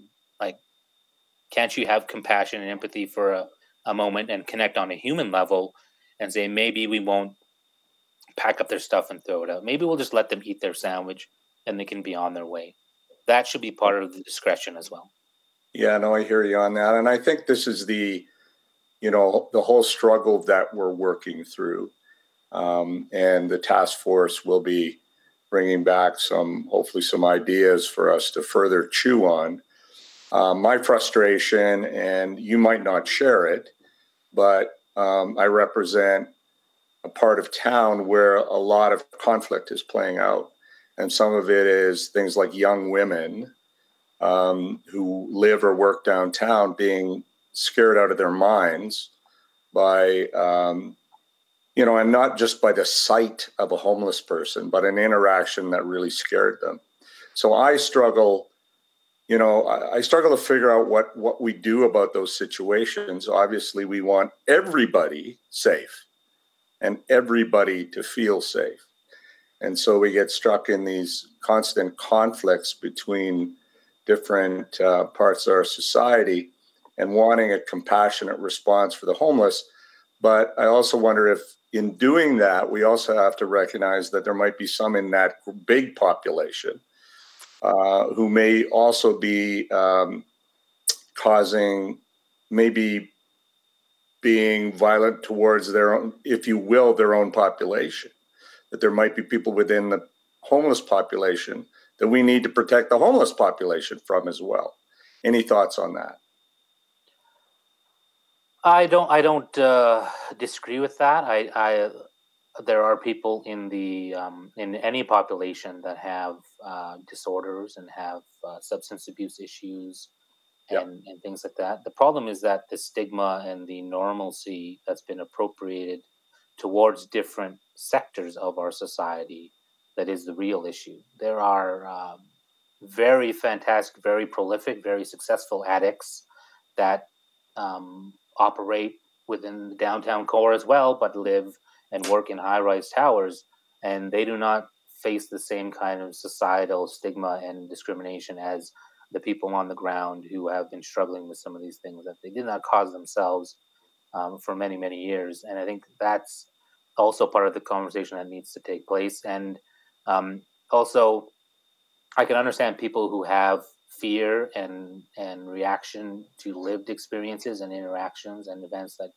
have impacted them, but for many out there, it, that is not the case, and they are going off of back of stereotypes and anecdotal information that they hear, and that in and of itself is racist and and discriminatory because you cannot prejudge someone by the by the way they look, by their lived experience, by how they may be carrying themselves that day, because you don't know what their story is, and and that's where the whole compassion and empathy part comes in, and that's what I think Edmontonians need as a whole is more compassion and empathy and and understanding. And I've been in a lot of these conversations, um, working for the city and without with, and not for the city, and um, a lot of work still needs to be done in Canada in general. Thanks, Robin. Addictions Friday, if you want to come to committee, we'll be dealing with that then. Thank you. Thank you, Councillor McKeen. Uh, Mayor Iveson. Thanks, Mr. Houle. Um, always appreciate your thoughtful take on these tough questions. Um, and but but the clarity on on the moral side of it in terms of empathy and compassion. Um, and so, I but I I take your point about gaps in the system um, leading to to these outcomes where um, this is this is where this is one of the last public spaces that isn't outside when it's very very cold where people can be and then to be trespassed. Um, and we're going to be talking about this in the next agenda item so i think you should stick around for this the next item too. Um, but really in, in the context of this report it's the gaps in the systems. Um, so i don't know if you had a chance to hear about the part with um, the deployment of, of services starting from compassion and empathy as, as you advised uh, on the buses that are trying to um, and I, I, heard what you said too. Uh, listen very carefully to the point about not everybody wants to take up the services. You can't force them to. But um, I guess the question is: is there is there an example you're aware of where some where a place is doing this well that we should be looking to for inspiration, for starters? Well, I think every community deals with unhoused people um, and these kind of issues around safety differently. There are a lot of different eh, municipalities tackling these issues. Um, we've looked at and examined um, instances in the United States around crisis diversion facilities that operate 24 7, that do not have a closed door policy, that is always open, that is integrated with emergency services, that um, if a person doesn't want to go to a shelter because of the chance of um, ongoing trauma due to um, either affiliations or the way that they do business, um, then they have a facility that's non-denominational that has staff on salary and has on staff on the clock that can provide mental health services that can do crisis intervention. We recognize the work. I recognize the work of PACT and, and some of the crisis diversion teams downtown, but again, we've seen through the call numbers and through the distribution of work of the police service and others that they're not answering all the calls that they can and they're stretched thin as it is. So, um, so how do we bolster some of those services? There are lots of examples in the South. There's there's a fantastic report by the Ventures Venture. Um, the name escapes me, but it's around the establishment of a crisis diversion facility. There's one in Seattle. There's one in in the Texas area. They work in hand in hand. Some of them work hand in hand with universities um, to really push that need for a 24 7 response outside of normal hours that can handle the workload that is required. Um, and and I know that we're doing the best that we can, but again, um, we're in an instance here and a time when we can do basically whatever whatever we want. The world's been turned on its head with COVID 19, and people are reimagining new ways to work and new ways to budget, new ways to spend money. And money is appearing out of nowhere for some of these things. Um, but yet, some of our most vulnerable people continue to be left behind. And I think we're in a moment here, like the Roaring Twenties, where we have a real chance to change uh, things for the better. And it takes people doing bold things and bold desires and and bold decisions and, and wanting to take that initiative. And it's it's nice to want to take an incremental approach and to get people housed and things like that. But the reality is some people can't be housed. Some people through trauma, through colonization, through uh, mistreatment by the systems and the structures and the policing industry and things like that do not have the capability to be housed. So how do we transition them into a a safer place other than the street where they can receive the services that they need. Um, because housing first, other models like that fit a certain certain demographic of, of our unhoused people. Um, but there are others that need a lot more support out there and and may never be to the position that they can be housed independently. And we need to come to that understanding and maybe look for alternative models for them to be safe. So, and that and that would bridge the either acute healthcare response at the one end or the acute criminal justice response at the other is a more community based support Yeah. for crisis the- intervention. The problem is that the default for many, uh, especially Indigenous people, has been um, the criminal justice system, and that's through just uh, policy, procedure, and the Canadian legal framework. And we need to understand that that needs to change as well. and systemic racism. Yes, and I, I wouldn't call it systemic racism. It is outright racism. It may be ingrained within the system, um, but once you recognize it as systemic racism and it's everywhere, then it just becomes a conversation around racism. I'm out of time. Thank you. Thank you, Mayor Iveson. So, Rob, first of all, thanks for coming to share your thoughts with us. Um, you talked about um, root causes, and um, you know we're going to be continuing this uh, conversation right after this item, where there will be some motions made that hopefully address some of those. But um, I'm curious about what you feel is uh, an, an approach that can be used that would actually solve some of these root problems from a municipal level. Because we know that uh, a lot of these attitudes are ingrained in us, whether consciously or subconsciously, and often subconsciously, in in you know the larger society, and uh, even amongst uh, the same people for, on upon whom these uh, biases are perpetuated. Um, and we also know that there is a, a, vast ignorance of the history that led us to this point. Um, and the third aspect is that we know that people can be very cruel and feel its justice or feel that it's action. Um, and with all of those concepts together, again, from a municipal level, from your perspective, um, what should the approach be?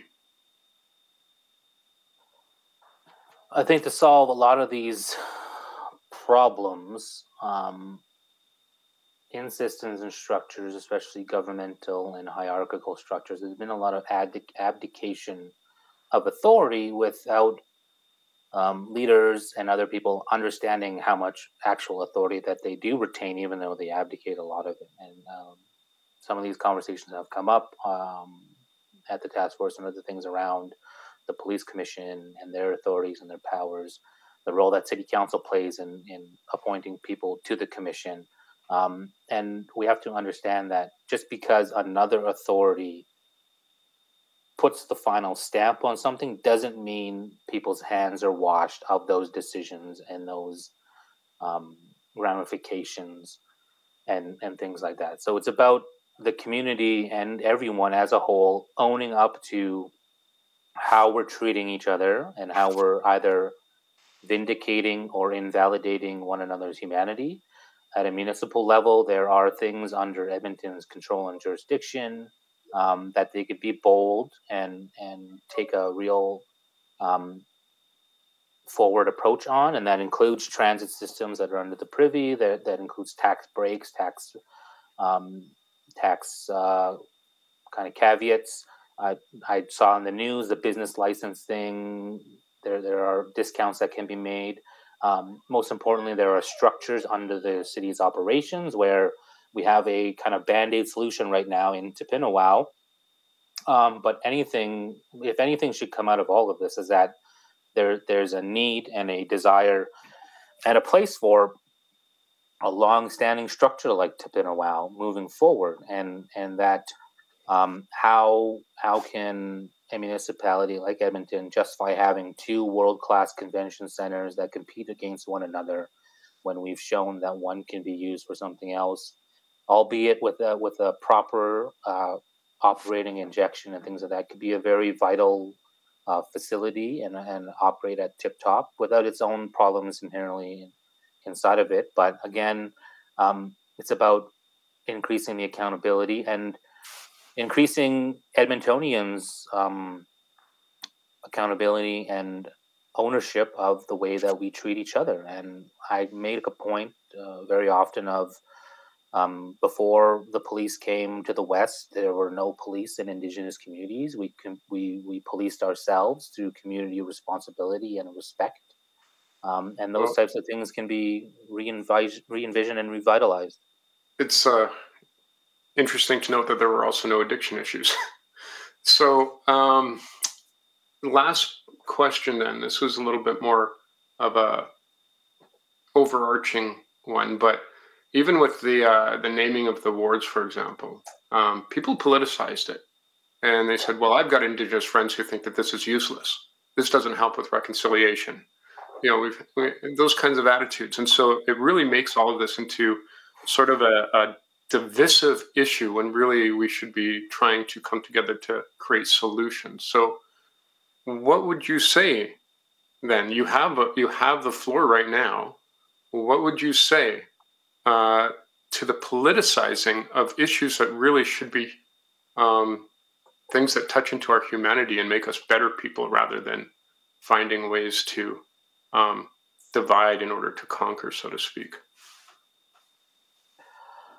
Well, I think uh, people need to um, put themselves in the shoes of one another. There's a, a saying that um, in indigenous communities, at least walk a mile in someone else's moccasins or something to that effect, that talks about really connecting with someone's lived experience with with the situation that they live every single day to understand where they're coming from and to understand how you would feel if you were put in that situation and i point that to all the shopkeepers downtown and, and people that are complaining to to counselors and other people. If if you had nowhere else to go and you were just trying to survive and have a meal for the day when you haven't eaten in three or four, um, wouldn't you want a moment of compassion or a moment of understanding so that you can finish your meal or you can have just a place to be um, for a couple of minutes while you continue to struggle um, for the rest of your day. And I don't think that that's uh, landing with a lot of people because they get caught up in I need to make a mortgage payment, a rental payment, and this payment, and that payment. I need to pay my taxes and whatever else. Um, and that's what's led to a lot of this misunderstanding and, and disconnection. And and I think we just need to connect with another on a more human level. And uh, it's nice that you bring up the ward naming because the ward naming, I think now we're seeing the ramifications of that initiative, and people are sharing the names. It's in people's campaign materials. They're learning a lot about one another. Um, they're learning a lot about maybe their constituents or potential constituents and houses that they should avoid because of they might not like the name or, or like some of the materials. So I think it's it's helping raise the awareness. But again, we're not um, out of the woods, it seems like every step forward is two steps back. And at some point, we need to walk together and push forward in unison and, and as a community and as a whole. All right, thank you very much. And uh, I believe that's all the questions we have for you. Um, but feel free to stick around for the next conversation. Um, we'll now turn back to uh, um, our work with administration. I'll quickly check to see if there are any questions. I saw that uh, Councillor Nickel was uh, sort of indicating a second round. Do you still want that second round, Councillor Nickel? No, Councillor Banga asked the questions on police protocol, and my, my only, well, that's about it. He, he answered some of them. Okay, so if that's it, um, uh, I'll just ask if there's any sort of uh, conversation that's coming out of this, or if uh, Mayor Iveson would like to close this item. Yeah, I'll. I mean, I'll move receipt of information. Um, I might contemplate a motion, except that I think the next discussion we're going to have around, uh, particularly in the transit centers, uh, how we can respond to that more elegantly uh, is is is a good segue actually. So I'm happy to move in receipt of information of this. I do have a couple of comments, but um, um, see if there's anybody else wishing to speak to it. Okay, um, and looks like uh, Councillor McKeen uh, would like to also close. Thanks, Aaron. And I just um, wanted to say a couple things um, in in regards to to Rob Houle's comments, which I really appreciate. Rob has uh, always been uh, a strong leader and, and advocate, and uh, reminds me uh, of a lot of issues on reconciliation that can pass by my mind sometimes. So I really appreciate that.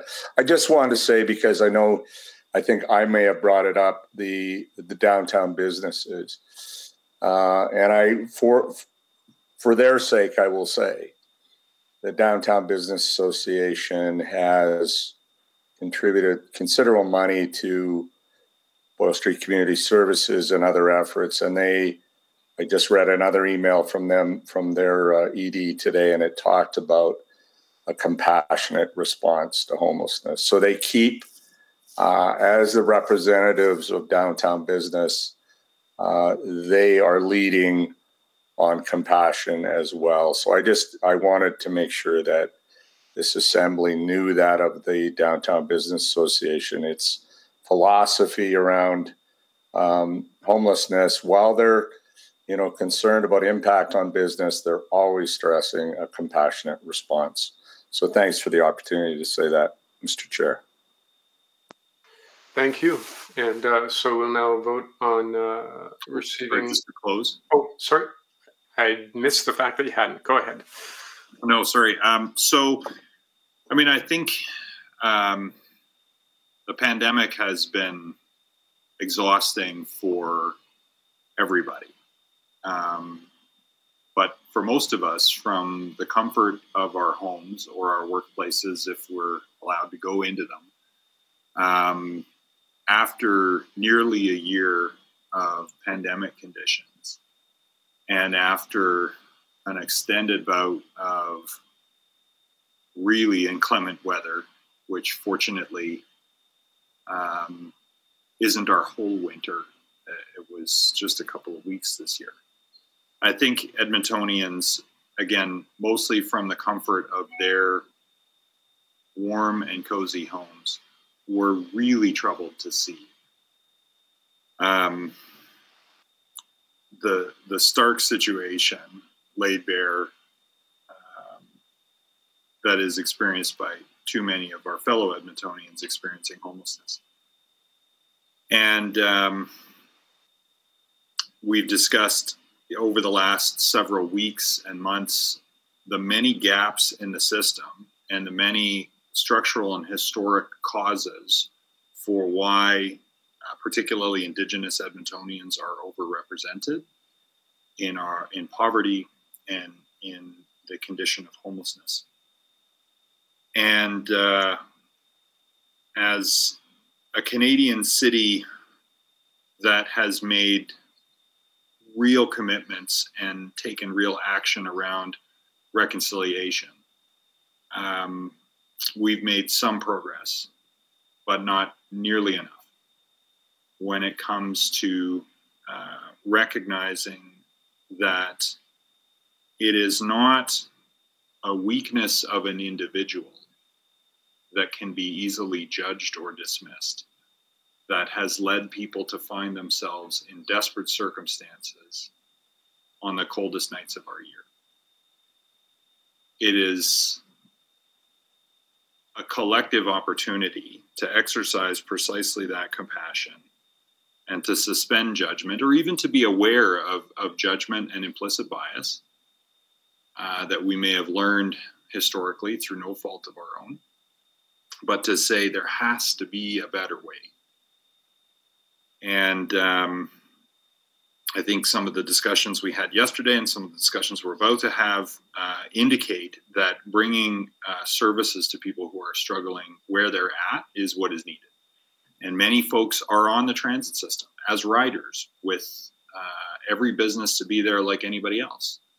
And some folks are sheltering in um, pedway spaces and semi public or ultimately public, quasi public spaces because there is nowhere else to go because of gaps in the shelter network, gaps in the housing system, uh, issues uh, and opportunities to do things differently with the criminalization of poverty, uh, issues of systemic racism, and outright racism.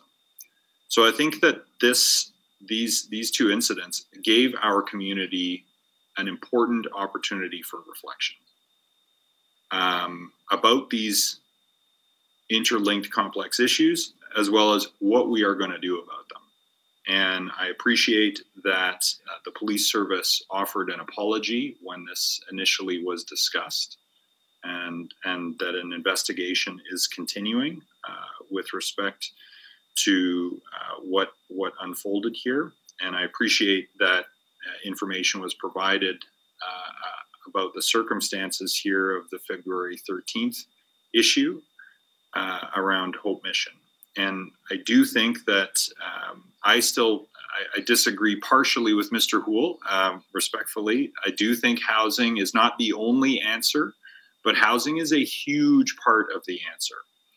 Um, and all the evidence indicates that most people, I think it's fair to say perhaps not all, but that most people will respond uh, well uh, to the right kind of supportive housing. Now, I think more of that needs to be Indigenous led, more of it needs to be culturally safe, more of it needs to follow evidence based approaches around the full spectrum of addictions and mental health supports for people to really meet them where they're at. Um, and that would go a good long way here. Uh, to restoring some of the historic harms here and getting better public policy outcomes. And to the extent that we may still need hubs, shelters, crisis diversion, whatever we want to call it. I think everyone's talking about that. I think the challenge is we have to deliver it. So I'm not, we're not going to solve that one today, but um, building on all these interrelated discussions, I think we're, we're learning as we go. And, and I'm out of time, but um, we'll keep at it. All right. Thank you. Please vote.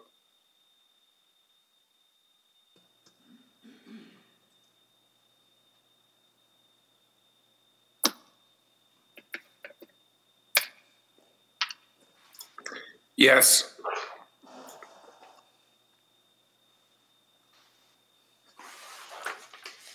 Mayor Iveson? Sorry, my uh, tablet went to sleep here. I'm a yes. Thank you. We have all the votes. Display the vote, please. And that great conversation has passed unanimously. And we are now moving on to items 6.1, 2, and 3 cross referenced. And I believe that uh, administration has a presentation, after which we will go to our speaker. Uh, thank you, Mr. Chair. Uh, work on these uh, three reports uh, we're presenting this afternoon was very much an integrated effort between uh, city operations, citizen services, and legal services. So for this item, we from city operations, we have DCM Gord Cebryk and Carrie Hotton-MacDonald, branch manager of ETS, as you know. From legal, legal services, again, similar to last item, uh, Nancy Jacobson and Christina Hodgson. And from citizen services, we have Jackie Foord uh, and David Aiken and some of his staff, John Simmons and, and Grant and Grant Blaine. So we are we are here today to continue the the uh, the important conversation um, we've been we've been uh, having about the need to help and support Edmontonians in our community. The pandemic has caused many challenges for everyone, and similar to the mayor's closing comments on the last item, but even more so, those challenges are for our vulnerable situations.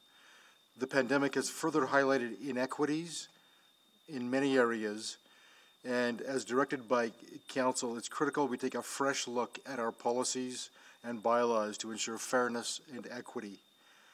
We know our approach must be rooted, and similar words to the previous item as well, our, our approach must be rooted in compassion, in empathy, and safety, and that we need to treat everyone in a respectful and compassionate way. So we continue to move forward with one clear premise in mind. It's to improve the quality of life for those who need our help and support.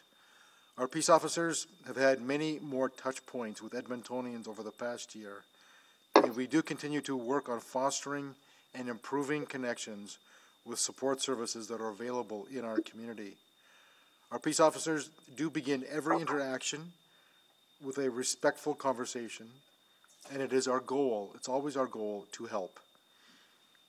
We continue to focus on training and providing our officers with the tools and insight they need to make a difference.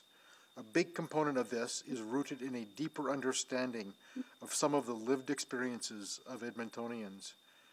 We recognize just how critically important this is in reviewing our bylaws and our fine structures as we are committed to improving the lives of all Edmontonians. with those brief introductory comments, I'll now pass it over to Mr. Aiken to get into the actual details of these reports. David. Uh, thank you, Rob. Uh, to build on Rob's introduction, uh, this slide in front of you is a highlight of the three reports that are before you today.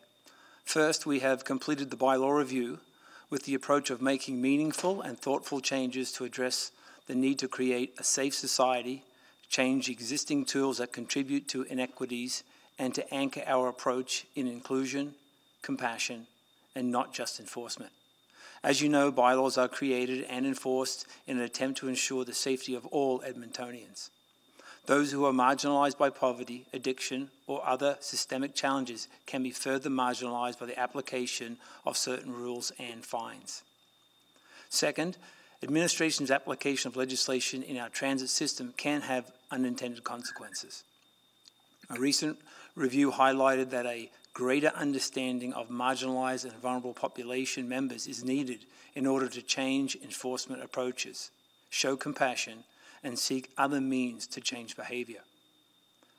Third, Council has supported the principles of establishing and levelling of bylaw fine amounts to act as a suitable deterrent sanction and be proportional to the severity of the offence, and in the case of transit, consider other determinants such as fare evasion, fare revenues, and root cause analysis for non-payment. These three reports are cross-referenced as each touches on related considerations for us to be successful moving forward. The creation of bylaws provides a framework of rules that guide behaviour and establish community standards. Council regularly reviews legislation to consider purpose, applicability, refinement, and how the schedule of fines to ensure that they have the intended effect. Council in the past has subscribed to a low, medium, and high fine levelling principle that has guided the setting of bylaw standards. Administration develops the corresponding policies that set out the application approaches and other considerations. Other orders of government can also influence the city's enforcement powers by modifying programs and powers. Municipalities are authorised by the Governor of Alberta to employ peace officers and regularly provide bulletins for information on legislative, policy, and procedural changes, and any other information relevant to the service provided by our peace officers. As part of the review, administration looked at those bylaws that most commonly affect marginalised individuals. At the heart of the review, bylaws need to maintain the health, safety, and wellness of individuals and the community. Application of bylaws should avoid harm, show compassion, and not cause unintended consequences.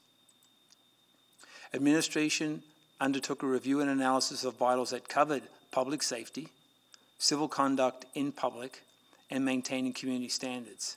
Six bylaws were identified.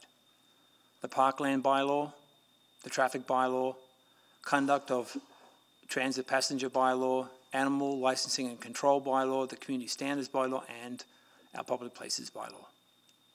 Analysis of enforcement statistics demonstrated that these bylaws were most frequently used by city enforcement staff.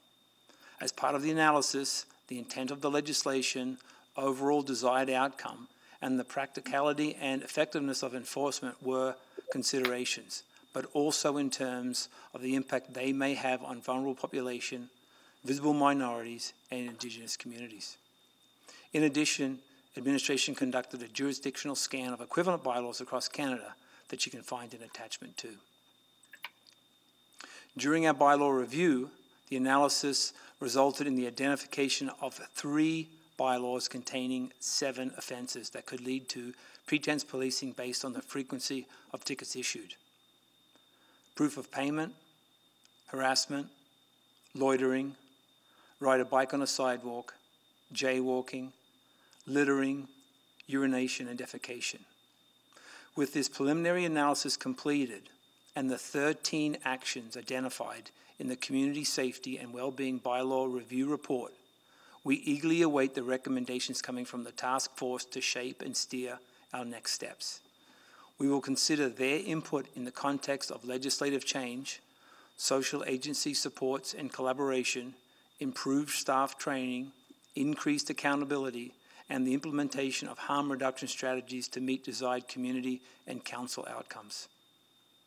At this point, uh, I will just pause for a moment and segue into the transit tickets and no fixed address report before handing it over to Kerry on the third report regarding transit fare fines. In December of 2019, Student Legal Services of Edmonton provided Council with a report relating to ticketing of individuals with no fixed address.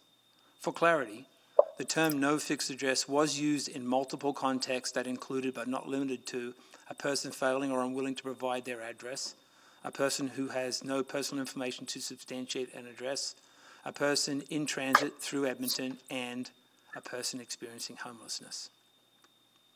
Administration welcomed the insights and the analysis of the student report and the recommendations.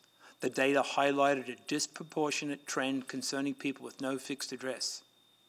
In response, administration has changed its approach and made program changes to address this disparity, but our work needs to continue. In 2020, 43% of peace officer interactions were with people with no fixed address. This clearly highlights the need for interactions, approaches, assistance provided to our vulnerable population members need to evolve and to balance compassion with well-being and transit safety. Program improvement, a closer review of enforcement practices, and raising awareness of issues surrounding inequities and bias are critical for success. While efforts are underway to improve referrals to support agencies, to enhance staff training, and to seek alternatives to fines and other methods to achieve voluntary compliance. We also seek to align the learnings from the student report with our own community safety and well-being bylaw review report next steps and the upcoming task force report and recommendations. I'll now turn it over to Kerry. Thank you, David. Fare evasion fines are meant to discourage fare evasion and encourage compliance with proof of payment requirements. As we know, fare payment generates revenue that helps offset the cost of operating transit. Some people purposefully evade fare, and others may be evading fare because they simply lack the means to pay and must use transit to access the community. Root causes need to be examined, incorporating gender based analysis and an anti oppression, anti racism lens. We need to examine one's ability to pay fares and reduce barriers for accessing programs such as our PATH and Ride Transit programs. We can also work with community partners to analyze needs and co create solutions together to help those whose needs aren't being met. Helping those who need help is a foundational principle outlined in our FAIR policy through the affordability principle. Reducing the fine amount presents some challenges, and it could en- encourage fare evasion and discourage fare buying behavior. It could lead to reduced fare revenues and lower ridership, perhaps alienate some riders who have been complying and paying for the service, and potentially introduce more fare related disputes, disputes, which could lead to operator assaults. We need to carefully consider any changes in that regard.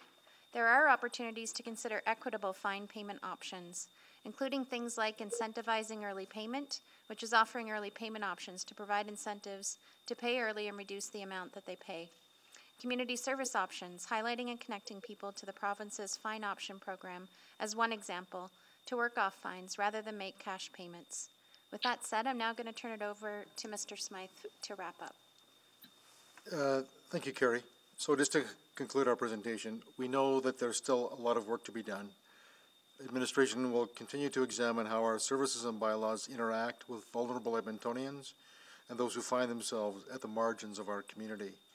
We will continue to build awareness of our Ride Transit program that offers low-income transit passes and continue to closely monitor the houselessness numbers to align the number of PATH transit passes available. Administration will also continue to further enhance training, undertake greater interaction with community partners and agencies, and work with council-appointed Anti-Racism Advisory Committee to look at the bylaws and fines we have in place. As administration, we know we are responsible to continually evaluate and adjust our services to meet the needs of a growing population and ensure better lives for all Edmontonians. In that spirit, and through a GBA lens, we will continue to include different perspectives in our work on the front lines. And finally, as Mr. Aiken indicated, the Community Safety and Wellbeing Task Force report coming forward to Council on April the 6th will add their voice to a coordinated and aligned way forward. We certainly expect the recommendations of the task force to play a major role in charting our next steps. concludes our presentation. We can now step back and hear from the uh, speaker, Mr. Chair.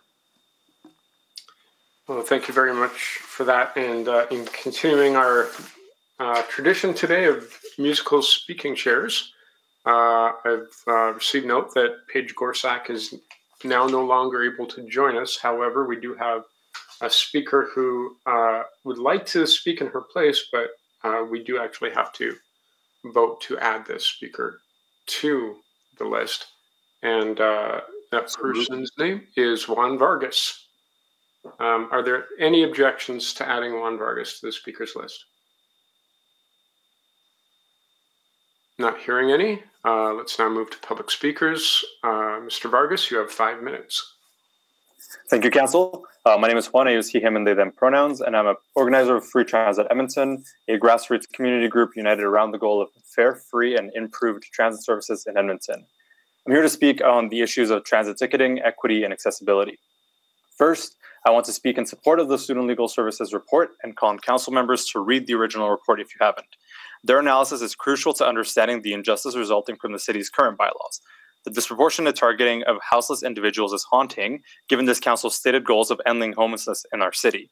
Studies prove that mobility is a major indicator of economic justice for our communities because we know access to reliable transportation is a clear indicator of economic mobility and the ability to both access and be on time for jobs outside of the immediate community. Next, I want to address our concerns with the administration's bylaw review report and make specific calls to action for city councilors around transit in line with economic and racial justice. The first is the move to end fare evasion ticketing now.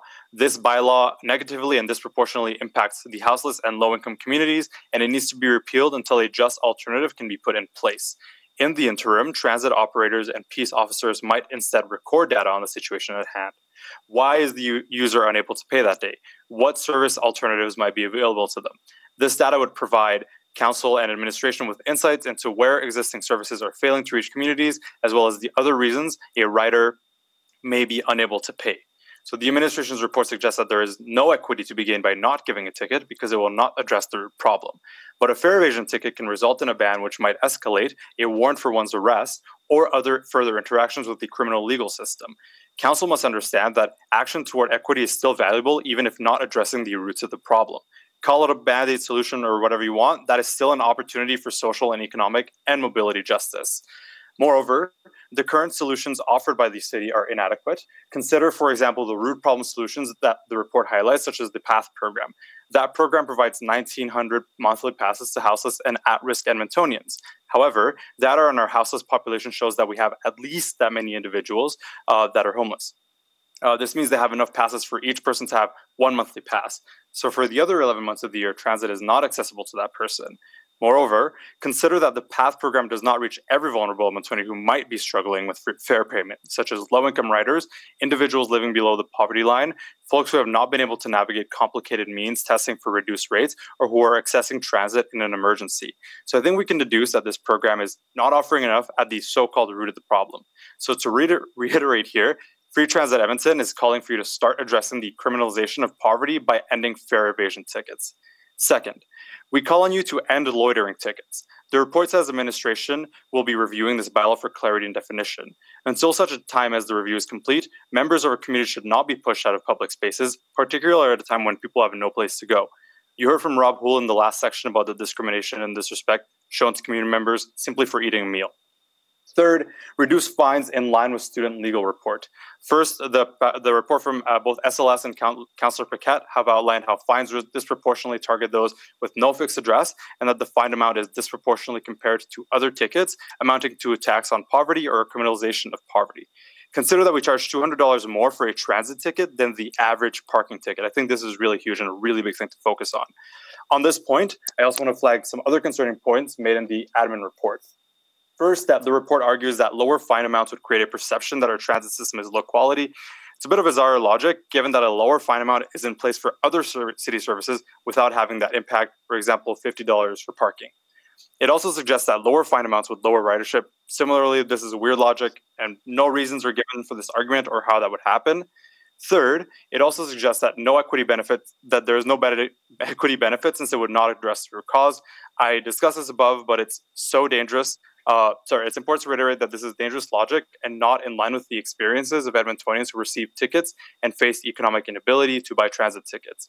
Fourth, fine amounts do not go to support supporting transit specifically. Moreover, fines and fees are not sustainable or just ways to fund government. They exacerbate poverty, they fuel policing for profit, and they trap millions in debt. Free Transit Edmonton would support a move towards alternative tactics to encourage fair payment for the duration of the time that transit operates on a fair model. And I say duration of the time because for us, it's very obvious that the solution to all of this is to have no fares uh, for transit and move towards a, a possibility where Edmontonians don't have to pay to get on transit. Above all, I'm here to t- today to call on Council to recognize the role that you have. Administration's role is to prove data and background, and where you, as your elected representatives, have the opportunity and responsibility to make change that supports Edmonton being an accessible and just city for all residents. Thank you. Thank you. Appreciate it. Um, I'll look to committee and council members for questions. I'm not seeing any. Um, I've got a couple quick questions, maybe. The first is um, okay, so I empathize with uh, what you have to say uh, completely. Um, the challenge is in the practical application. So, for example, if we um, got rid of fines completely, uh, in essence, uh, we're making transit free, which uh, I understand is your goal. Uh, but the other question then is that um, we do tend to have uh, a situation on our hands uh, with folks who uh, are in tragic circumstances of either drug addiction. Um, if you go to uh, an LRT station right now, you'll probably find evidence of it in front of your eyes, and it is tragic. Um, and uh, but we also have uh, issues of trying to find appropriate solutions for folks experiencing homelessness or other or houselessness, I suppose, or other um, maladies or challenges. And so, if we were to reduce or eliminate all fines and eliminate all approaches toward loitering, um, what do you see as the um, end result in our transit stations? And I mean that I don't mean that as a like a uh, you know cutting under your position or anything like that. It's actually a very very honest and sincere question. Yeah, thank you, Councillor Paquette. Um, Council, I think that the actual practical solution is this point, right? When we think about people who are loitering, when we think about people who are looking for a place to stay, when we think about people who are looking for a place to go, the practical solution is getting them to those to those places. It's getting them to a shelter. It's getting them to a place where they'll find the health resources that they need. And what fines do is that they interrupt people within those journeys and they interrupt people from being able to not only access those places it also adds an additional burden that most people can't pay. So if we're talking about practical solutions i think that instead of thinking you know how can we make sure that people uh, you know don't break this law, for example, we think about like how just is the law, right? How just is the fact that we're punishing people for this in the first place when they have no other options? So I think actually realistically, this is the practical solution, especially when we consider the fact that fines often compound with other issues and often keep people from further accessing the things that they need uh, to get to to the place where we all want them to be, right? Which is uh, a safer place, um, away from addictions, uh, safely housed, um, all the things that I know that this council wants. Great. Okay. So, and then my other question is, uh, you raised the uh, the issue that um, a parking ticket could be fifty dollars to seventy five dollars to hundred dollars, um, but a transit fine uh, is more along the lines of two hundred and fifty dollars, and majority of these fines have been given out to people with no fixed address. So presumably that two hundred fifty dollars might as well be two million dollars, and uh, um, since they have no way of paying, they basically just accrue more and more fines on their record. Is that sort of your contention? That's correct. And I think it's important to also consider that a lot of individuals carry more than one fine, right? Nothing's stopping someone from being fined more than once in a year or, you know, for whatever reason. And that adds on with things like bans, that adds on with things like being able to even get to a job. Um, and it's incredibly disproportionate given that if you're someone who has a car or access to driving, you probably just have more disposable income uh, to, to move away with. I think you're you're exactly on on the on the spot with that. Okay, so and that's why you call it an inequitable uh, finding system. Okay, because we charge more for those who have the least. Okay, it makes sense. Now, some people will say, yeah, but if you do this, aren't you letting a lot of people who can pay and should pay into the system off the hook? Because money's got to come from somewhere. And if people aren't paying their fares or buying bus passes, then it has to come from taxes. And is that the best use of taxes for transit, or is the best use of t- taxes for transit to improve transit? Um, I think we can definitely follow an honor system here. I think that most people understand that it is a duty to pay into these systems, and you know, even when people have the opportunity to evade, they're going to pay anyways. Um, so I would much rather have someone who can't pay get away with not paying if it means that um, you know some other people pay more, or I would rather have some people who would be able to pay not pay if it means that people who are houseless or people who are at high risk are able to get a ride without the fear of being punished, without the fear of going to jail, without the fear of just becoming deeper entrenched into poverty. I think it's an absolutely fine trade-off, and I think it would is not necessarily nearly as big as as we are often led to think. Okay, interesting. Thank you. Uh, I'm out of time. I appreciate it. Uh, I see no other questions for you, so thank you for your submission. Uh, we will now turn to administration for questions, and uh, we can start that list. Um, this was selected by Councillor Nickel, so we'll start by asking. Uh, Aaron, weren't these your motions, Aaron? Uh, yes, but you, well, you selected. You can go first. You go first, Aaron. They were your motions. Oh, I uh, I don't mind going last. Uh, you know, I like to hear everyone's uh, thoughts. They're more interesting to me than my own. So, Councillor Banga, go ahead. Yeah, my a couple of my questions were uh, for the previous speaker if he's uh, still around. I don't believe Mr. Houle stuck around. Okay. All right. Uh, uh, don't worry about it, then I'll go. Okay.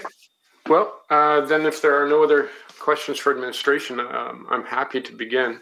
I mean, just a second. Um, yeah, go ahead. I mean, uh, Mr. Houle, I, I, mean, the speaker you were uh, just questioning. Oh, uh, Mr. Vargas, yeah, I believe he's still on the line. Go ahead. Okay. Um, Mr. Vargas, I got a question for you. Um, I mean, I'm going to be totally blunt. Uh, I know you were talking about honor system and everything else. I mean, you know, with all that happenings in the world there, you think this honor system actually works other than just in the books? Uh, Councillor Bang, I think the point of public transit is to get people moving around. And like I said, I think I am fine with the trade off, given that most Edmontonians who have the means to pay for transit will pay for transit. I think that the uh, impact would be likely negligible. Uh, uh, insofar as uh, we maybe will lose a lot of money. I think you have a lot of cities like New York City and Toronto City who, in the last two years, have spent millions of dollars on fare enforcement, whereas that millions, those millions of dollars, could have instead gone towards helping the people that can't access transit. So it's not just about a, the trade off being worth it for me. It's very much also about the fact that this is a complete misplacement of resources, whereas we can actually be dealing with the issues in a much better way instead of just throwing fines at it. Uh, especially for people who just don't even have the. If you can't pay a two or three dollar ticket, you're not going to be able to pay a two hundred dollar fine. Okay, and uh, again, uh, I keep getting questions uh, uh, from um, people living in my area um, why that? Why should they be paying for somebody else? They're paying enough in taxes uh, for uh, through the taxes, through uh, uh property tax, through the uh, through the um, I guess uh, income tax, etc., etc., and through the user fees. Why should they be paying, not some folks? Uh, yes, sir. I think that you know clearly there is uh, there is an equity argument here, but if the argument that you want is an economic argument, then I would say that the return of an, of investment on you know letting someone on transit for free one time, if it means that they access a doctor's appointment, if it means that they access a shelter, if it means that they access food services, if it means that they access being able to pick up their meds, is absolutely worth it in every single way, as opposed to interrupting that trip, uh, finding them hundreds of dollars, right? So if the if the question is why should I pay for this, it's because the payoff is incredibly huge and is incredibly beneficial not only to that individual but also to the city as a whole if that's the attitude that we're going to take about things so just uh, dwelling on the same thing there, uh, that finding out each person's need wouldn't just that bog down the system? Like how do we how do we actually do something? Well, I mean, the system is there to help people, right? I think if it's going to be bogged down, then we expand the system to help people in a way that is more beneficial. Um, but I think that additionally, like if we're looking at it about actually helping people, I think we can take a, a more or less universal approach on it and filling in the gaps in people's lives, right? Fines don't fill in gaps in people's lives, and fines certainly don't make people's lives better. If that's the aim that we want to take, then I think that we can invest a lot more into helping people where they need to be instead of just assuming that every problem is because people want to evade fines and that's the reason why people are evading fines. I think it's a lot more complex than that. Well, when it comes to the fines, uh, whether they're uh, fines for uh, riding transit, whether they're fines for uh, speeding on the provincial level and uh, or whatever, the fines are there to gain some sort of compliance. And uh, they're not money makers, as you stated earlier. Not, uh, if uh, even for the traffic tickets, if you get a ticket, uh, it probably costs ten times. So you think we should probably get rid of the whole fine system? Doesn't matter at what level. Um, well, sir, I think that with regards to traffic tickets, I mean, I think there's countries that do proportional ticketing. That's not really my concern. I think that people die when people speed. People don't die when people evade traffic, uh, when people evade transit uh, fares. Uh, and I think it is an equity issue, right? Like that's that's why we bring it up as an equity issue. Um, but if you want to talk about uh, finding speeders, I think that's a different conversation. Happy to be part of that conversation as well. Okay, we'll do that someday. Thanks. Love it. All right. Thank you very much. Uh, I see no other questions for our speakers, and I will just check one more time just to be sure. No, not seeing any. Okay, so we will move on to questions for administration. Uh, I don't see anyone on the board, so um, I'm happy to start it out. Um, and I'm just, I'll start out with uh, a question from attachment two on the juris jurisdictional scan on bylaws. And uh, so that shows Edmonton, Calgary, Vancouver, Toronto, and Saskatoon, and uh, their um, policies or their bylaws. And we see that in Saskatoon, there's no bylaw for enforcement uh, for proof of payment and no bylaw present for loitering. And I'm just wondering um, if you can explain that to me. Like, am I, does that, does that mean what it says? They just don't have a bylaw for these things? Uh, that that's correct. That's the information that we were able to uh, to garner from the eScan. Okay. How does that? I mean, do we know how that works for them then? Uh, unfortunately, I don't have any sort of information relative to um, the, the, the size or the concerns they have relative to those issues. Um, clearly, if they have no legislation in place, uh, I would interpret that to mean that that um, they they haven't experienced that. But I, I don't know, and certainly that could be a follow up if directed to do so. Okay, but the city still stands. It does. Okay. Uh, all right. So when we're talking about uh, equity as, as was raised, um, you know, the other thing that came out of the jurisdictional scans was that uh, um, we're looking at fines of about $150 in other cities. Ours is $250. Um, are we able to prove? Is there a rationale that that is that our fine is more effective in uh, preventing fare evasion than the $150 in similar jurisdictions? Uh, thank you, Councillor. We've not done that evaluation to look at effectiveness. Uh, my understanding is when Council decided to go to 250, there was extensive uh, discussions and analysis that led to setting uh, that particular price point, uh, but we've not done that evaluation for effectiveness. Okay. And I suppose, I mean, was the approach to enforce compliance or was the approach to encourage the purchase of uh, you know bus passes or fares. And uh, if we don't know if it's effective or not then i guess I can't answer that question either. Because we don't know. We have the idea that maybe it does but we don't have any data.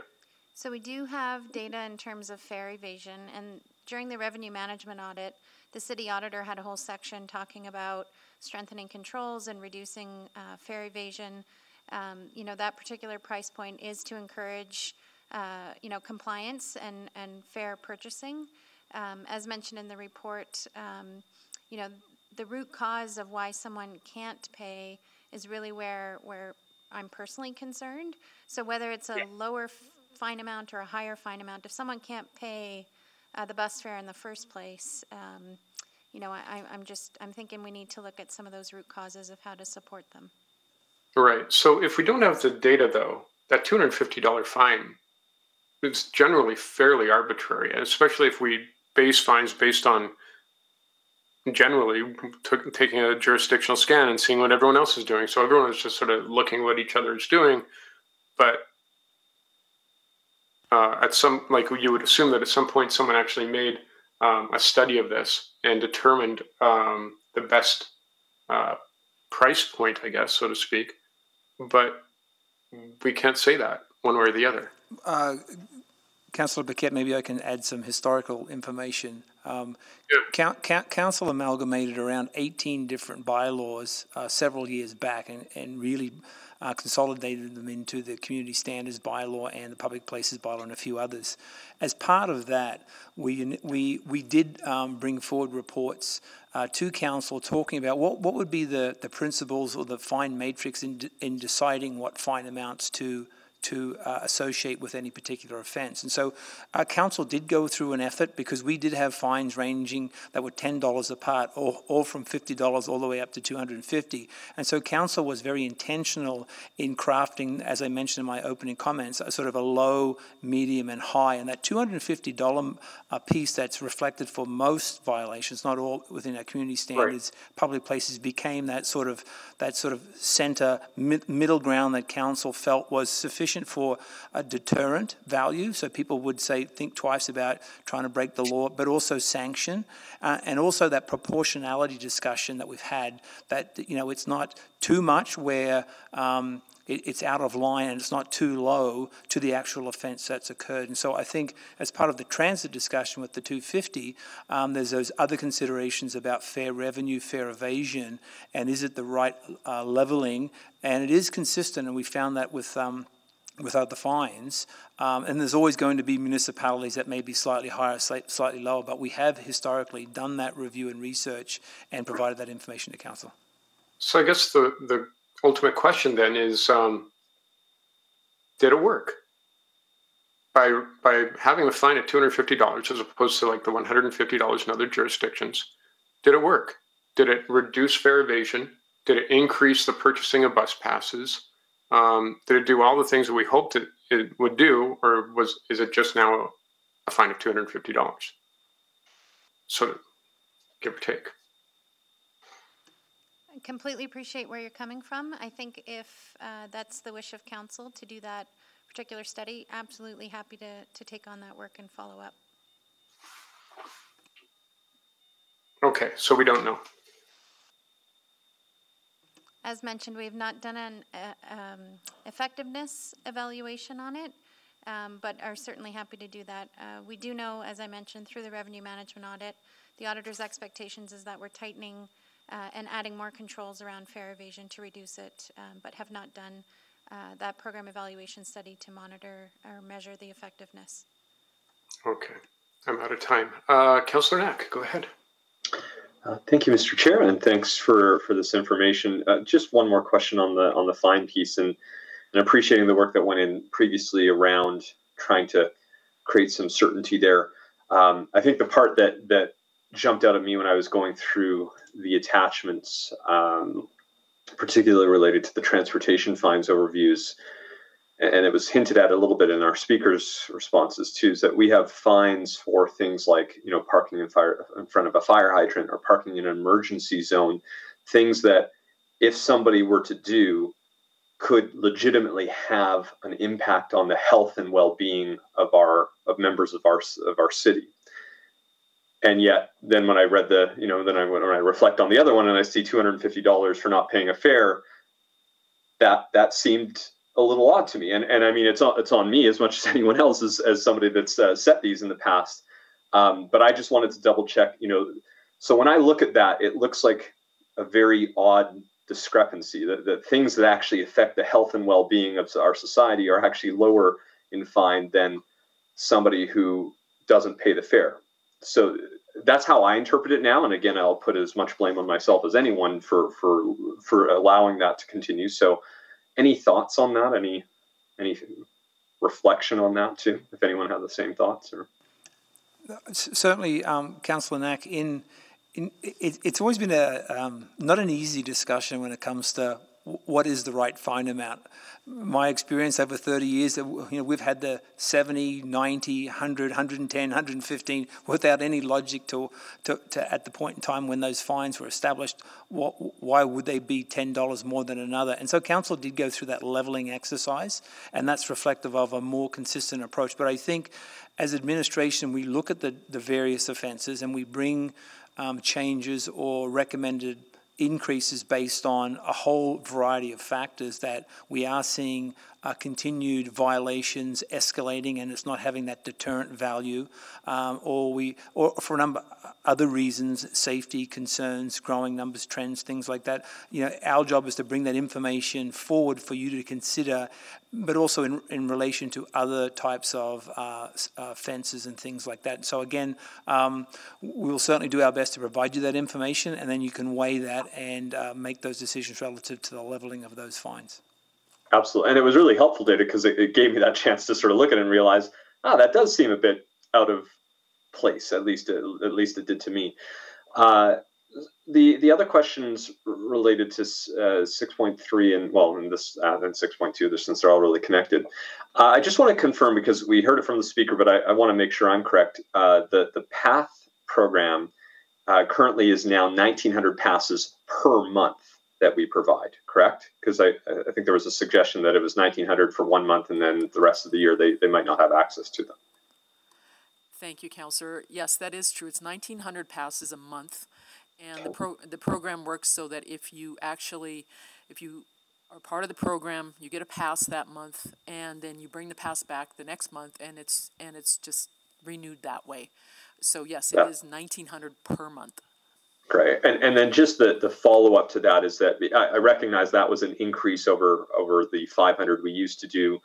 Um, do, have you set yourself a hard limit that you will never go above 1900 or if if a social organization you know you're coming up to 1900 and an organization says hey we need another 100 i, I imagine we're going to help out right? Like that's not a hard hard number correct?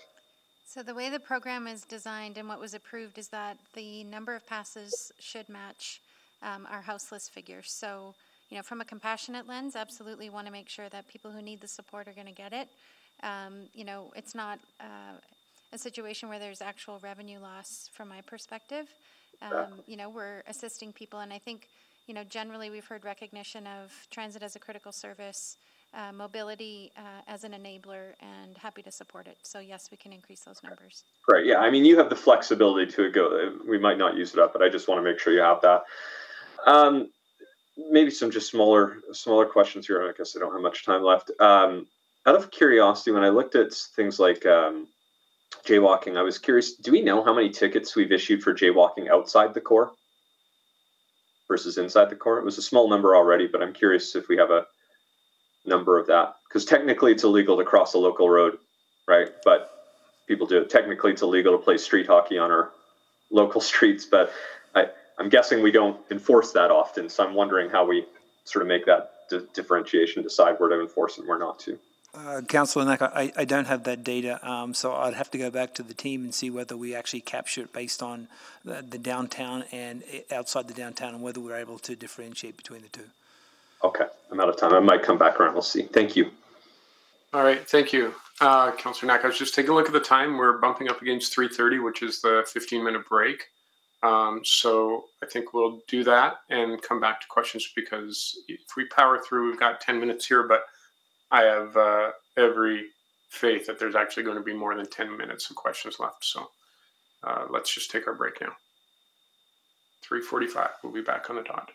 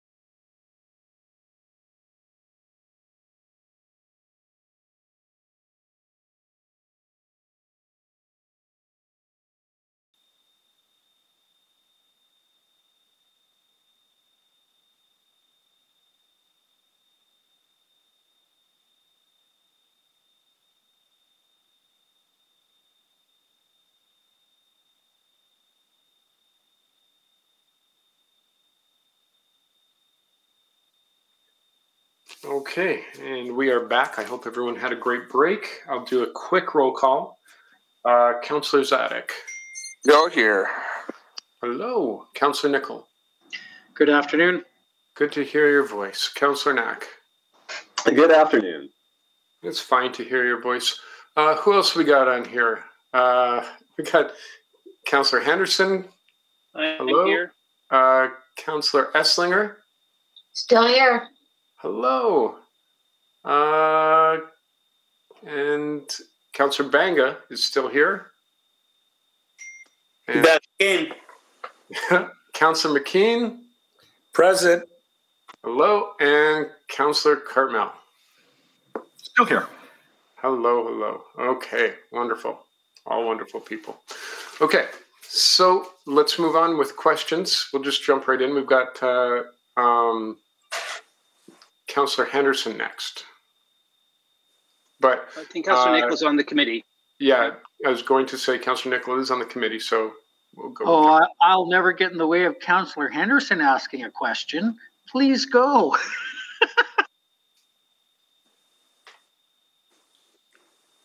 oh, go ahead, Betty. Go ahead. I'll let you guys Okay, well, just a number of things that came up. If that's the thanks, Mike. Um, I it strikes me uh, going back to that question about Saskatoon is an interesting one because my memory of Saskatoon, it's been a, a year, few years since I've been on that bus system. There was all they have is a bus system where you get on the bus and the driver expects you to pay, and you do so. Um, there will be no kind of issues around proof of payment areas or honor systems or any of that in the Saskatoon system. So I'm guessing that makes a difference to this question of a need to create a penalty, correct? Yes, Councillor. We got, I got some information saying that they do have a, a small uh, bus system similar to St Albert, and um, therefore that might support why they don't have uh, either the, the fines or the enforcement staff to uh, regulate it.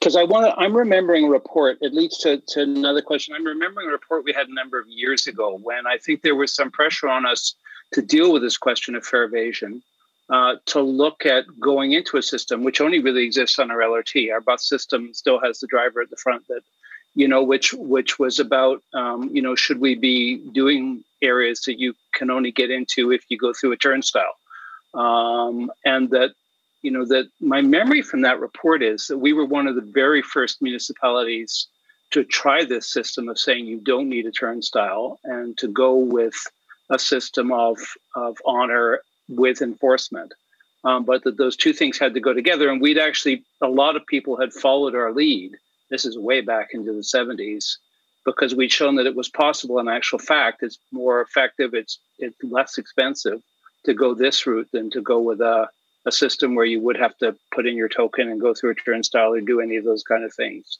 Um, is that is my memory correct on that? Well, I certainly wasn't here then, but I can tell you the conversations I've had. No, I wasn't here in the seventies either. No, no, but I, I thought we had a report on this three or four years ago. The last Yes. time we addressed this So question. So the reports that have uh, mentioned it talk about an open style or a closed style. And Yeah. right, so uh, this is my second transit property I've been in. I'm part of CUTA. Um, A lot of agencies don't have a closed system, they have that open system, so you're spot on. Because I think you know I think part of the challenge here is, and I don't know how we address this, um, is that ironically we're setting we're setting our our rates to deal with people that do have the ability to pay. That the fines are targeted at them, not at the people that don't have the ability to pay. Um, and yet, so we have one set of tools to deal with both groups. So you know that the fine system is what allows us to go with a system that doesn't have turnstiles um, and that's not but that's not targeted against people that that, that can't afford it. That's targeted against people that can um, and choose not to. Um, so you know I'm, I'm wondering how we can resolve that that unfortunately we have one set of tools that's trying to deal with two different issues here. I think that's why I was trying to focus on how do I help people pay for using the service? And I've got a couple of different mechanisms already, but maybe I'm missing something. Maybe there's an underserved group. I'd love to work with uh, community partners and our social development branch as well to explore that. And maybe we need to add something different. And maybe there's barriers. If I take that anti racism lens on it, you know, maybe how we designed Ride Transit has some barriers that I haven't witnessed because of my background.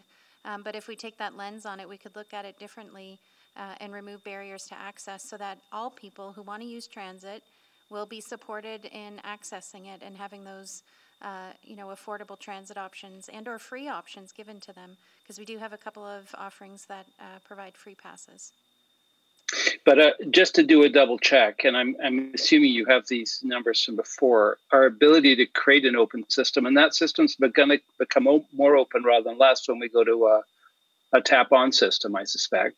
Um, our ability to do that um, is because there's a consequence if you choose not to. Um, we couldn't have an open system if there wasn't some consequence. I mean, is there any? Is there are, are there any numbers about what that looks like?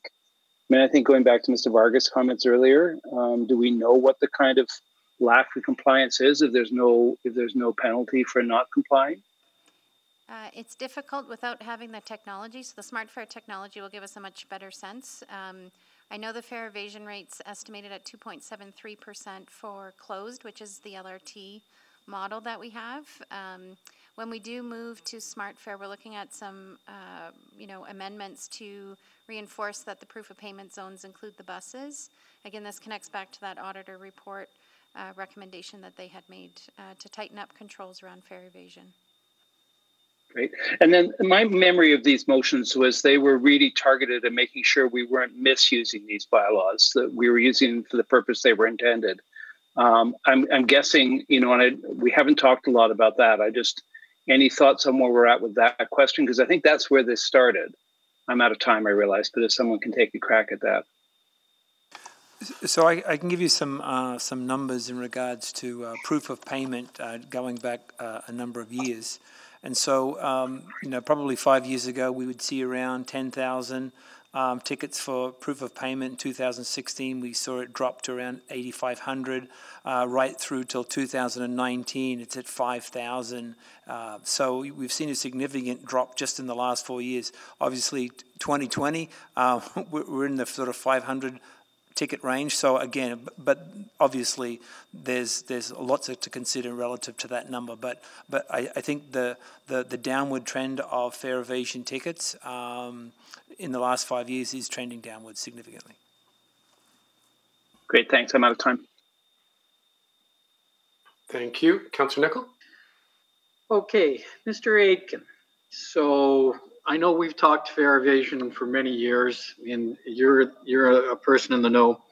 So I think the point we're trying to get at here, parking in front of a fire hydrant at minus 20 has a different consequence than somebody and getting a ticket has a different consequence than somebody not being able to get on the bus at minus 20 because they don't have money. Correct? Very different consequences. Correct. So my question to you is, as part of your work going forward, there has to be an elasticity curve here with regards to fines and uh, and compliance uh, that that can have a compassionate element or that that issue worked into it. Isn't isn't aren't we talking about modeling out just what's appropriate, given the fact that parking in front of a fire hydrant is different than not being getting on a bus, which is very important. Not saying not not don't park in, in front of a fire a fire hydrant, kids. Don't do that. I'm saying that. no disagreement there. So this is this is the question. Isn't this the model we want to see? Is is that should it be uh, an escalating from 20, 50 plus plus to uh, to the option that given the person of a particular circumstance might be able to get a waiver at some point? You know these sorts of things. I just want to know if that's what the work you're trying to do, when we might see it. Councillor Nickel, that, that is the work. Um, as mentioned earlier, um, it is a complex uh, situation balancing uh, infrastructure, um, safety, wellness, health, compassion, and dealing with the vulnerable population that sometimes we're not always aware of. And so uh, I think in the application, the pendulum, uh, pendulum is swinging. Um, you know, we've seen, uh, you know, an increase in our referrals to, to the different agencies uh, providing those transport services, those necessities. Uh, I, I, don't think for one minute that it's good enough. We need to do more. Um, our transit peace officers, you know, give out hundreds of free transfers in addition to the path piece. Uh, and so I, I think it's recognizing that we need to accommodate and show compassion uh, and take different uh, approaches to gain that voluntary compliance from, from certain populations and not use that ticketing approach. Sure, David, I get that. When are we going to see it? That's my question to you. When are we going to see it?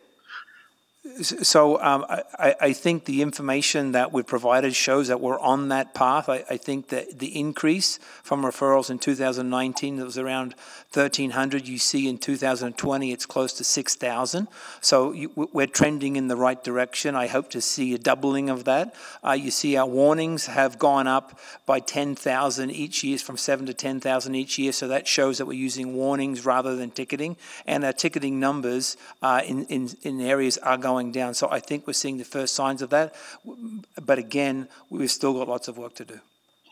Okay, David, I'll, I'll get straight to the point. You know, it's 250. Are we going to be dropping it down to 50 and then escalating? Is, is let's just get right to the mechanics of it.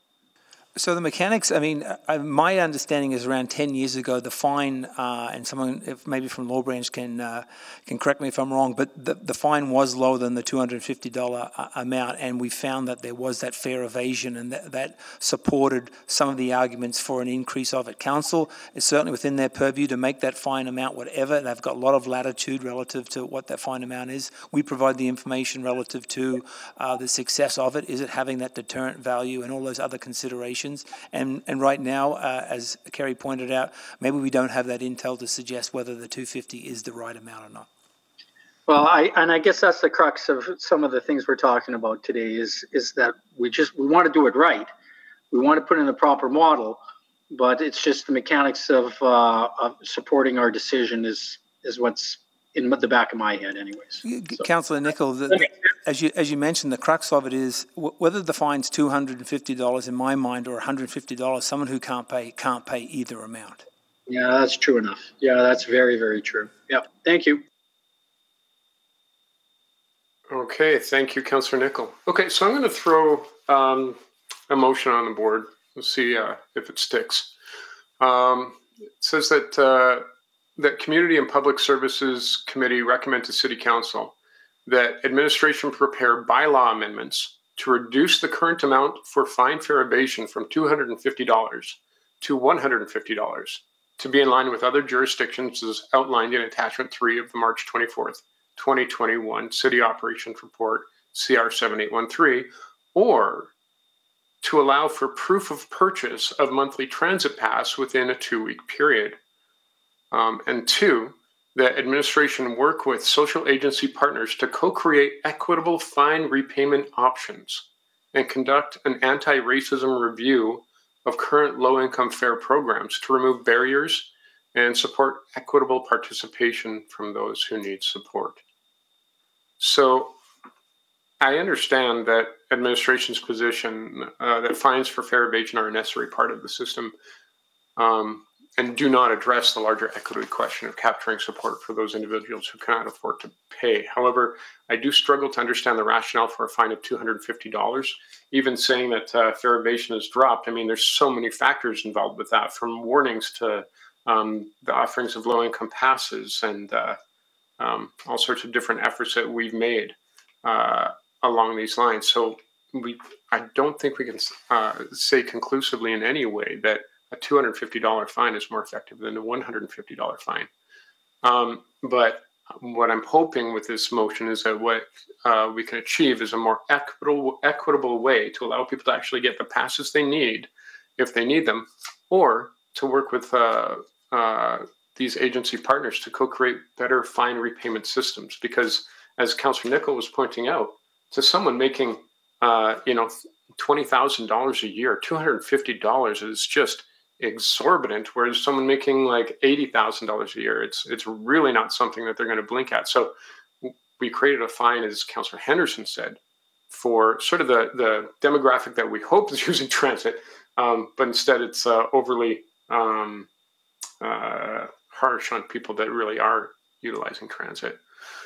Um, and also with this, um, what I'm hoping is that what we see is that the fine uh, can be reduced if people just buy a pass. And so instead of trying to, um, you know, close the fist and be punitive, instead um, we're sort of guiding people into a more appropriate usage of transit. So that's sort of the rationale. And um, I'll put it there and uh, I'll see if anyone has any questions about that.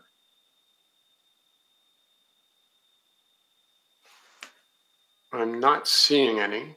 Um, Mr. Chair, before um, you vote, if I could just confirm for part two that the intent would be to have a report back, and if so, if we could look at a due date for that? yes, thank you. That would be a that's a a, a great addition and necessary one. Okay, so let's see if we can improve this. Uh, Councillor Knack. Uh, thanks, Mr. Chair. And just a very simple question. I imagine it, it it's likely in, in built into the assumption of it, but uh, the reference to proof of purchase. So if somebody was accessing Path as an example, that, and they acquire that, like that, we would consider that. That's that's what your point is. Anyone who acquires properly a, a monthly transit pass. Yeah, so proof of purchase or proper acquisition of.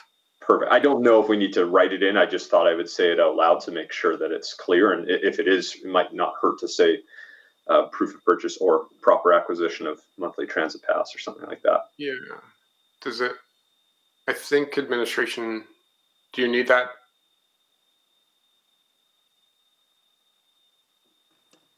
Um, in terms of the proof of purchase uh, component, it'd be difficult. I'm, I'm just struggling to follow. Yep. Okay, so let's add that in, and that makes it a little more clear. Because basically, if someone who can afford a bus pass is uh, evading of uh, their fare, they get this hundred and fifty dollar fine. They go buy a bus pass, and uh, that receipt is their proof of payment. They're, that, that's how they settle their fine. That kind of concept, right? I'm wondering if Ms. Jacobson wants to weigh in in terms of uh, navigating that process, because I understand the province is involved.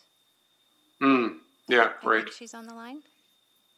Absolutely. Uh, thanks, Carrie. So it's something we can look at and we can certainly come back with options. I, I believe the challenge that's being flagged for you here is the disconnect upon which once an officer issues a ticket, uh, effectively the municipality loses a good portion of its jurisdiction over the matter.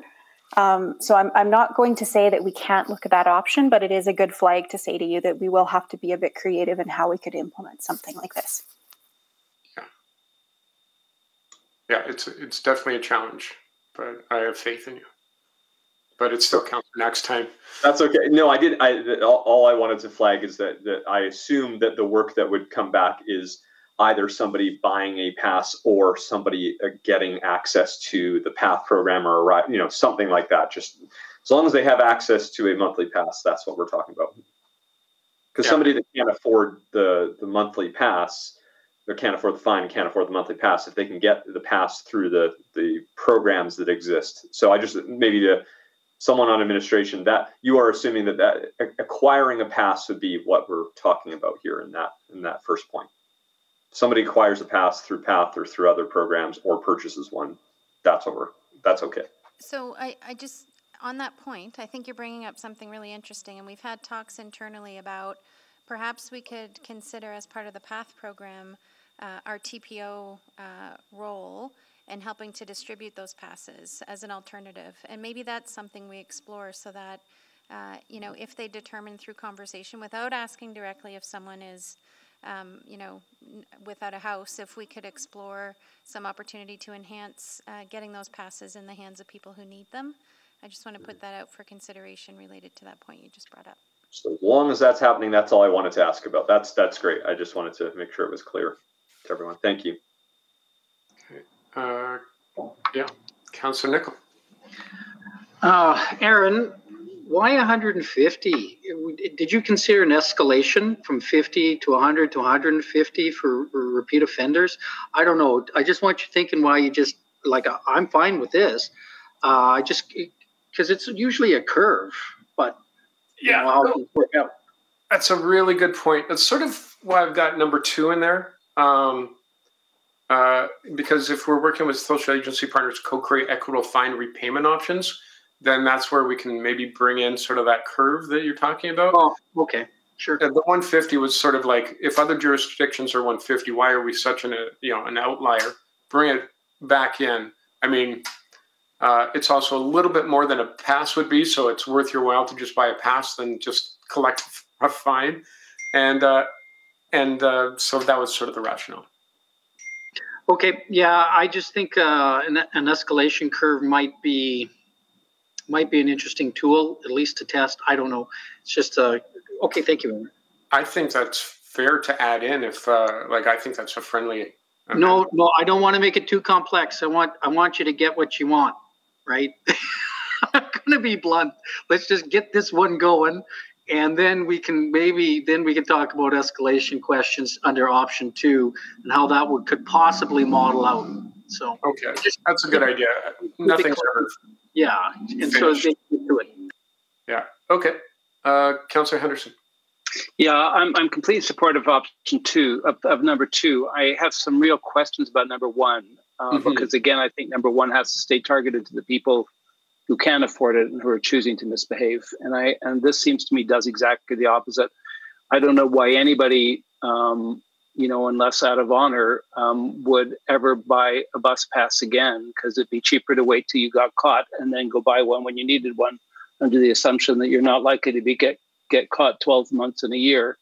Um, so I think you need to be really. I understand the instinct behind it, but I actually I think there's some really serious unintended consequences to this that we need to think through. And I, whether 250 or 150, you know, I think we need to set it at a we need to set it at a rate that people are it doesn't pay to take the risk.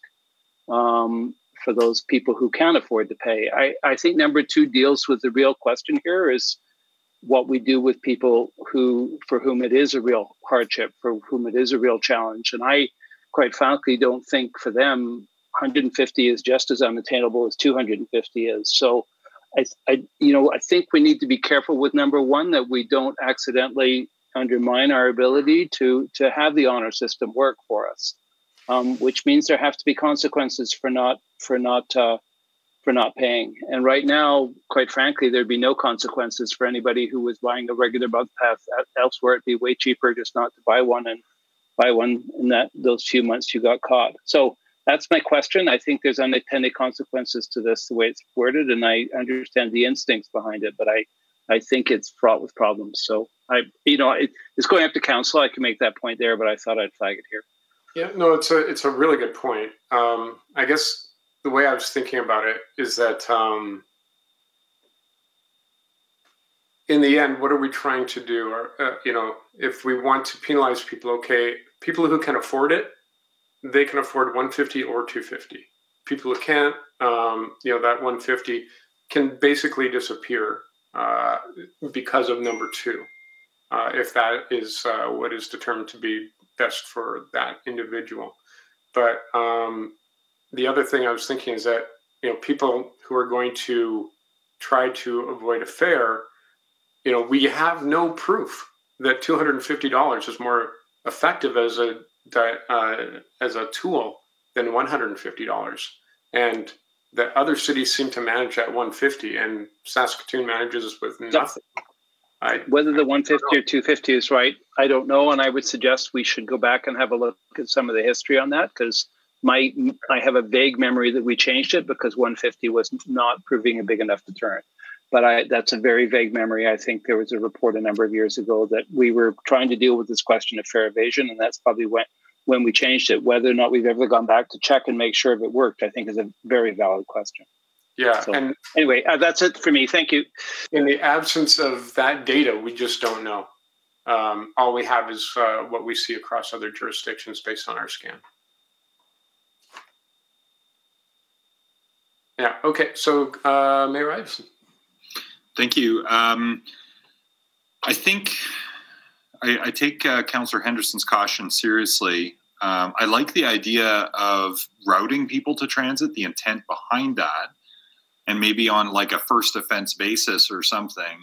There's a, a uh, you know a sort of restorative justice kind of thing, like make the system whole by buying a pass and come back in. But we we can't allow that to be an open-ended mitigation because of the thing Councillor Henderson suggested. So, um, so I might propose a um, a an amendment um, either to split out that last clause of Part One and put it into Part Two, um, to allow administration to consider some options in that regard uh, in the context of the work in part two. Um, or I think, you know, fine repayment options that I think it could include that. So the other way to do it might be, if it's friendly, to strike it from the first motion so it's not part of the the bylaw, and that would give legal and and transit and finance a chance to think about what like a restorative justice model, including on ramps to transit, could look like. So um, um, perhaps perhaps Yeah, we could to that. I think write it from great idea. part one and add it to part two. Yep. No, I think that's a great idea. Um, it, it retains the spirit of it, which really is the intent here. And um, again, we just don't know if 250 is more effective than 150. Well, and and perhaps in speaking to it, then, as presuming that change, uh, I'm supportive of both of these. I, like Councillor Henderson, vaguely recall looking at this a decade ago in response to uh, uh, real consistent issues we were finding with with fare evasion at the time. Um, now, one of the things that we're hoping we're going to get with Smart Card is higher levels of compliance with ease of payment, with open payments for people, and so on and so forth. So, hope, and that was even argued at the time, ten years ago. When we have open fares, all this will get easier, um, and and we'd be able to consider the questions of turnstiling the system as well, whether we need that for LRT, which I I would hope that we don't, but but um, I think this is fast changing, but I, I think I'm persuaded that perhaps we were leaning a little too hard onto law and order when we juiced it up to 250. But I think for people with um, limited means, uh, especially if we're out of step with comparators, uh, I think for people with limited means, whether it's 150 or 250, may be too much. Uh, um, and so part two is really, uh, as a number of people suggested, the most uh, impactful part of this, which is to fig- uh, uh, determine those options. Because I, I am aware of, and and actually it was the late uh, Minister Manmeet Bhullar who brought to my attention that there were youth entering uh, um, the the correction system as a result of um, as a result of transit infractions, and that in fact um, one youth was was in detention and died. And the reason that they had the reason they died is not because of of this; it was the circumstances within detention, but but that they would not have been in the system in the first place, uh, but for um, uh, zealous enforcement of of this bylaw. And that's not to say the the overcorrection to that would be to say, well, let's just not enforce. And I don't think that's acceptable either to fare paying uh, Edmontonians who who uh, are prepared to contribute and understand it costs something to provide transit service and see value in it and are prepared to to pay a fare uh, and and do their do their fair share uh, in reflective of the value that they receive from the service. And and since then, the other thing that's different though is we put substantial uh, alternative programs in place for ride transit and for path, uh, as well as uh, free transit for youth accompanied by uh, a fare-paying adult, uh, 12 and under. And so I think we've we've created an awful lot of circumstances to support people who need that mobility, who don't have the means to sustain it. Um, and uh, so when, in spite of all of those things, we're still in a situation of, of defiance, um, we, we need to be able to have some consequence for that. Um, and we still need to have some consequence for, um, for, for people who can afford it, who would, who would roll the dice. Um, so, so I think this strikes the right balance on all of that. I'll be supporting it. All right, thank you. Um, anyone else? No? Okay, I'll just qu- close really quickly. Great suggestions. Um, uh, I don't know if uh, has already made those changes. Looks like they're in there. I'm not sure, but uh, I'm open to those changes, uh, and uh, that's uh, I assume what we'll be voting on.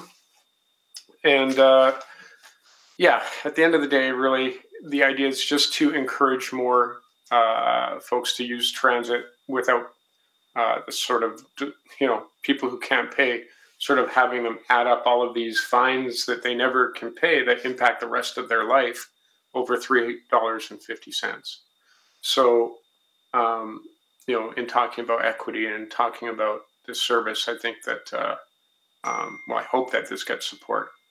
Now, the other thing that uh, I would just mention in closing is that um, uh, I, I, do believe that a lot of people were getting caught uh, with fare evasion because we had the downtown free zone and they got often confused or not confused, but as the case may be. Uh, but otherwise, uh, I think we've uh, talked this one out. Hope you get, get your support. Please vote.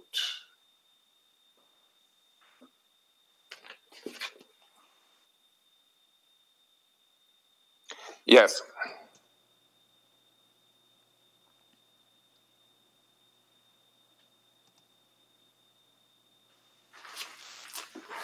Councillor Paquette? Uh, it's submitting. I'm, I'm a yes. I support it. And Mayor Iveson? And mine is submitting slowly as well. I'm also a yes. Thank you. That's all the votes. Okay. And uh, one last one, stretching your patience, but uh, let's. I hope it's quick. That Community and Public Services Committee recommend to City Council one that administration prepare amendments to the conduct of transit passengers bylaw provisions regarding loitering, including recommendations for exemptions for helping agencies and organizations, their corresponding social workers, and anyone accessing these services in transit stations as part of a whole systems approach to community safety in transit. And two, that administration work with community partners, including but not limited to Boyle Street, Reach, Edmonton Mennonite Center for Newcomers, Bissell Center, Big Brothers Big Sisters, Mosaic Center, iHuman Native Counseling Services of Alberta, and yes, to increase referrals to 24/7 crisis diversion and return to committee with program and or delivery proposals for agencies to provide access to supports and services within transit stations. And quickly, this one is uh, you know an extension of the of the efforts that we are already making somewhat unofficially and uh, bringing some policy and practice to it. Um, one example uh, of how this can uh, be utilized in the real world is in 2011, the Edmonton Public Library partnered with a community agency to offer outreach services in response to folks taking refuge at the downtown branch. And uh, we've all seen the massive success of that program. So, transit centers like libraries are places that folks generally feel safe in when they have nowhere else to go. So, can we look into adopting a similar approach to our transit loitering bylaw? Can we partner with a social agency and have them offer outreach services in downtown transit centers and uh, you know directing them from there to wherever they need to go and in, in conjunction with other helping agencies?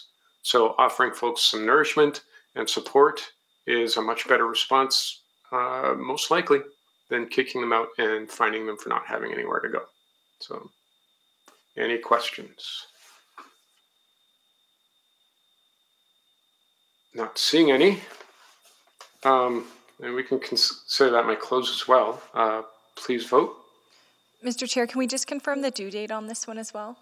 Oh, yeah, that's right. I wanted to ask uh, when is uh, an acceptable and workable due date for administration?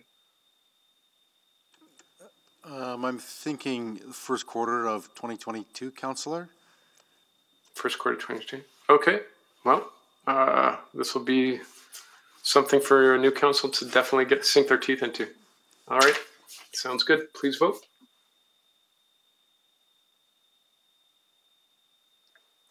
Yes. We have all the votes. All right, display vote, please. And that carried unanimously. Thank you. Um, and I think that takes us to the end of this item. Believe it or not, we did it. And uh, we'll now move on to item 6.8. Now we have five speakers. And um, my estimate was that this might take an hour. We'll see if, it, if uh, that was correct. So um, let's move to item 6.8. I believe that administration has a presentation. We do. And good afternoon, committee. Thank you for your time today. We have a short presentation for you outlining the analysis we've done. Uh, with me today is Kim Petrin, uh, the branch manager of development services. I'm Stephanie McCabe, uh, the DCM.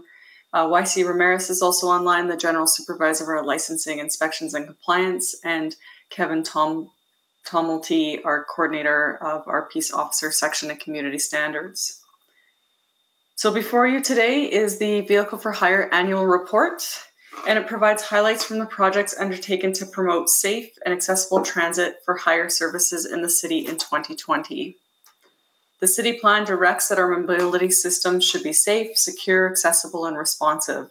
And the Vehicle for Hire program works collaboratively, collaboratively with industry, and we really appreciate the input from industry on this one and other stakeholder groups to uh, support uh, that direction. I'm now going to pass it to Ms. Petrin, who will provide you the uh, remainder of the presentation. Good afternoon. A number of activities were undertaken throughout 2020 to advance the Vehicle for Hire program's initiatives and to support the industry through the COVID 19 pandemic. The latter included postponement of the license renewal date from April uh, to September, non cancellation of licenses that were not renewed, and a 50% waiver of dispatch and vehicle license fees, and a 100% waiver for limousines. The program's accessibility initiatives included provision of updated training materials for accessible vehicle drivers with the goal of enhancing the level of service for accessible vehicle users. Due to the impact of COVID 19 on resources, completion of research and consultation regarding the viability of a centralized booking service for all accessible vehicles for hire was shifted to the end of this year. Communication with industry continued in 2020 through email updates and virtual meetings to discuss issues of mutual concern and how we can best support. Industry highlighted various challenges to their operations, including the adverse economic impacts of COVID 19. In response, administration is recommending a 50% fee waiver of 2021 vehicle and dispatch license fees and a bylaw review will be done to identify areas for potential amendment. Enforcement activities in 2020 were focused on promoting adherence to public health guidelines relating to COVID 19. These included the city's state of local emergency order, the temporary mandatory face covering bylaw, and the provincial public health orders, where verbal warnings or fines for drivers not in compliance were issued. The Vehicle for Hire program operates on a cost of service model, although program performance in 2020 was higher than anticipated. Revenue exceeded expenses, and over $113,000 was transferred to the Vehicle for Hire reserve. Plans are in place to apply reserve funds towards the recommended 2021 fee waivers. Program focus areas such as accessibility projects, safety, and enforcement activities are also contemplated. The Vehicle for Hire program, work program for 2021 will focus on collaboration with stakeholders and industry, including the Accessibility Advisory Committee and the Women Advocacy Voice of Edmonton, to advance initiatives of value to the stakeholders and administration. These initiatives include accessibility service strategies, safety measures in vehicle for hire, and a review of the bylaw to recommend potential amendments. Further, a review of enforcement strategies in line with the priorities of the 2021 work plan is underway. Administration is pleased to be able to work with such a dynamic group of individuals and stakeholders in a collaborative effort to identify and resolve issues affecting the industry. Administration recommends that Community and Public Services Committee recommend to City Council that the 2021 fees within the Vehicle for Hire bylaw 17400 for dispatch and vehicle licenses be waived by 50%. Thank you, and pleased to answer any questions. Well, thank you very much. Uh, very good presentation. We'll move to speakers now. Uh, and first up is on our panel is uh, Liviu Bertic. If you manage to stick around for the day, now is your chance. Put the hand up. Oh. Just, uh, yeah, one, one second. All right, you've got oh, five minutes. Go ahead. Hello? Hello, we can hear you. Go ahead. You got five minutes. Uh, thank you, sir. Uh, first of all, I would like to thank you to the city for the 100% waive last year and well a part of this year. And um, for the fees, I'm sorry, waive the fees. And um, I would like to let you guys know that we cannot afford yet to pay not even the 50 percentage of because like last night after the news we had from uh, our premier we had two more cancellation of weddings august and september addition season is coming up in a month uh, we don't have nothing bookings yet almost are sitting for one, for 13 months now. Uh, with another words, the chicken doesn't make the eggs, we have no eggs. So I'm asking for another waive very kindly. And uh, also like you to know that some companies we don't have sedans, only stretch limousines and buses, the 30 passengers buses. People up to five people, they are not going to rent a bus, the 30 passengers, for a dinner run, or there are no hockey games, of course. No so, concerts. no concerts. We are just sitting collecting dust on our limousines. Uh, it will be very nice to work again this year. Uh, let's hope next year is going to be a better year. We are in business for 26 years. We never missed every year we paid. Actually, we were the first ones paying our fees to the city. But this time, like I said, the chicken doesn't make the eggs. We have no eggs for breakfast. Uh, another one I have, we talked last meeting with uh, Vehicle for Hire. They want to introduce an instructor to teach us how to drive or how to run our business I, I really, we don't know exactly what they are trying to do. Probably another fee cost to us. Of, yeah, cost to us, which is not fair. I'm in Edmonton for 45 years, and for four years, every year, I had the license with the city. So it's anybody going to come to teach me after 26 years in limousine business to teach me how I got class four, a class two, one that covers everything. So who is going to teach me how to drive or how to act? We never been in, in bankruptcy. We, we, we are having a very, very good reviews in our website we never had a complaint. So what's going on? Is just for the money to come again? Can anybody answer me the question? That would be, I would be very satisfied. We are paying the vehicle for hire for them to have a job, but not to clean us up. I mean, let's slow down with fees, too many bylaws. Like last month, we talked, I talked to them, I said, so you are hiring somebody to teach me now how to do it? Class one, class two, what more do you want from me? I've been in business for 26 years.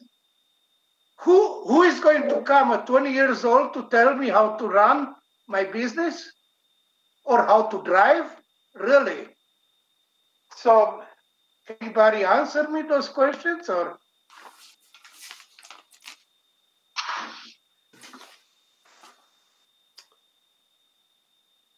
Okay, thank you. Uh, Mr. Burtick. And uh, now move on to our next speaker, uh, Suzanne Burtick. Yeah. Hello, thank, thank you. And wow, it's been a for you, so I'll try not to be too uh, animated. I also feel the same way as my husband. Um, there are companies that uh, have been trying for years to separate the stretch limousines from the black cars, the sedans, Ubers, taxis, because of this problem. Um, where could get a fare with a smaller car.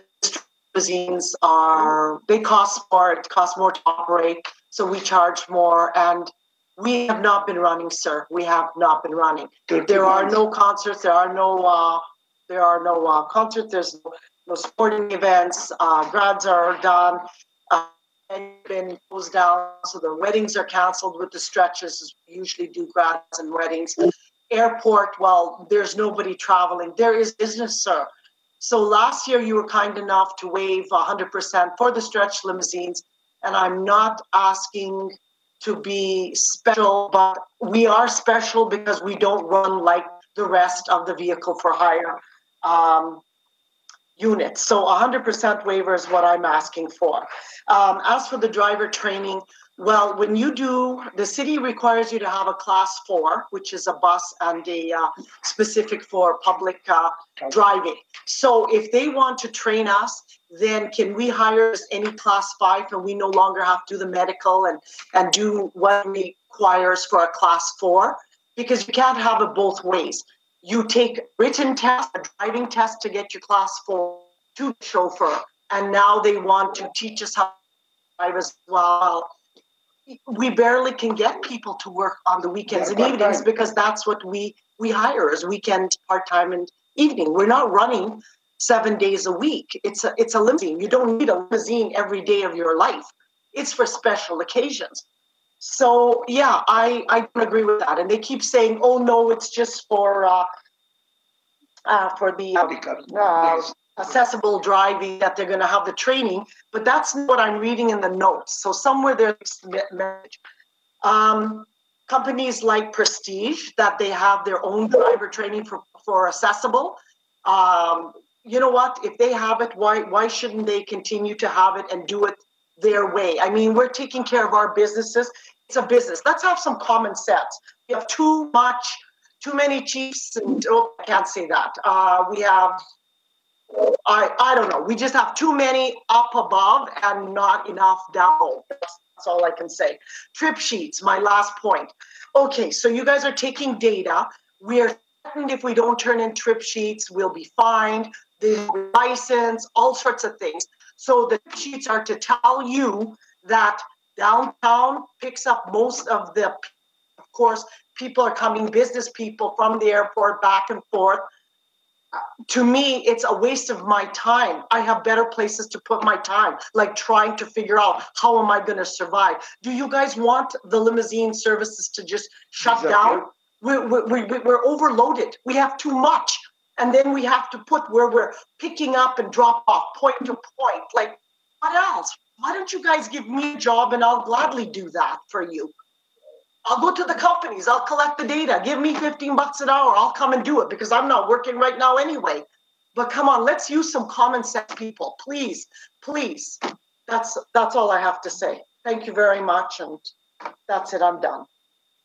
Okay, thank you. Uh, we now have John Waterman. Five minutes. Go ahead. And I, you may be on mute. Can you hear me now? We can hear you. Go ahead. Okay. My name is John Waterman. I'm the owner of Black Gold Limousine. I agree uh, with what Susan and Livio have said about the three items they're talking about. Again, I'm here to petition that we uh, are granted 100% relief of uh, our fees this year. Um, the uncertainty of COVID has left us in the same position of, as last year. Uh, people are not booking weddings for the summer, even if it all opens up in June or July, it will be too late for the wedding season. And I'm not confident it will open up at that point. and so our bookings for weddings are pretty much non-existent. Um, so I hope you can grant us the relief like you did last year, and I thank you for that relief last year. Um, with regards to the quarterly reports that we have to submit, uh, listing our customers, where we picked them up, where we took them to. Again, you know, as I was listening to the fireworks um, discussion, I would say the same thing. Like, is there a point to this?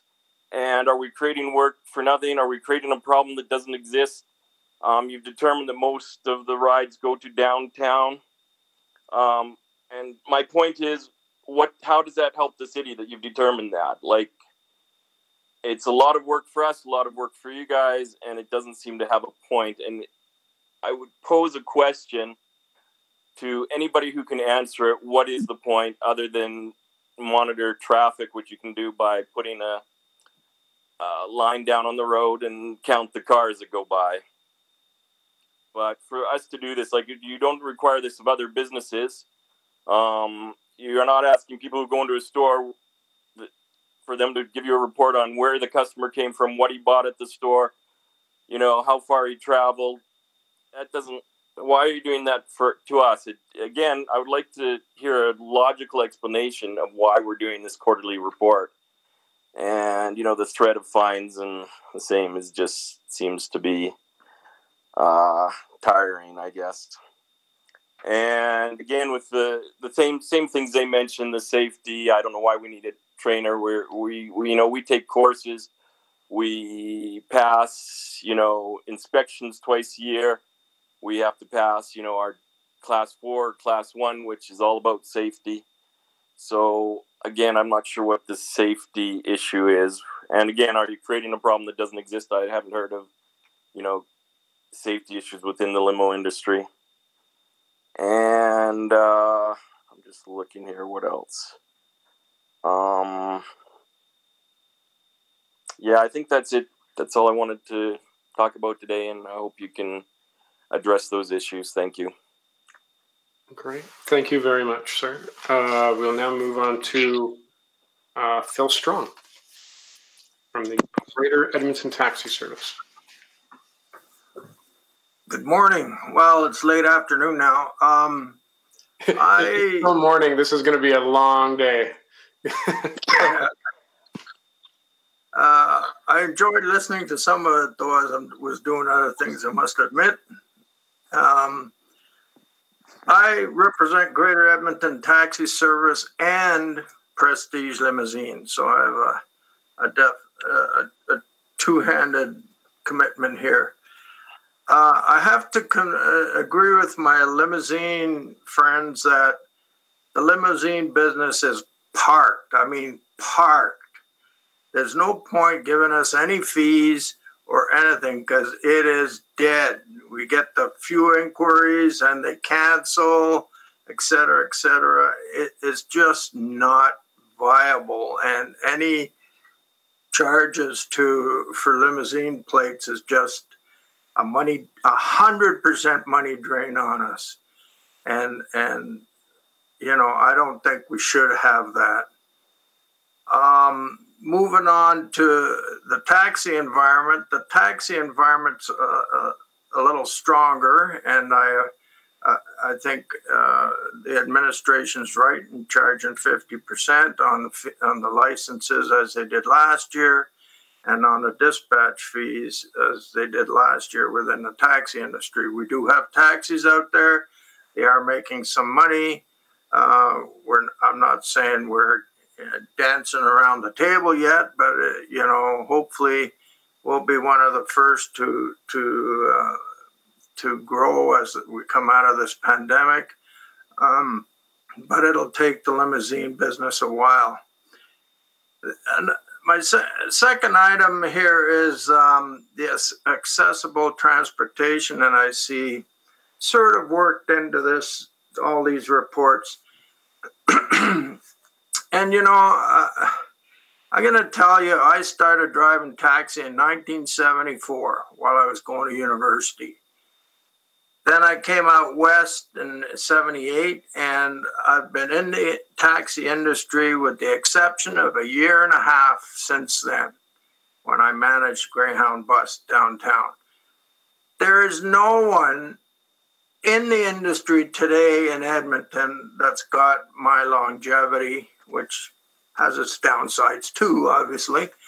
Um, but, you know, I need people to listen to me, and I don't feel I'm being listened to. And the accessibility transportation cannot, no use wasting time doing all kinds of things, trying to get a centralized dispatch, everything like that, until we answer the problem of driver compensation. Yes, every in a utopian society, everyone should pay the same. I don't mind people paying the same, but someone has to pay the driver the extra free, whether it's subsidy um, or however we design it, but it won't work. I'll give you two quick examples.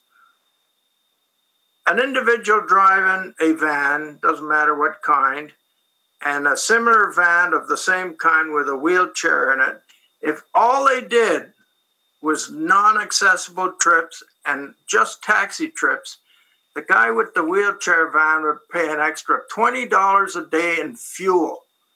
Why? He didn't have to run more miles. He probably did the same kilometers as his buddy in a van because the van is heavier. It just eats up more fuel. So that's a disadvantage to own a wheelchair accessible van without even doing a wheelchair accessible trip. Secondly, I should point out that a restaurant, when they fix a curb in front of the restaurant to be accessible, i.e., take the bump out of it and make it wheelchair accessible, get a larger door in the front door, put a little extra room between the tables to allow wheelchair patrons to come in. They have a one time capital cost. They're done. Every plate of spaghetti that they or steak that they put in front of the customer does not cost more than a, a regular able bodied customer. It just doesn't. Every time a taxi picks up an accessible, wheelchair accessible trip, it costs them more. Every time. It's not a one time capital cost. Within five years, that that vehicle is wrecked. Within five years, you know the curb is still all right outside the restaurant, and the door still works. But this is the reality. I think I got the feeling lately that some people are starting to understand this. There's yeah. guys that are parking cars that do not want anything to do with a wheelchair accessible vehicle anymore, and that just isn't right for the people that need the service. All right. Thank and you. So we have to improve that. My last item is leveling the vehicle for hire industry. This will be I'm, I'm afraid you're out of time, but there will probably be questions for you. All right. Okay. Thank you. And uh, we'll hear from our last panelist, Sylvain Vizina. Councillor, thank you for having me today. I'm Sylvain Vizina from Protocol Limousine. I'm here today to address, once again, issue with the Department of Vehicle for Hire. As you might remember, myself and other members of the industry were involved back in September about the fee waiver for 2020. Today, I want to bring to your attention that this report is far from accurate on what is going on with the industry, especially the relationship between the industry and vehicle for hire. On page number two of Vehicle for Hire report, it is mentioned that fee were deferred until September. That is, this is inaccurate and fee were due by August 14, 2020, and the industry was well reminded about this by the department. The fee waiver was approved on October 5th, 2020, at the City Council meeting. The excess amount paid were never refunded despite numerous requests. This means business who did do the right thing and paid their fee on time were penalized for not being good uh, for being good corporate citizen. Unfortunately, this seems to be a pattern with vehicle for hire. The department wasn't looking at the best interest for vehicle for hire at the time, and this didn't change even after the positive intervention of uh, Miss Stephanie McCabe, Deputy City Manager. It was well appreciated. Unfortunately, it seems that the relationship with the department is proven difficult. Registered business are being taken uh, advantage of, and when we are trying to uphold vehicle for hire to the bylaws 17400s, uh, things fall apart. We are being told that there are loophole in the bylaws that it is very complicated when not impossible to enforce bylaws. Even question on budget and cost of the program are deferred to another department. Basically, we haven't found yet something that can be accomplished within the vehicle for hire department. The question of why we are paying this fee is legitimate. Vehicle for hire mandate is to regulate the industry and provide a safety layer to Edmontonian.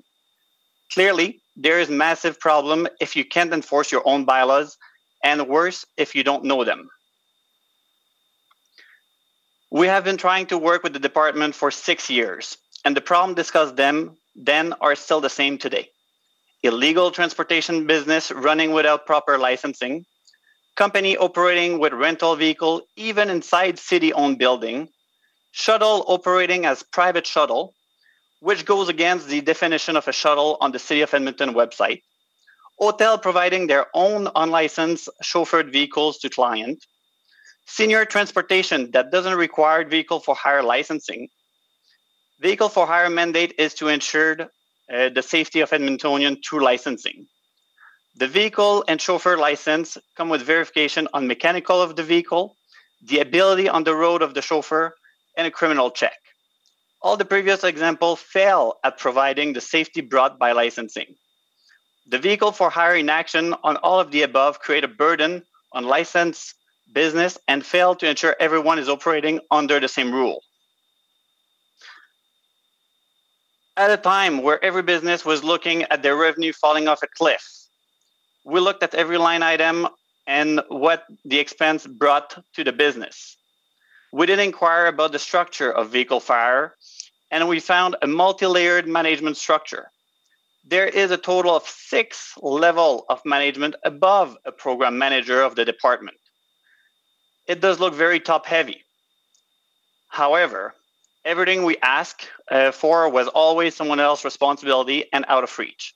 Even today, we're still trying to get a few things addressed, and they're being pushed way further into the future. A good example of this is the budget of vehicle for hire that isn't easily accessible. It's rolled into something else and it's something that we're having a hard time to find exactly what it is. And um, even the uh, uh, a good example of that would be the uh, report that we're seeing today. Vehicle for hire does have a reserve but we have no clue what that amount is. It is something that uh, we're hoping that we'll be able to get our hands on at one point last year vehicle for hire was probably one of the only one in the industry to not bleed red ink Vehicle for hire ran surplus of over $113,000. Waiving 50% of license fee would equal to about $42,000 according to the same report. This means the surplus of last, of last year would be enough to cover the entire license fee for everyone this year. At a time, everyone wonder when, if we will return to something more normal. Unfortunately, Vehicle for Hire is looking at adding money in the bank for future pet project at a time where the industry is suffering badly and could really use a break. The money was paid by the industry and should be used to help the industry during this unprecedented time. Truth be told, I wonder about that $42,000 figure. There is over a thousand licensed vehicle at uh, over $400 each, which would bring over $400,000. So I don't know where that uh, $42,000 on the report came from. Sylvain, thank you. Uh, unfortunately, you're out of time. Uh, appreciate it. You may have some questions. Looks like uh, we do have Councillor Nickel on the board. Okay, thank you everyone for coming today. So let's get let's just get straight to the mechanics here. So everyone here today um, is advocating for 100% of the limousine uh, uh, fees to be waived, correct? Phil? Yeah. Yeah. Uh, so we're all okay. That's the first thing. I'm. I'll be happy to move that. That's not a. That's not a problem. Uh, so, and whether the committee supports it or not is a different question. So uh, quarterly reporting, um, the necessity of it. Uh, I, okay, so we're hearing that's unneeded red tape. Um, do any of you see any value in what's going on, and how much time are you committing to this? Phil, do you have a comment on the quarterly reporting? I, I, I don't think it's necessary. It's obvious where the traffic is. I mean, that's what downtowns are about. Okay, Sylvain?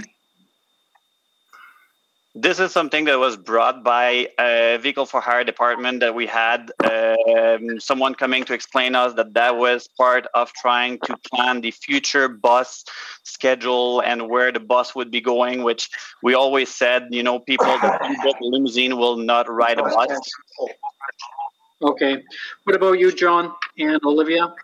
Yeah, there's. I I there's was also A, there's only a handful of limousines in the city, and I don't know how our traffic pattern really affects the flow of the city. Like it seems like we're we're asking to do a lot of paperwork for John, something John, that how, doesn't- John, how many limousines we got running in the city? Uh, that's a good question. I'm I don't even have an answer to that. Does anybody else know? No, I couldn't tell you offhand. Olivia? I think they have a few limousines with sedans. If you don't right know, now, I I have. Okay. I would I believe the presenter would be the department. Yes. Okay, I'll ask the department. Okay, so there's a question, do we even need this anymore? Okay, and last but not least is a question of um, uh, training. Uh, somebody, whoever have you have, have you have your mics on, could you turn them off because we get a terrible echo here at my end. Sorry, I appreciate that. Um, is that just being a suggestion right now? That's the way I'm reading the report. Am I misreading the report? They're not asking for uh, an amendment right now as to changing our, or am I missing that? In terms of driver training?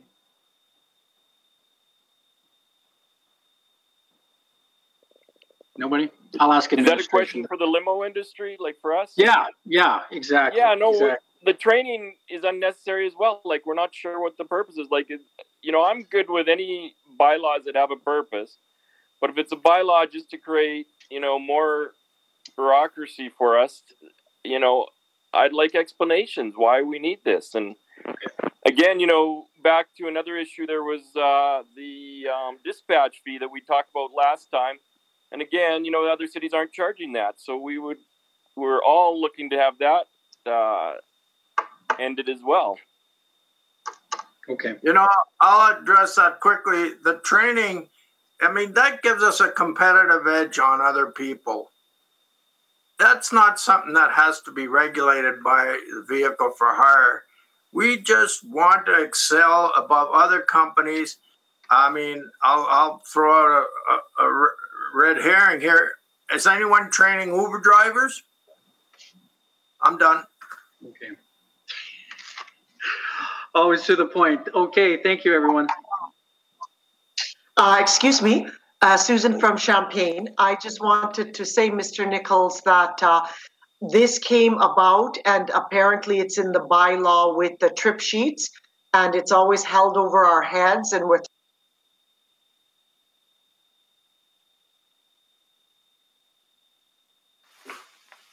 Looks like we may have uh, lost our speaker. Uh, so we'll move on now to questions of administration. And I'm going to guess that Councillor Nickel has some questions. Okay. Um, I think all of you remember last year, my memory, what it used to be. I was looking for a 100% waiver for everybody.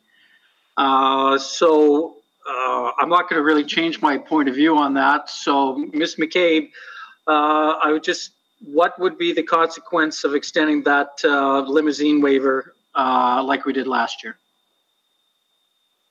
Uh, Councillor Nicola, we brought 50% forward because it aligns with the business license fee uh, waiver, but the consequence would be that there would still be adequate money within the reserve. It would still remain above the 30% minimum balance. So it's up, uh, we would, of course, welcome any direction from committee, but our, our best advice would be that there is adequate money to cover that. Uh, okay, Mr. Chairman, when, when that's ready, I'll bring that forward whenever, whenever you want. Uh, number two, um, quarterly inspections. is it really necessary anymore, given that this, uh, the, the, you know, how many limousines do we have running? It's not the size of the taxi cab industry. Is this, uh, we're hearing from industry that it's an onerous uh, piece of paperwork that is not required. Uh, Ms. McCabe, do you have a comment on that? Understood. And uh, Ms. Petrin could uh, answer that question. Thanks, Councillor Nickel. Um, that was a requirement came, that came into place in 2017 to two reasons: better understand how people in Edmonton travel around the city, and the second purpose was to verify the per trip fees um, submitted by the transportation network uh, companies. Really appreciate the feedback and recognize that feels a bit like a red tape. That we're happy to take that back and look at how, um, you know, whether it's an amendment or that sort of thing that we can work with industry on. Well, Ms. Petrin, I, I'm, I'm saying I want to cut this red tape. So do you need direction to do so? Councillor Nickel, go ahead, Ms. Petrin. Uh, through through a motion, um, you can provide that would the through committee to provide that direction. Okay, I'll be uh, I'll do that as well. And this question with regards to training, um, I the way I read the report, this is not really on the table. Did I misread the report? Or is this is this something that you're look that is mandatory at present? Maybe I'm just a little tired here at the end of the day. What what what is it? Yeah, Councillor Nickel, it, it wasn't intended to be mandatory. It was related to supporting our, our clients that need accessible support in terms of using the different vehicles. Um, so it was just an option that we were talking to industry about in terms of providing the education, but at no cost. Okay, so it is not mandatory. Correct. Okay, so I'm letting industry, you're hearing that loud and clear. So, okay, okay, no problem. I'm ready to make those two amendments when uh, when needed, uh, Councillor Paquette. Okay, um, this would be an ideal time. Uh, if I could, you know, the clerk's so much faster on the keyboard than, than my fingers. It's, do they have something uh, written up to that effect, or can we get uh, get that in a minute here? Uh, I believe we have something Yeah. ready. I'm just looking for some confirmation. You were looking to do 100% fee waiver? For the limousines, Okay. fifty percent for the taxis. That's what we did last year, so that doesn't change, right? So we're just moving that forward. And the second part is is the removal for the quarterly reporting by uh, uh, by for the limousines only. I don't want to venture too far into the weeds here because uh, it is a bit of a network. We'll have that up momentarily. Please and thank you. Okay, so uh, in the meantime, uh, if you've got some personal head earbuds, go ahead and listen to some waiting music. Oh, Andrew's up.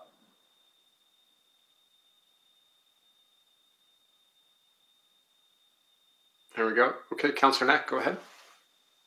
Sure. I, I was just going to ask a few questions while we were waiting. Um, and definitely makes perfect sense around the limousines and going 100% fully supported that. Um, just wanted to ask a little more about the um, the removal of the requirement for trip logs. So the idea behind the trip logs was to be able to capture that data, but that so I guess my thinking was uh, it was more we, we designed that to be more to capture data related to taxi movements because there were so many movements and that that would help.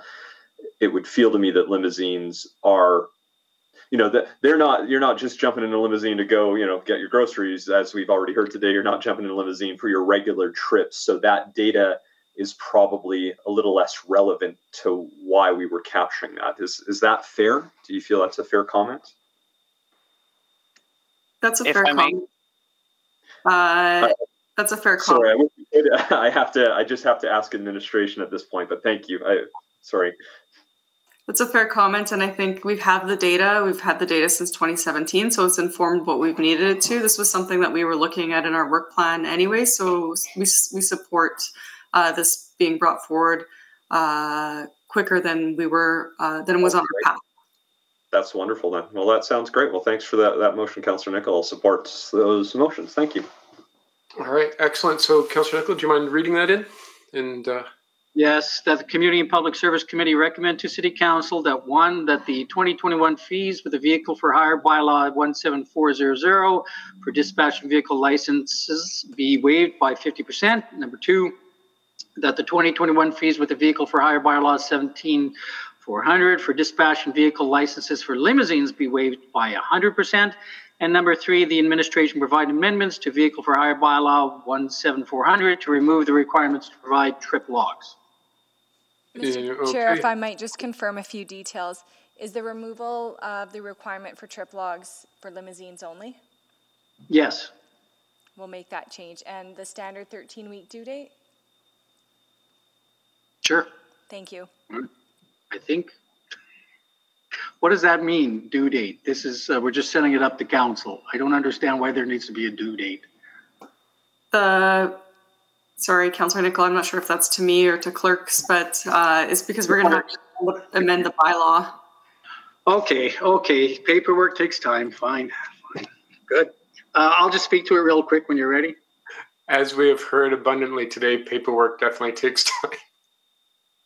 Okay, uh, I don't see anyone else on the board. I'll just uh, quickly um, offer my support for this. It's a great motion. I'm glad I thought of it. just kidding. Um, and uh, I think uh, it makes a lot of sense right now. No one's uh, renting a limousine and going out for a party. Hopefully, fingers crossed. All right. So uh, yeah, this definitely has my support. I see Councillor Knack on the board, but I think that's a legacy uh, little bit. So that is correct. Thank you. Yeah. Councillor Nickel to close. Well, I wish you would. I wish I could convince council of a hundred percent, but I, I, think we tried that the last time and it didn't fly. So we'll take fifty percent. Uh, the the um, the program is in surplus. So given the pandemic, I and uh, I, I don't see why we should hold on to their money, to be quite honest. And so let the limousine service go, and we can cut a little red tape because. Uh, yeah, I can see these logs being a bit of an issue for just for people who are just hanging on. And uh, as for, uh, I'll remind everyone that the uh, question with regards to uh, training, that is uh, not mandatory. At least that's what I heard today. So those are the three things. Thank you. Hope you can vote for it. Okay, please vote. A big yes.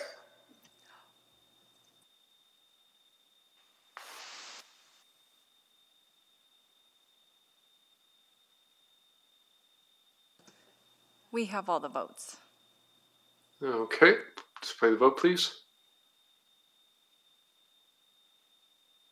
And that is carried. Who says you can't fight City Hall?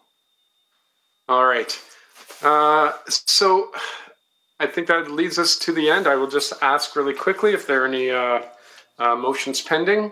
I didn't get any for that. So uh, any Chair, notices without or motions on notice. Go ahead. Sorry. Apologies for the uh, continuous interruptions. I'm just noticing that we did not receive item 6.3 for information. If we might just clean that up. We did have motions that dealt with 6, 1, and 2.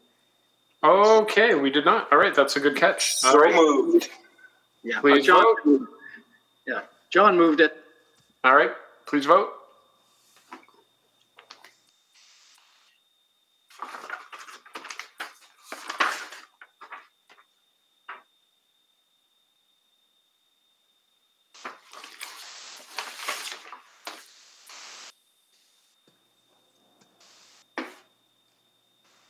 Comes. We have the votes.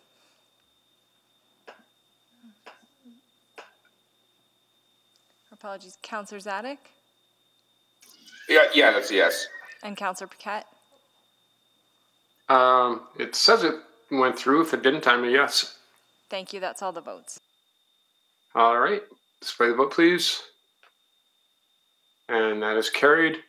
Okay, any notice of motion or motion without customary notice? Not hearing any. Good job, everyone. Have a good day.